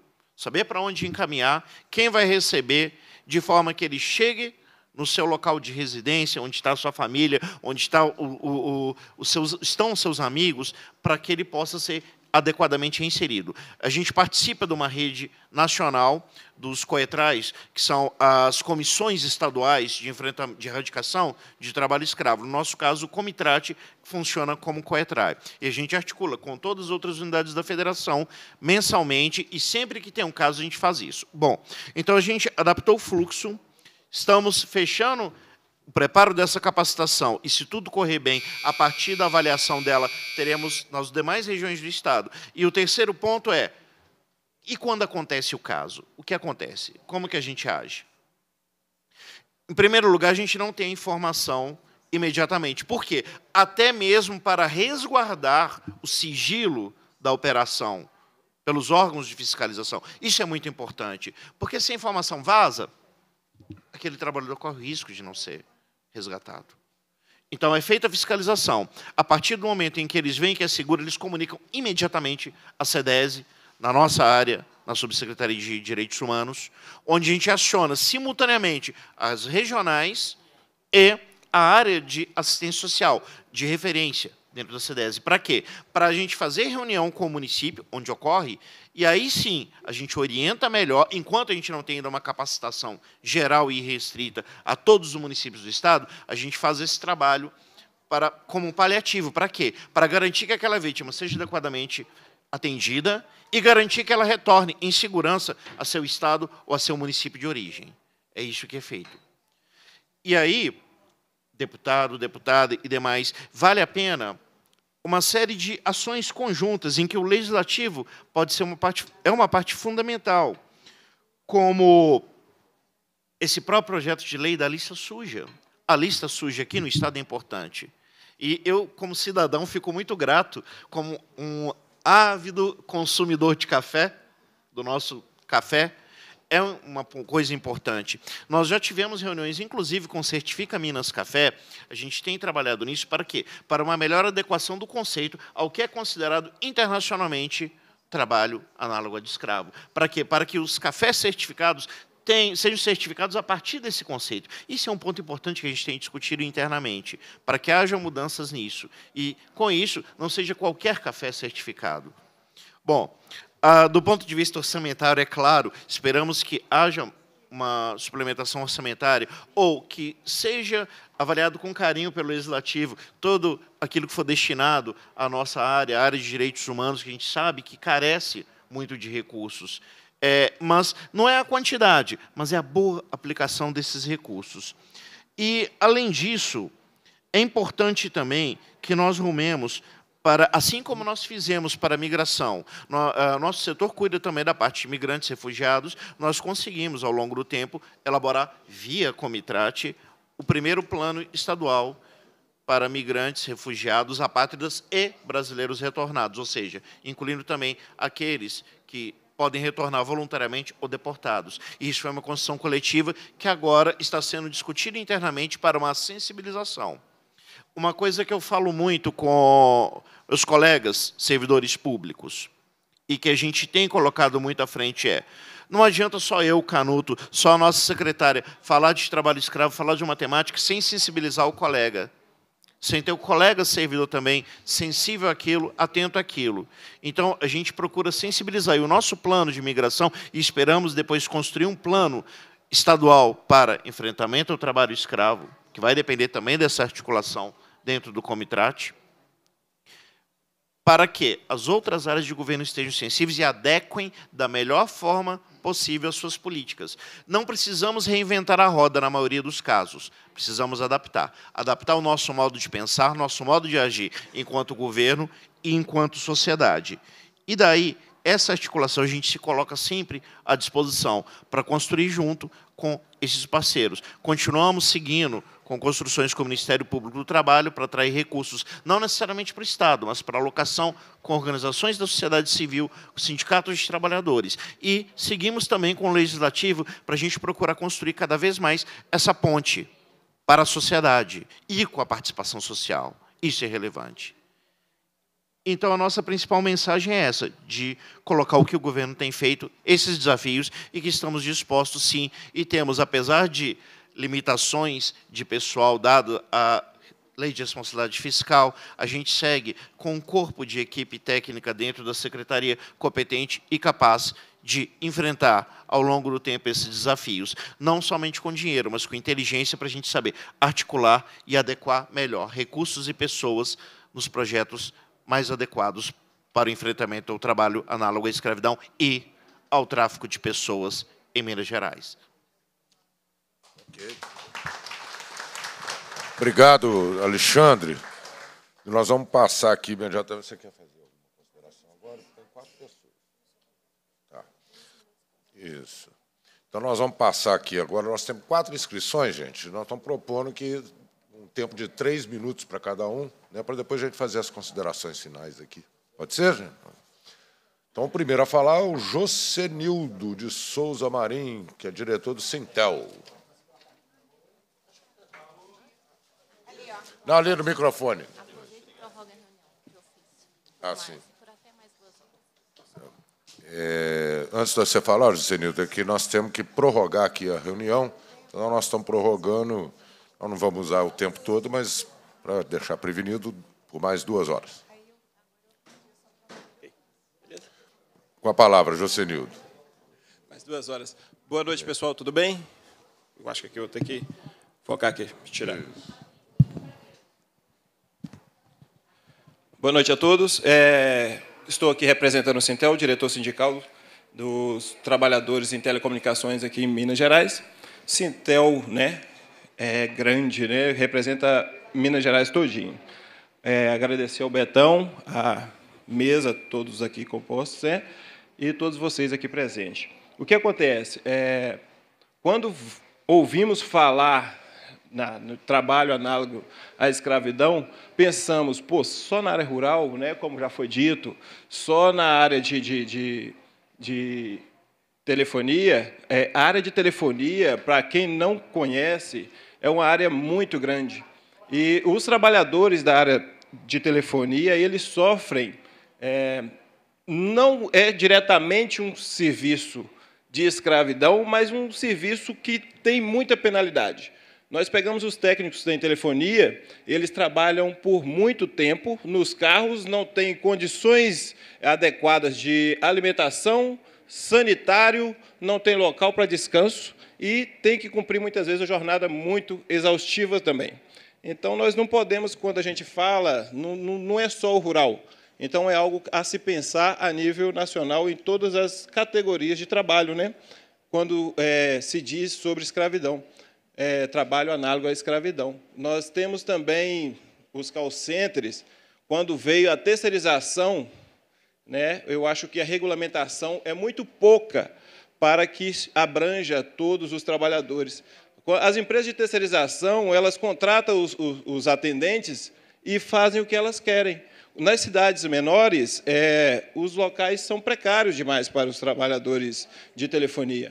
Não pagam é, salário adequado, recebem, mas não pagam, né? não repassa para os trabalhadores os salários adequados. Eles colocam em salas muito pequenas, não dá condição, além do regulamento deles de banheiro, cumprir metas, tudo isso faz com que o trabalhador tenha uma exaustão muito grande e é algo que acaba sendo caracterizado como se fosse um trabalho análogo à escravidão, porque ele é forçado a trabalhar. Os trabalhadores são obrigados a trabalhar, cumprir uma escala ali de seis dias por um dia de folga, trabalha de domingo a domingo e revezando com uma folga que não condiz muitas vezes com o que é do parceiro, porque às vezes é casado, mas não pode. Parceiro folga final de semana, ele tem que trabalhar de segunda a sexta. E folga na segunda, o parceiro folga no domingo. Que dia que essa família vai reunir? Né? Então nós temos que pensar num bem social, temos que pensar em todos os trabalhadores que estão envolvidos nessa cadeia. Como vai chegar para vocês a comunicação? Né? Aí a, a, é, é, um caso a se pensar no âmbito de que temos que criar umas, uma, leis que regulamente não só o, o, o trabalho escravo rural. Né? Nós temos que criar leis para que todos os trabalhadores tenham condições de conviver em situações dignas, né, gente? Porque a dignidade. Um minuto, deixa eu falar assim, já estou terminando. A dignidade, ela é do ser humano. Então não adianta a gente hoje querer falar em, em, trabalho análogo à escravidão pensando só no interior. Nós, nas grandes cidades, também sofremos muito com isso. E temos que reivindicar para todos os trabalhadores. Tá bom? Então, essa aqui, fica aqui as minhas considerações. Agradecimento a todos. Que tenham uma boa noite. Obrigado, Josenildo. Passo a palavra agora para o Geraldo Pires de Oliveira, da Direção Nacional da Frente Nacional de Luta do Campo e da Cidade.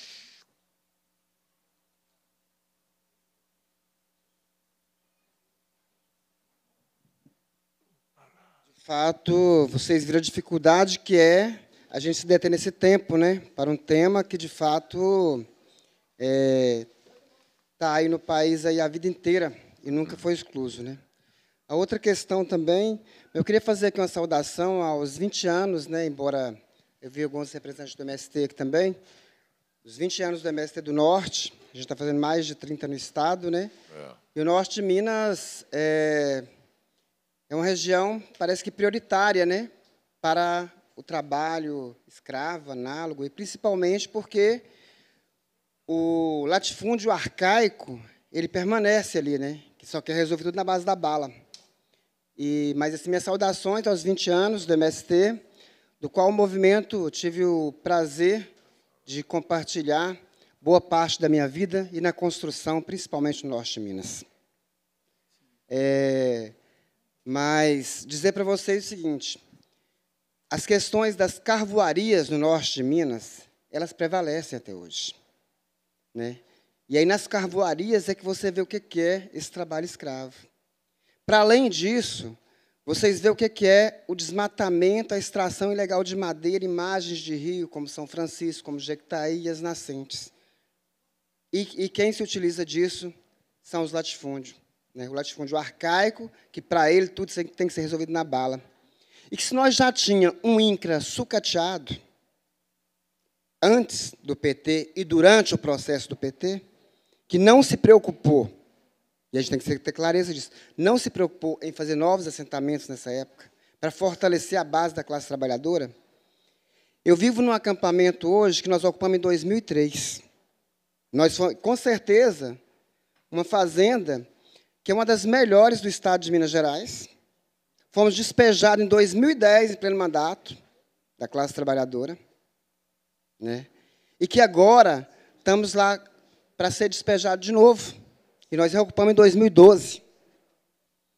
A Analista me acompanhou em alguns processos aí na Fazenda Nacional. A área endividada com a Fazenda Nacional, área praticamente do Estado, que a única coisa que falta é uma adjudicação dela e repassá-la para o INCRA para fazer reforma agrária. E a gente está cobrando que você faça isso, vamos continuar cobrando dos nossos deputados aqui, assim como está fazendo lá. Dizer o papel importantíssimo do deputado Padre João nessa caminhada com a gente nesse tempo todo e garantindo a gente. O único deputado que não nos abandonou de fato, nesse período de processo aí todo que nós acompanhamos aqui. Bom, mas deixar claro também aqui, então, que nesse sentido, a gente tem que propor quais são as saídas. Por que, que o movimento, quando foi criado, ele resolveu ocupar a terra? Porque não se cumpria a função social da terra, e era lei que toda terra que não cumprisse função social tinha que ser apropriada para a reforma agrária. Coisa que nunca se cumpriu. Coisa que nunca se cumpriu. Da mesma forma, a, a, não sei se professora lá do Rio Grande do Sul, ela colocou bem claro: as leis existem, mas não são implementadas. Onde tem trabalho escravo, o que, é que tem que ser feito? Não é lá recolher o coitadinho lá só, não. E levar ele para outro lugar para ele continuar sendo coitadinho, não. É preciso resolver a questão. O que, é que diz a lei? Toda fazenda que tem trabalho escravo tem que ser desapropriados para a reforma agrária. Não acontece. O que, é que nós temos que fazer? Ocupar. Nós temos que tirar uma meta aqui, companheirada. Porque a gente sabe, os deputados que vêm aqui a essa mesa, que puxam essa plenária, são aliados nossos. Que estão aqui porque nós conseguimos eleger alguns. E é importante para nós esse espaço. É importante para nós continuar isso.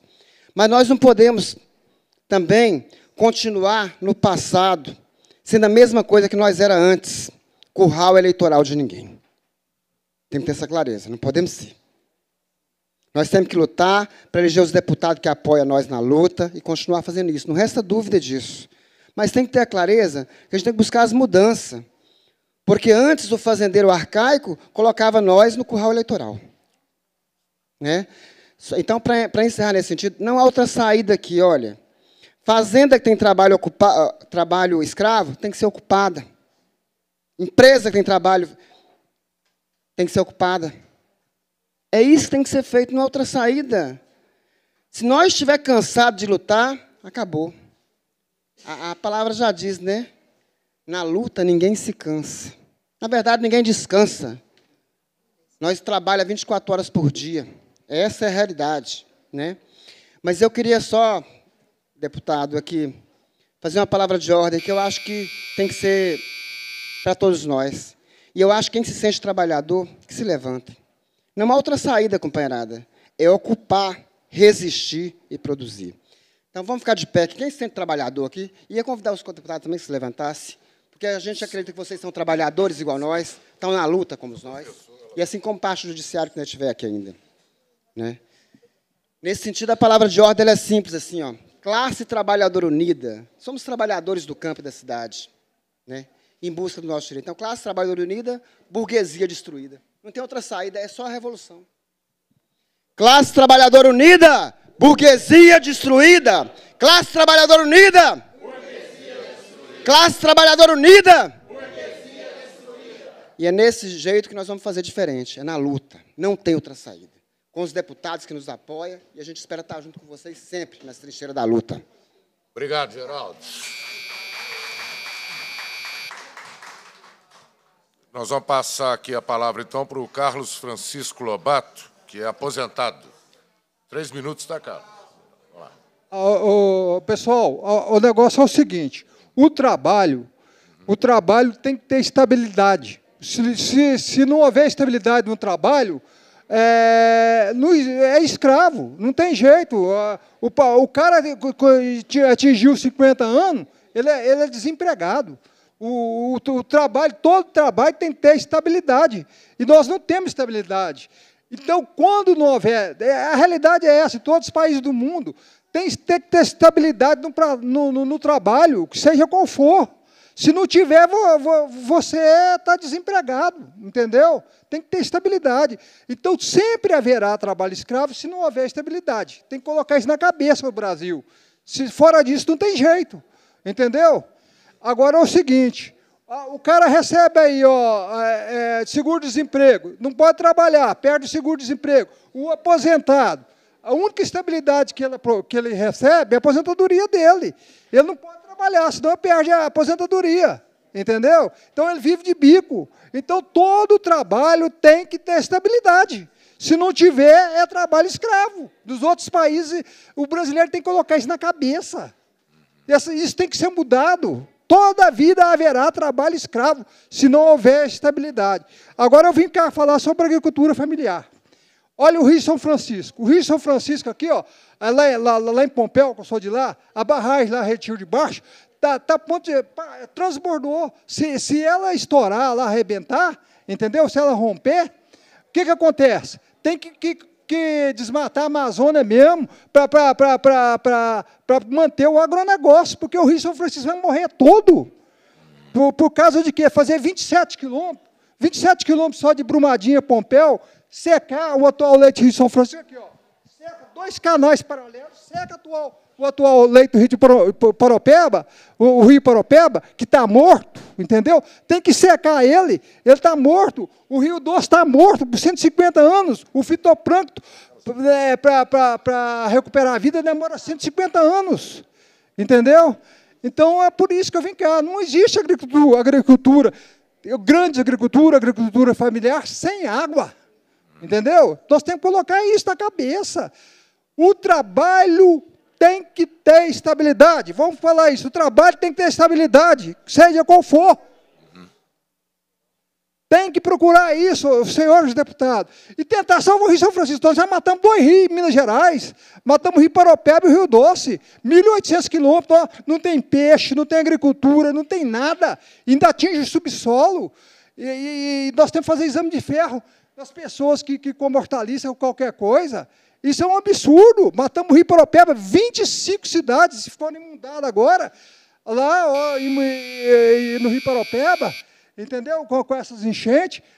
Deu uma enchente brava, arrebentou a barragem de baixo, o Rio São Francisco morreu todo, até com sua transposição lá para o Rio Grande do Norte, Paraíba, Ceará. Eu vou passar aqui um, um documento para vocês aqui, tá. e eu já acabei. Agora vamos, vamos lá. Todo trabalho tem que ter estabilidade. Assim acaba o, o trabalho escravo. Muito obrigado, Carlos Francisco. Pode passar aqui para a gente. Tá. Joia. Obrigado, querido. Tá. Eu vou chamar agora a Giza Alexandre, membro da ADERE. É Giza? Quem que é? Hein? Ah, tá aqui. Boa tarde ou boa noite já, não sei se já é boa noite. É, já. Primeiro, quero agradecer né, por, pela iniciativa dessa audiência pública. Quero cumprimentar a Bia, que a primeira vez que eu a vi foi aqui, nesse microfone. Eu tinha uma transona grande, a gente veio com as crianças, tinha ido para a Tailândia, lá de Três Pontas, que você chamou aqui. Então, é um prazer revê-la. Mas é uma coisa que eu queria falar, primeiro é concordar com o companheiro que falou sobre a reforma agrária, porque todo país que foi desenvolvido, ele foi desenvolvido por reforma agrária. Não existe país que se desenvolveu com trabalhadores abrindo porteiras, sendo jogado para fora e falado, pronto, pode ir embora, vocês estão livres, sem indenização nenhuma, sem nada. Então, todo país que se desenvolveu foi na base da reforma agrária. É, a outra coisa que eu queria colocar é que a gente está aqui lutando por salário digno, por emprego digno, por várias coisas, porque a gente está no capitalismo que está ruindo e vai ruir. Então a gente podia estar aqui dizendo que a gente não quer salário, não quer nada, que todo salário é, pra, é pela exploração de alguém e do corpo do outro. Que, na verdade, o que a gente quer é, sim, a terra, o meio de produção, o socialismo, porque aí sim a gente ia, cada um produzir o seu e não precisar depender de salário e a gente ter opções. É, foi citado aqui uma empresa, e eu vou até citar de novo, eu fui supervisora de vendas na Riachuelo. E, uma, e me lembrou uma vez que uma menina, ela passou mal, o bombeiro a socorreu, ela era do caixa. Quando trouxe desmaiada, que estava esperando ambulância para levar no hospital, pegaram o dedo dela desmaiada para fechar o caixa antes de ir embora. Né? E vamos dizer que é um, oh, nossa, um bom emprego, a menina estudou, está aqui, não é só educação. Tem que ter condições de vida, dignidade e emprego. Agora, eu pedi a palavra, na verdade, é porque enquanto adere, Acabei de receber fotos de trabalhadores lá na minha cidade, em Três Pontas, senhor de 66 anos, com a mão sem nenhuma luva, sem máscara nenhuma no rosto, mexendo com as mãos um barril de randap. Barril de? De Randap. A gente já encaminhou denúncia e a gente precisa assim, agilizar essa, essa denúncia, esse socorro a esses trabalhadores que estão lá. É lugar que contrata trabalhador de 14 anos, né, coloca trabalho infantil, obriga filho do trabalhador com 7, 8 anos de idade a tirar leite da vaca. E hoje, nesse exato momento, a gente tem as fotos, pode passar para vocês depois dar uma olhada. Trabalhador de 66 anos com a mão dentro do Randap, depois jogando, aquela bomba jogando tudo na cara dele sem nada. E ele pedindo, por favor, me socorre, que senão eu não consigo esperar a auditoria, eu vou ter que pedir conta e aceitar o dinheiro que eles quiserem me dar. Não estão registrados, está dormindo no chão. Isso hoje, nesse exato momento, enquanto estava sentado aqui. Então, isso tudo está acontecendo agora e a gente tem que registrar que a gente está aqui por essas pessoas e o trabalho não é só a gente ir lá e resgatar, mas e o depois. Então, quero deixar registrado isso e pedir ajuda nisso, esse socorro para esses trabalhadores que estão nessa situação agora. Obrigada. Tá bom, Giza. Muito obrigado pela contribuição. O último inscrito aqui é o Silvano, teve, aumentou mais um, tá? O Silvano Alves dos Santos, de Birilo. Berilo. Birilo. É. Berilo. Boa noite, pessoal. É, meu nome é Silvano, cumprimento todo o pessoal da mesa, deputado, deputada. É, agradecer Jorge, o grande guerreiro, grande parceiro, a todos os berilenses, meus conterrâneos, da nossa Minas Gerais, do nosso Vale de Jequitinhonha, sofrido, põe sofrido nisso, mas eu quero falar um pouco aqui. A pessoa, as pessoas falou de trabalho, falou de, de escravo, mas vamos falar um pouquinho também, quero falar um pouquinho, sobre a questão de, de emprego também no nosso vale. O nosso vale é esquecido. Eu vou começar pela estrada. Nós temos uma estrada 367 que liga Virgem da Lapa a Berilo, a 367. Ela, a gente sabe que ela no papel ela tá ela tá considerada que é assaltada.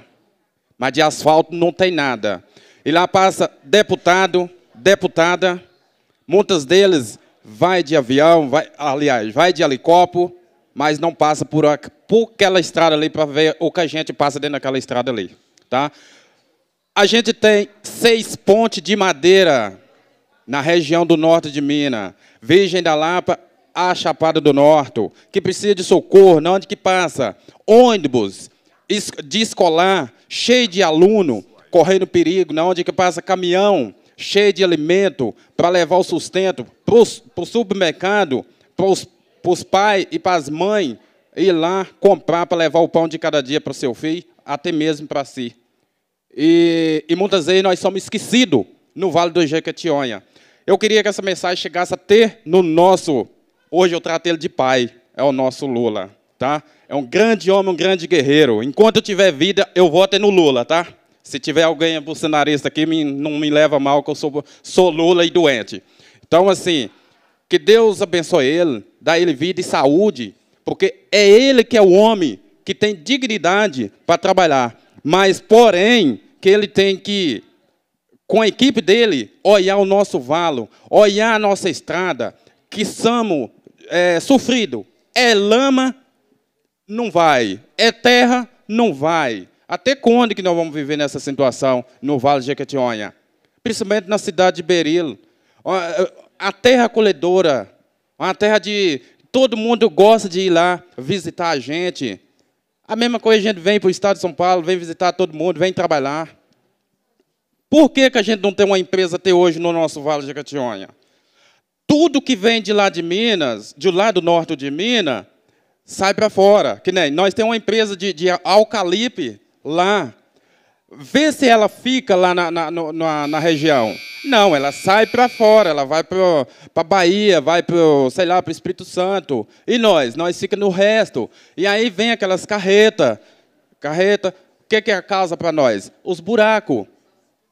As, as barranceiras, que nós, as consequências vêm em cima de nós lá.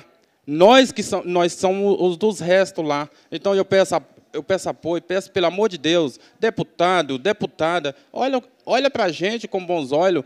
Inclusive, tem dois deputados aqui que eu apoiei ele com todo amor, mas eu não vi nenhum deles aqui hoje aqui. Queria encontrar com eles, mas não foi impossível, né? Mas de outra vez, quem sabe, né? Mas é isso aí, gente. Vamos dar uma forcinha, vamos olhar para nosso Vale de Jequitinhonha, porque nós somos filhos de Deus também. Somos ou não somos berelense? Muito obrigado, que Deus abençoe a todos. Muito obrigado. É, Silvano, né? Silvano, quer tirar meus papilinhos aqui? Pode, pode. Nós vamos passar a palavra, então, para as considerações da deputada Beatriz Cerqueira. Então, aqui? Prudente.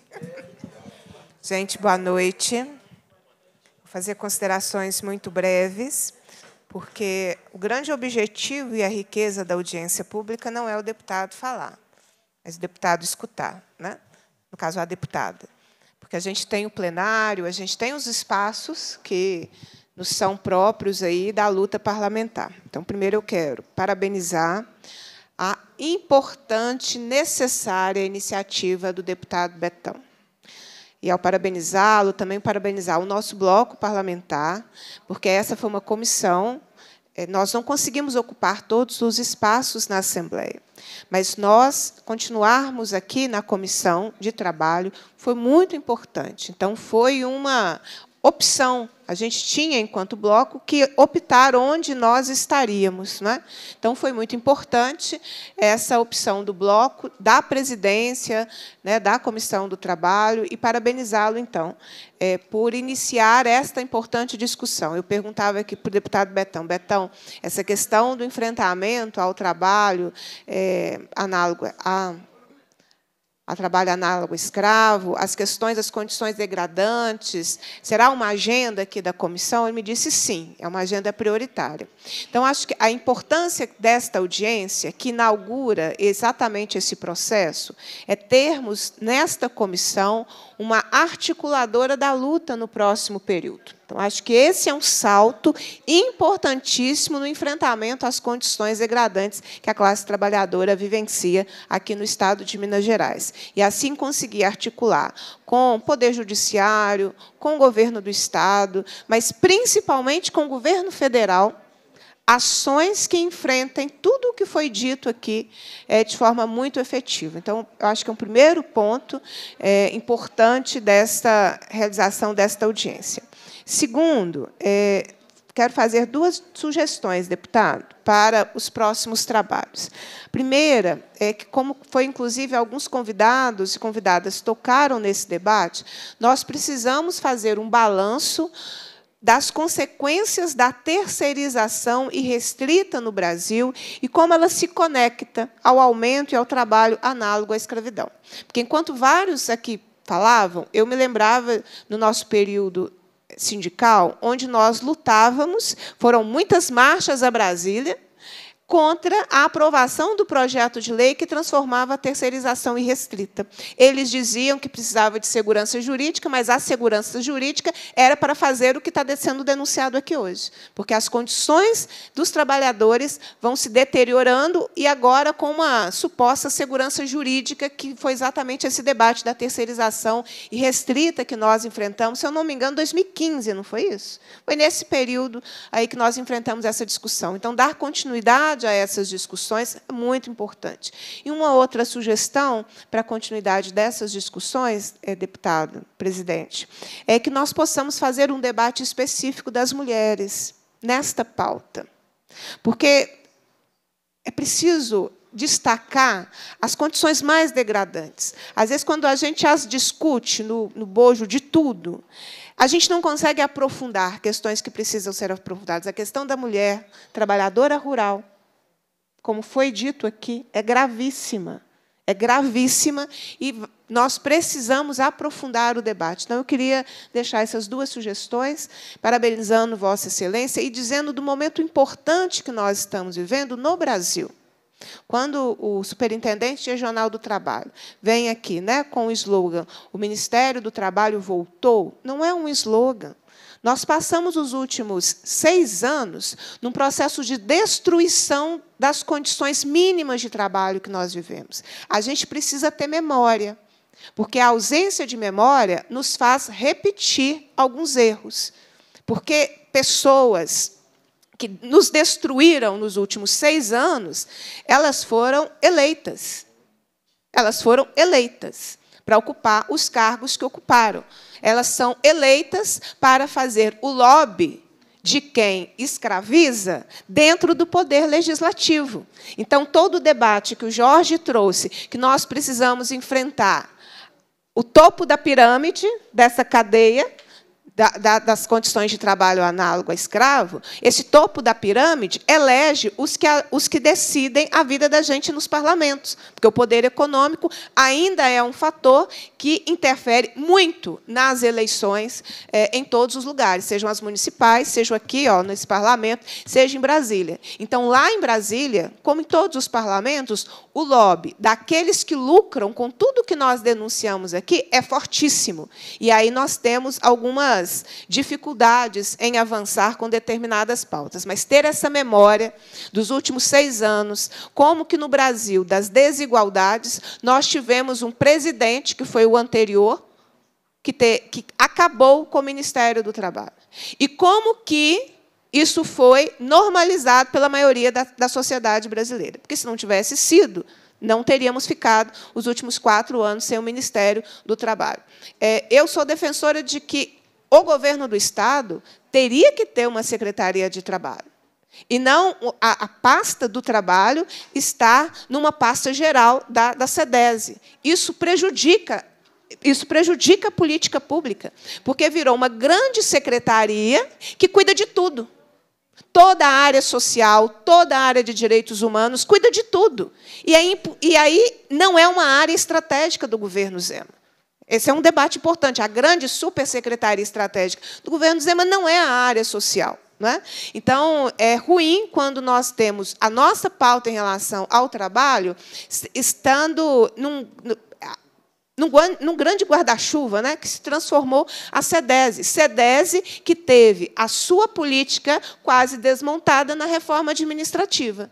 E o trabalho da oposição ao governo Zema foi importante para impedir que as funções e a política social desenvolvida pela SEDESE acabasse na, na reorganização da estrutura do Estado. Não é? Então, é, as memórias são importantes para que a gente nunca mais cometa o erro de votar naqueles que nos destroem, porque foi isso que aconteceu no último período.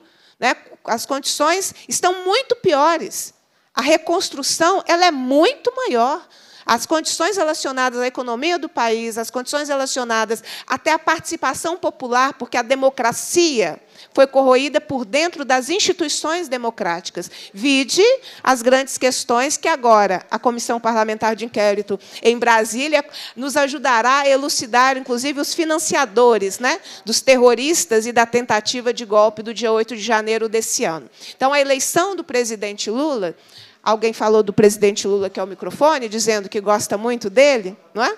De fato, foi uma eleição importantíssima para interromper um grande ciclo de destruição é, das condições mínimas de direitos no Brasil, não é? Nós que do movimento sindical é, lutávamos contra a flexibilização da CLT, vocês se lembram dessa pauta?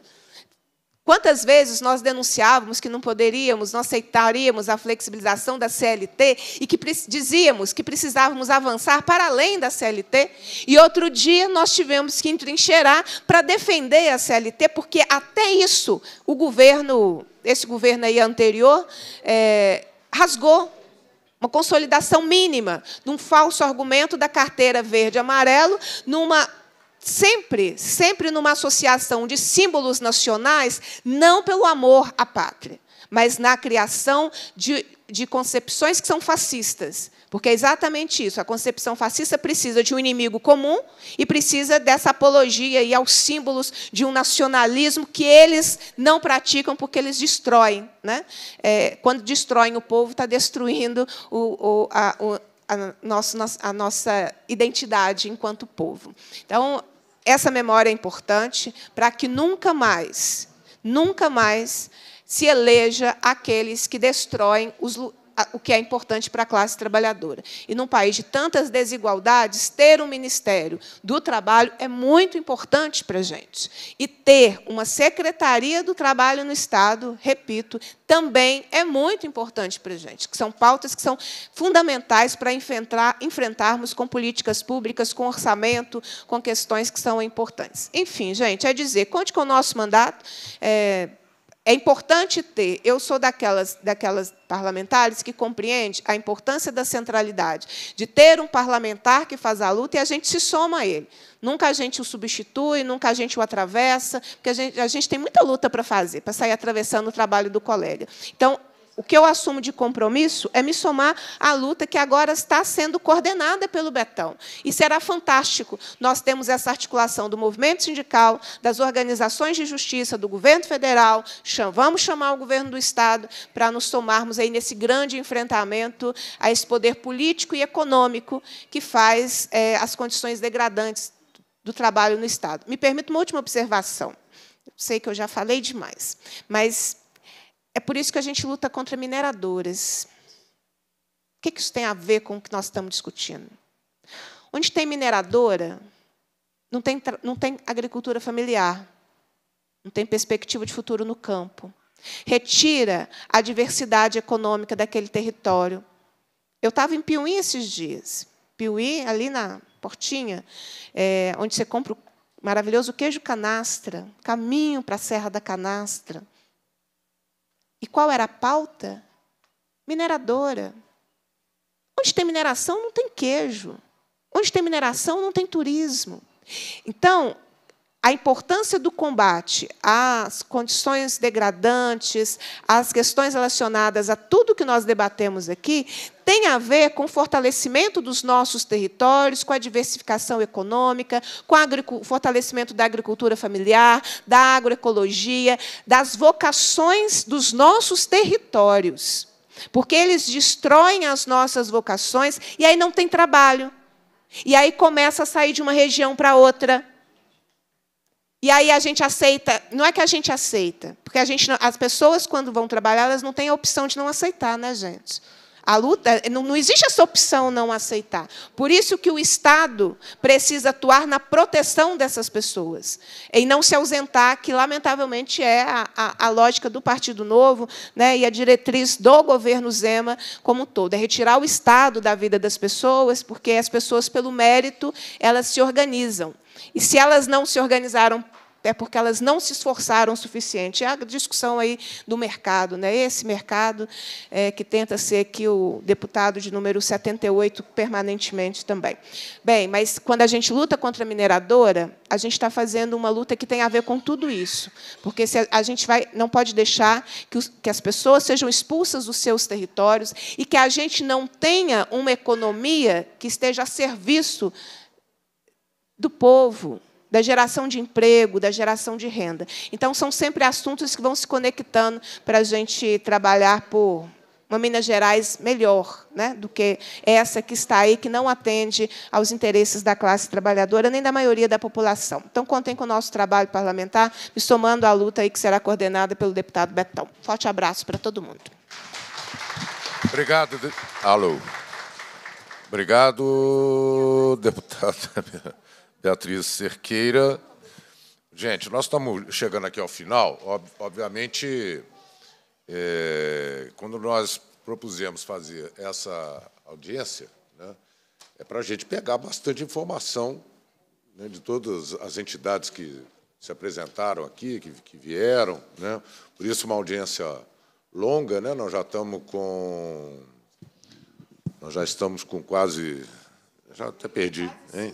Cinco horas, né? Não, não é comum você ter audiências de cinco horas aqui, a não ser as da Bia, né? Que ela fala, e, e é para a gente é, receber essa, essa, todas essas demandas e a gente dar prosseguimento. Né? Dar prosseguimento. Quando a Bia perguntou aqui para mim qual é o plano de voo, né, nós vamos dar prosseguimento nessa, nessa discussão. E não é só a questão do trabalho escravo, tem uma outra discussão que nós vamos também dar, abrir e dar sequência, que é a questão dos trabalhadores precarizados, uberizados, né, podemos chamar assim, né, que são os motoboys, né, são os entregadores de bicicleta, os próprios motoristas de Uber, e uma infinidade de outras categorias que estão sendo levadas para essa situação. Estou vendo o Zé Carlos aqui, do, do, do Sindicato dos Marceneiros, vereador de Ubá, Sindicato dos Marceneiros, moveleiro, né, Zé? Moveleiro de Ubá, né? em que ah, ah, várias trabalhadoras lá que estavam que trabalhavam né, com, a, com a estamparia né, foram demitidas, viraram PJs, pegaram as máquinas, entraram, enfiaram dentro da casa delas e ganha por peça produzida. Então, elas trabalham 12 horas, não tem direito a 10 terceiro, não tem direito a nada. Um terço, nada. Né? É uma situação que ele está vivendo lá. Essas coisas se relacionam, né? porque o próximo passo nesse processo é chegar é, no trabalho análogo à, à, à escravidão. Então, dentre diversos termos que eu fui anotando aqui, gente, é, tem uma que eu anotei que é a aporofobia, né? repúdio, aversão, desprezo pelos pobres ou desfavorecidos. E nós vivemos numa sociedade aqui no Brasil, né, que é uma sociedade é, em que o país funciona para aproximadamente 60 milhões de pessoas, que é o, a burguesia, né, a classe média alta, os muito ricos. Né? Ela, o Brasil funciona para eles. E eles exploram demasiadamente a classe trabalhadora em todos os níveis. Em todos os níveis. Querem salários baixos, querem trabalhadores sem direito. Por isso que deram o golpe em 2016. É importante lembrar disso, gente. Deram o golpe e avacalharam com os direitos trabalhistas para concentrar cada vez mais renda. Eu não deixo de falar né, que, durante a Covid, nós, o Brasil aumentou em 50% o número de bilionários. Nós passamos de 40 bilionários para 60, se não está maior agora. Como é, que pode, como é que pode essa contradição dele? E a maioria da população, uma grande parte da população, foi jogada na miséria absoluta. Então, é disso que nós estamos tratando. E, no meio disso, está o trabalho é, escravo, né, que, se deixar, voltam às condições que eram aqui no Brasil no século XIX. Se esse povo não for parado, né, isso volta às condições. Para eles não interessa. Quanto pior as condições de trabalho dos trabalhadores, para eles poderem se enriquecer cada vez mais, é melhor para eles.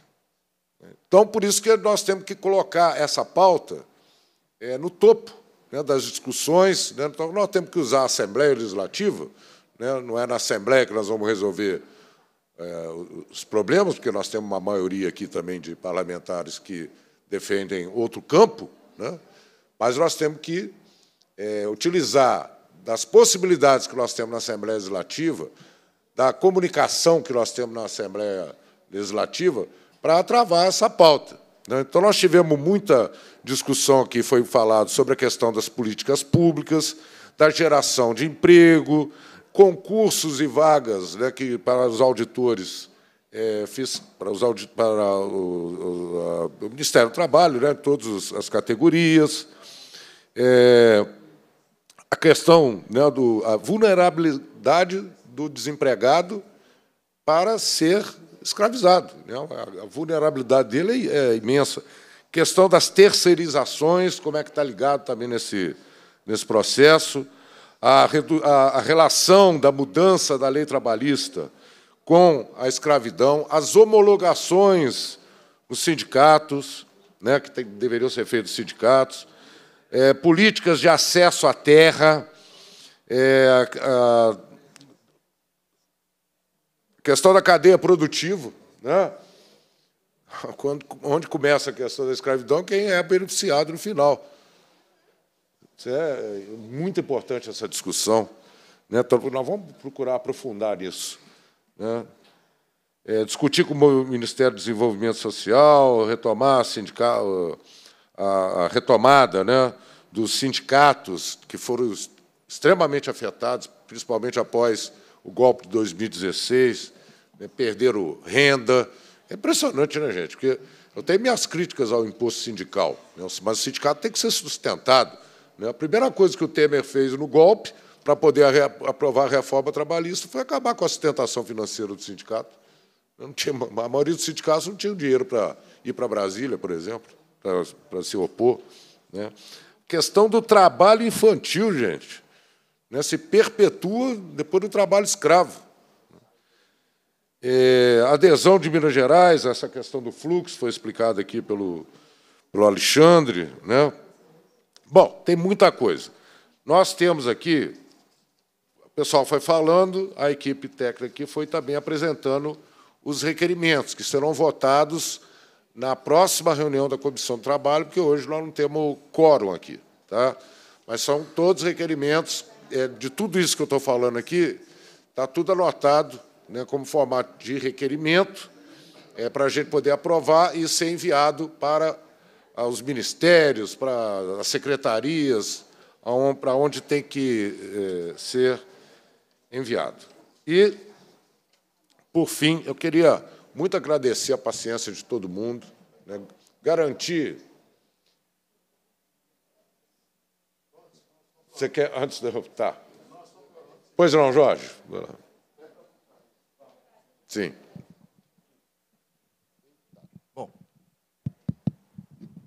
Só para ficar registrado, Betão, que houve a sugestão da possibilidade da CPI, do trabalho Tá- escravo no tá aqui território também, mineiro, tá. a, a gente pensar na lista suja do trabalho escravo no território mineiro, Sim. a, e a visita, talvez, de uma comissão parlamentar em algumas comunidades onde mais migram trabalhadores que são vítimas do trabalho escravo no café e na cana. Está anotado aqui também, Jorge, porque eu fui pulando aqui, eu nunca mais, essa, todas essas questões estão anotadas, tá? É. Isso. Tem que ter estabilidade, é verdade. Perfeito. Isso. Isso. Tá certo, Geral- Geraldo, né? Geraldo. Gente, então, eu quero agradecer aqui a presença de todo mundo, garantindo para vocês, quando nós, nós, como presidente da Comissão do Trabalho, Previdência e Assistência Social, nós vamos dar sequência a essas discussões, não vai ficar parado disso aqui hoje, e vamos planejar visitas a essas comunidades também, eh, interagindo, obviamente, com o Ministério do Trabalho. Né? Mas nós vamos dar sequência a essa discussão. Eu tenho uma formalidade aqui para fazer. Cadê, menino? Encerramento? A última página. Agradecer a presença aqui da Bia, da deputada Andréa de Jesus, deputado Leninha Leleco, e cumprida a finalidade da reunião, a presidência agradece a presença dos parlamentares, dos convidados do público presente, convoca os membros para a próxima reunião ordinária, determina a lavratura da ata e encerra os trabalhos. É.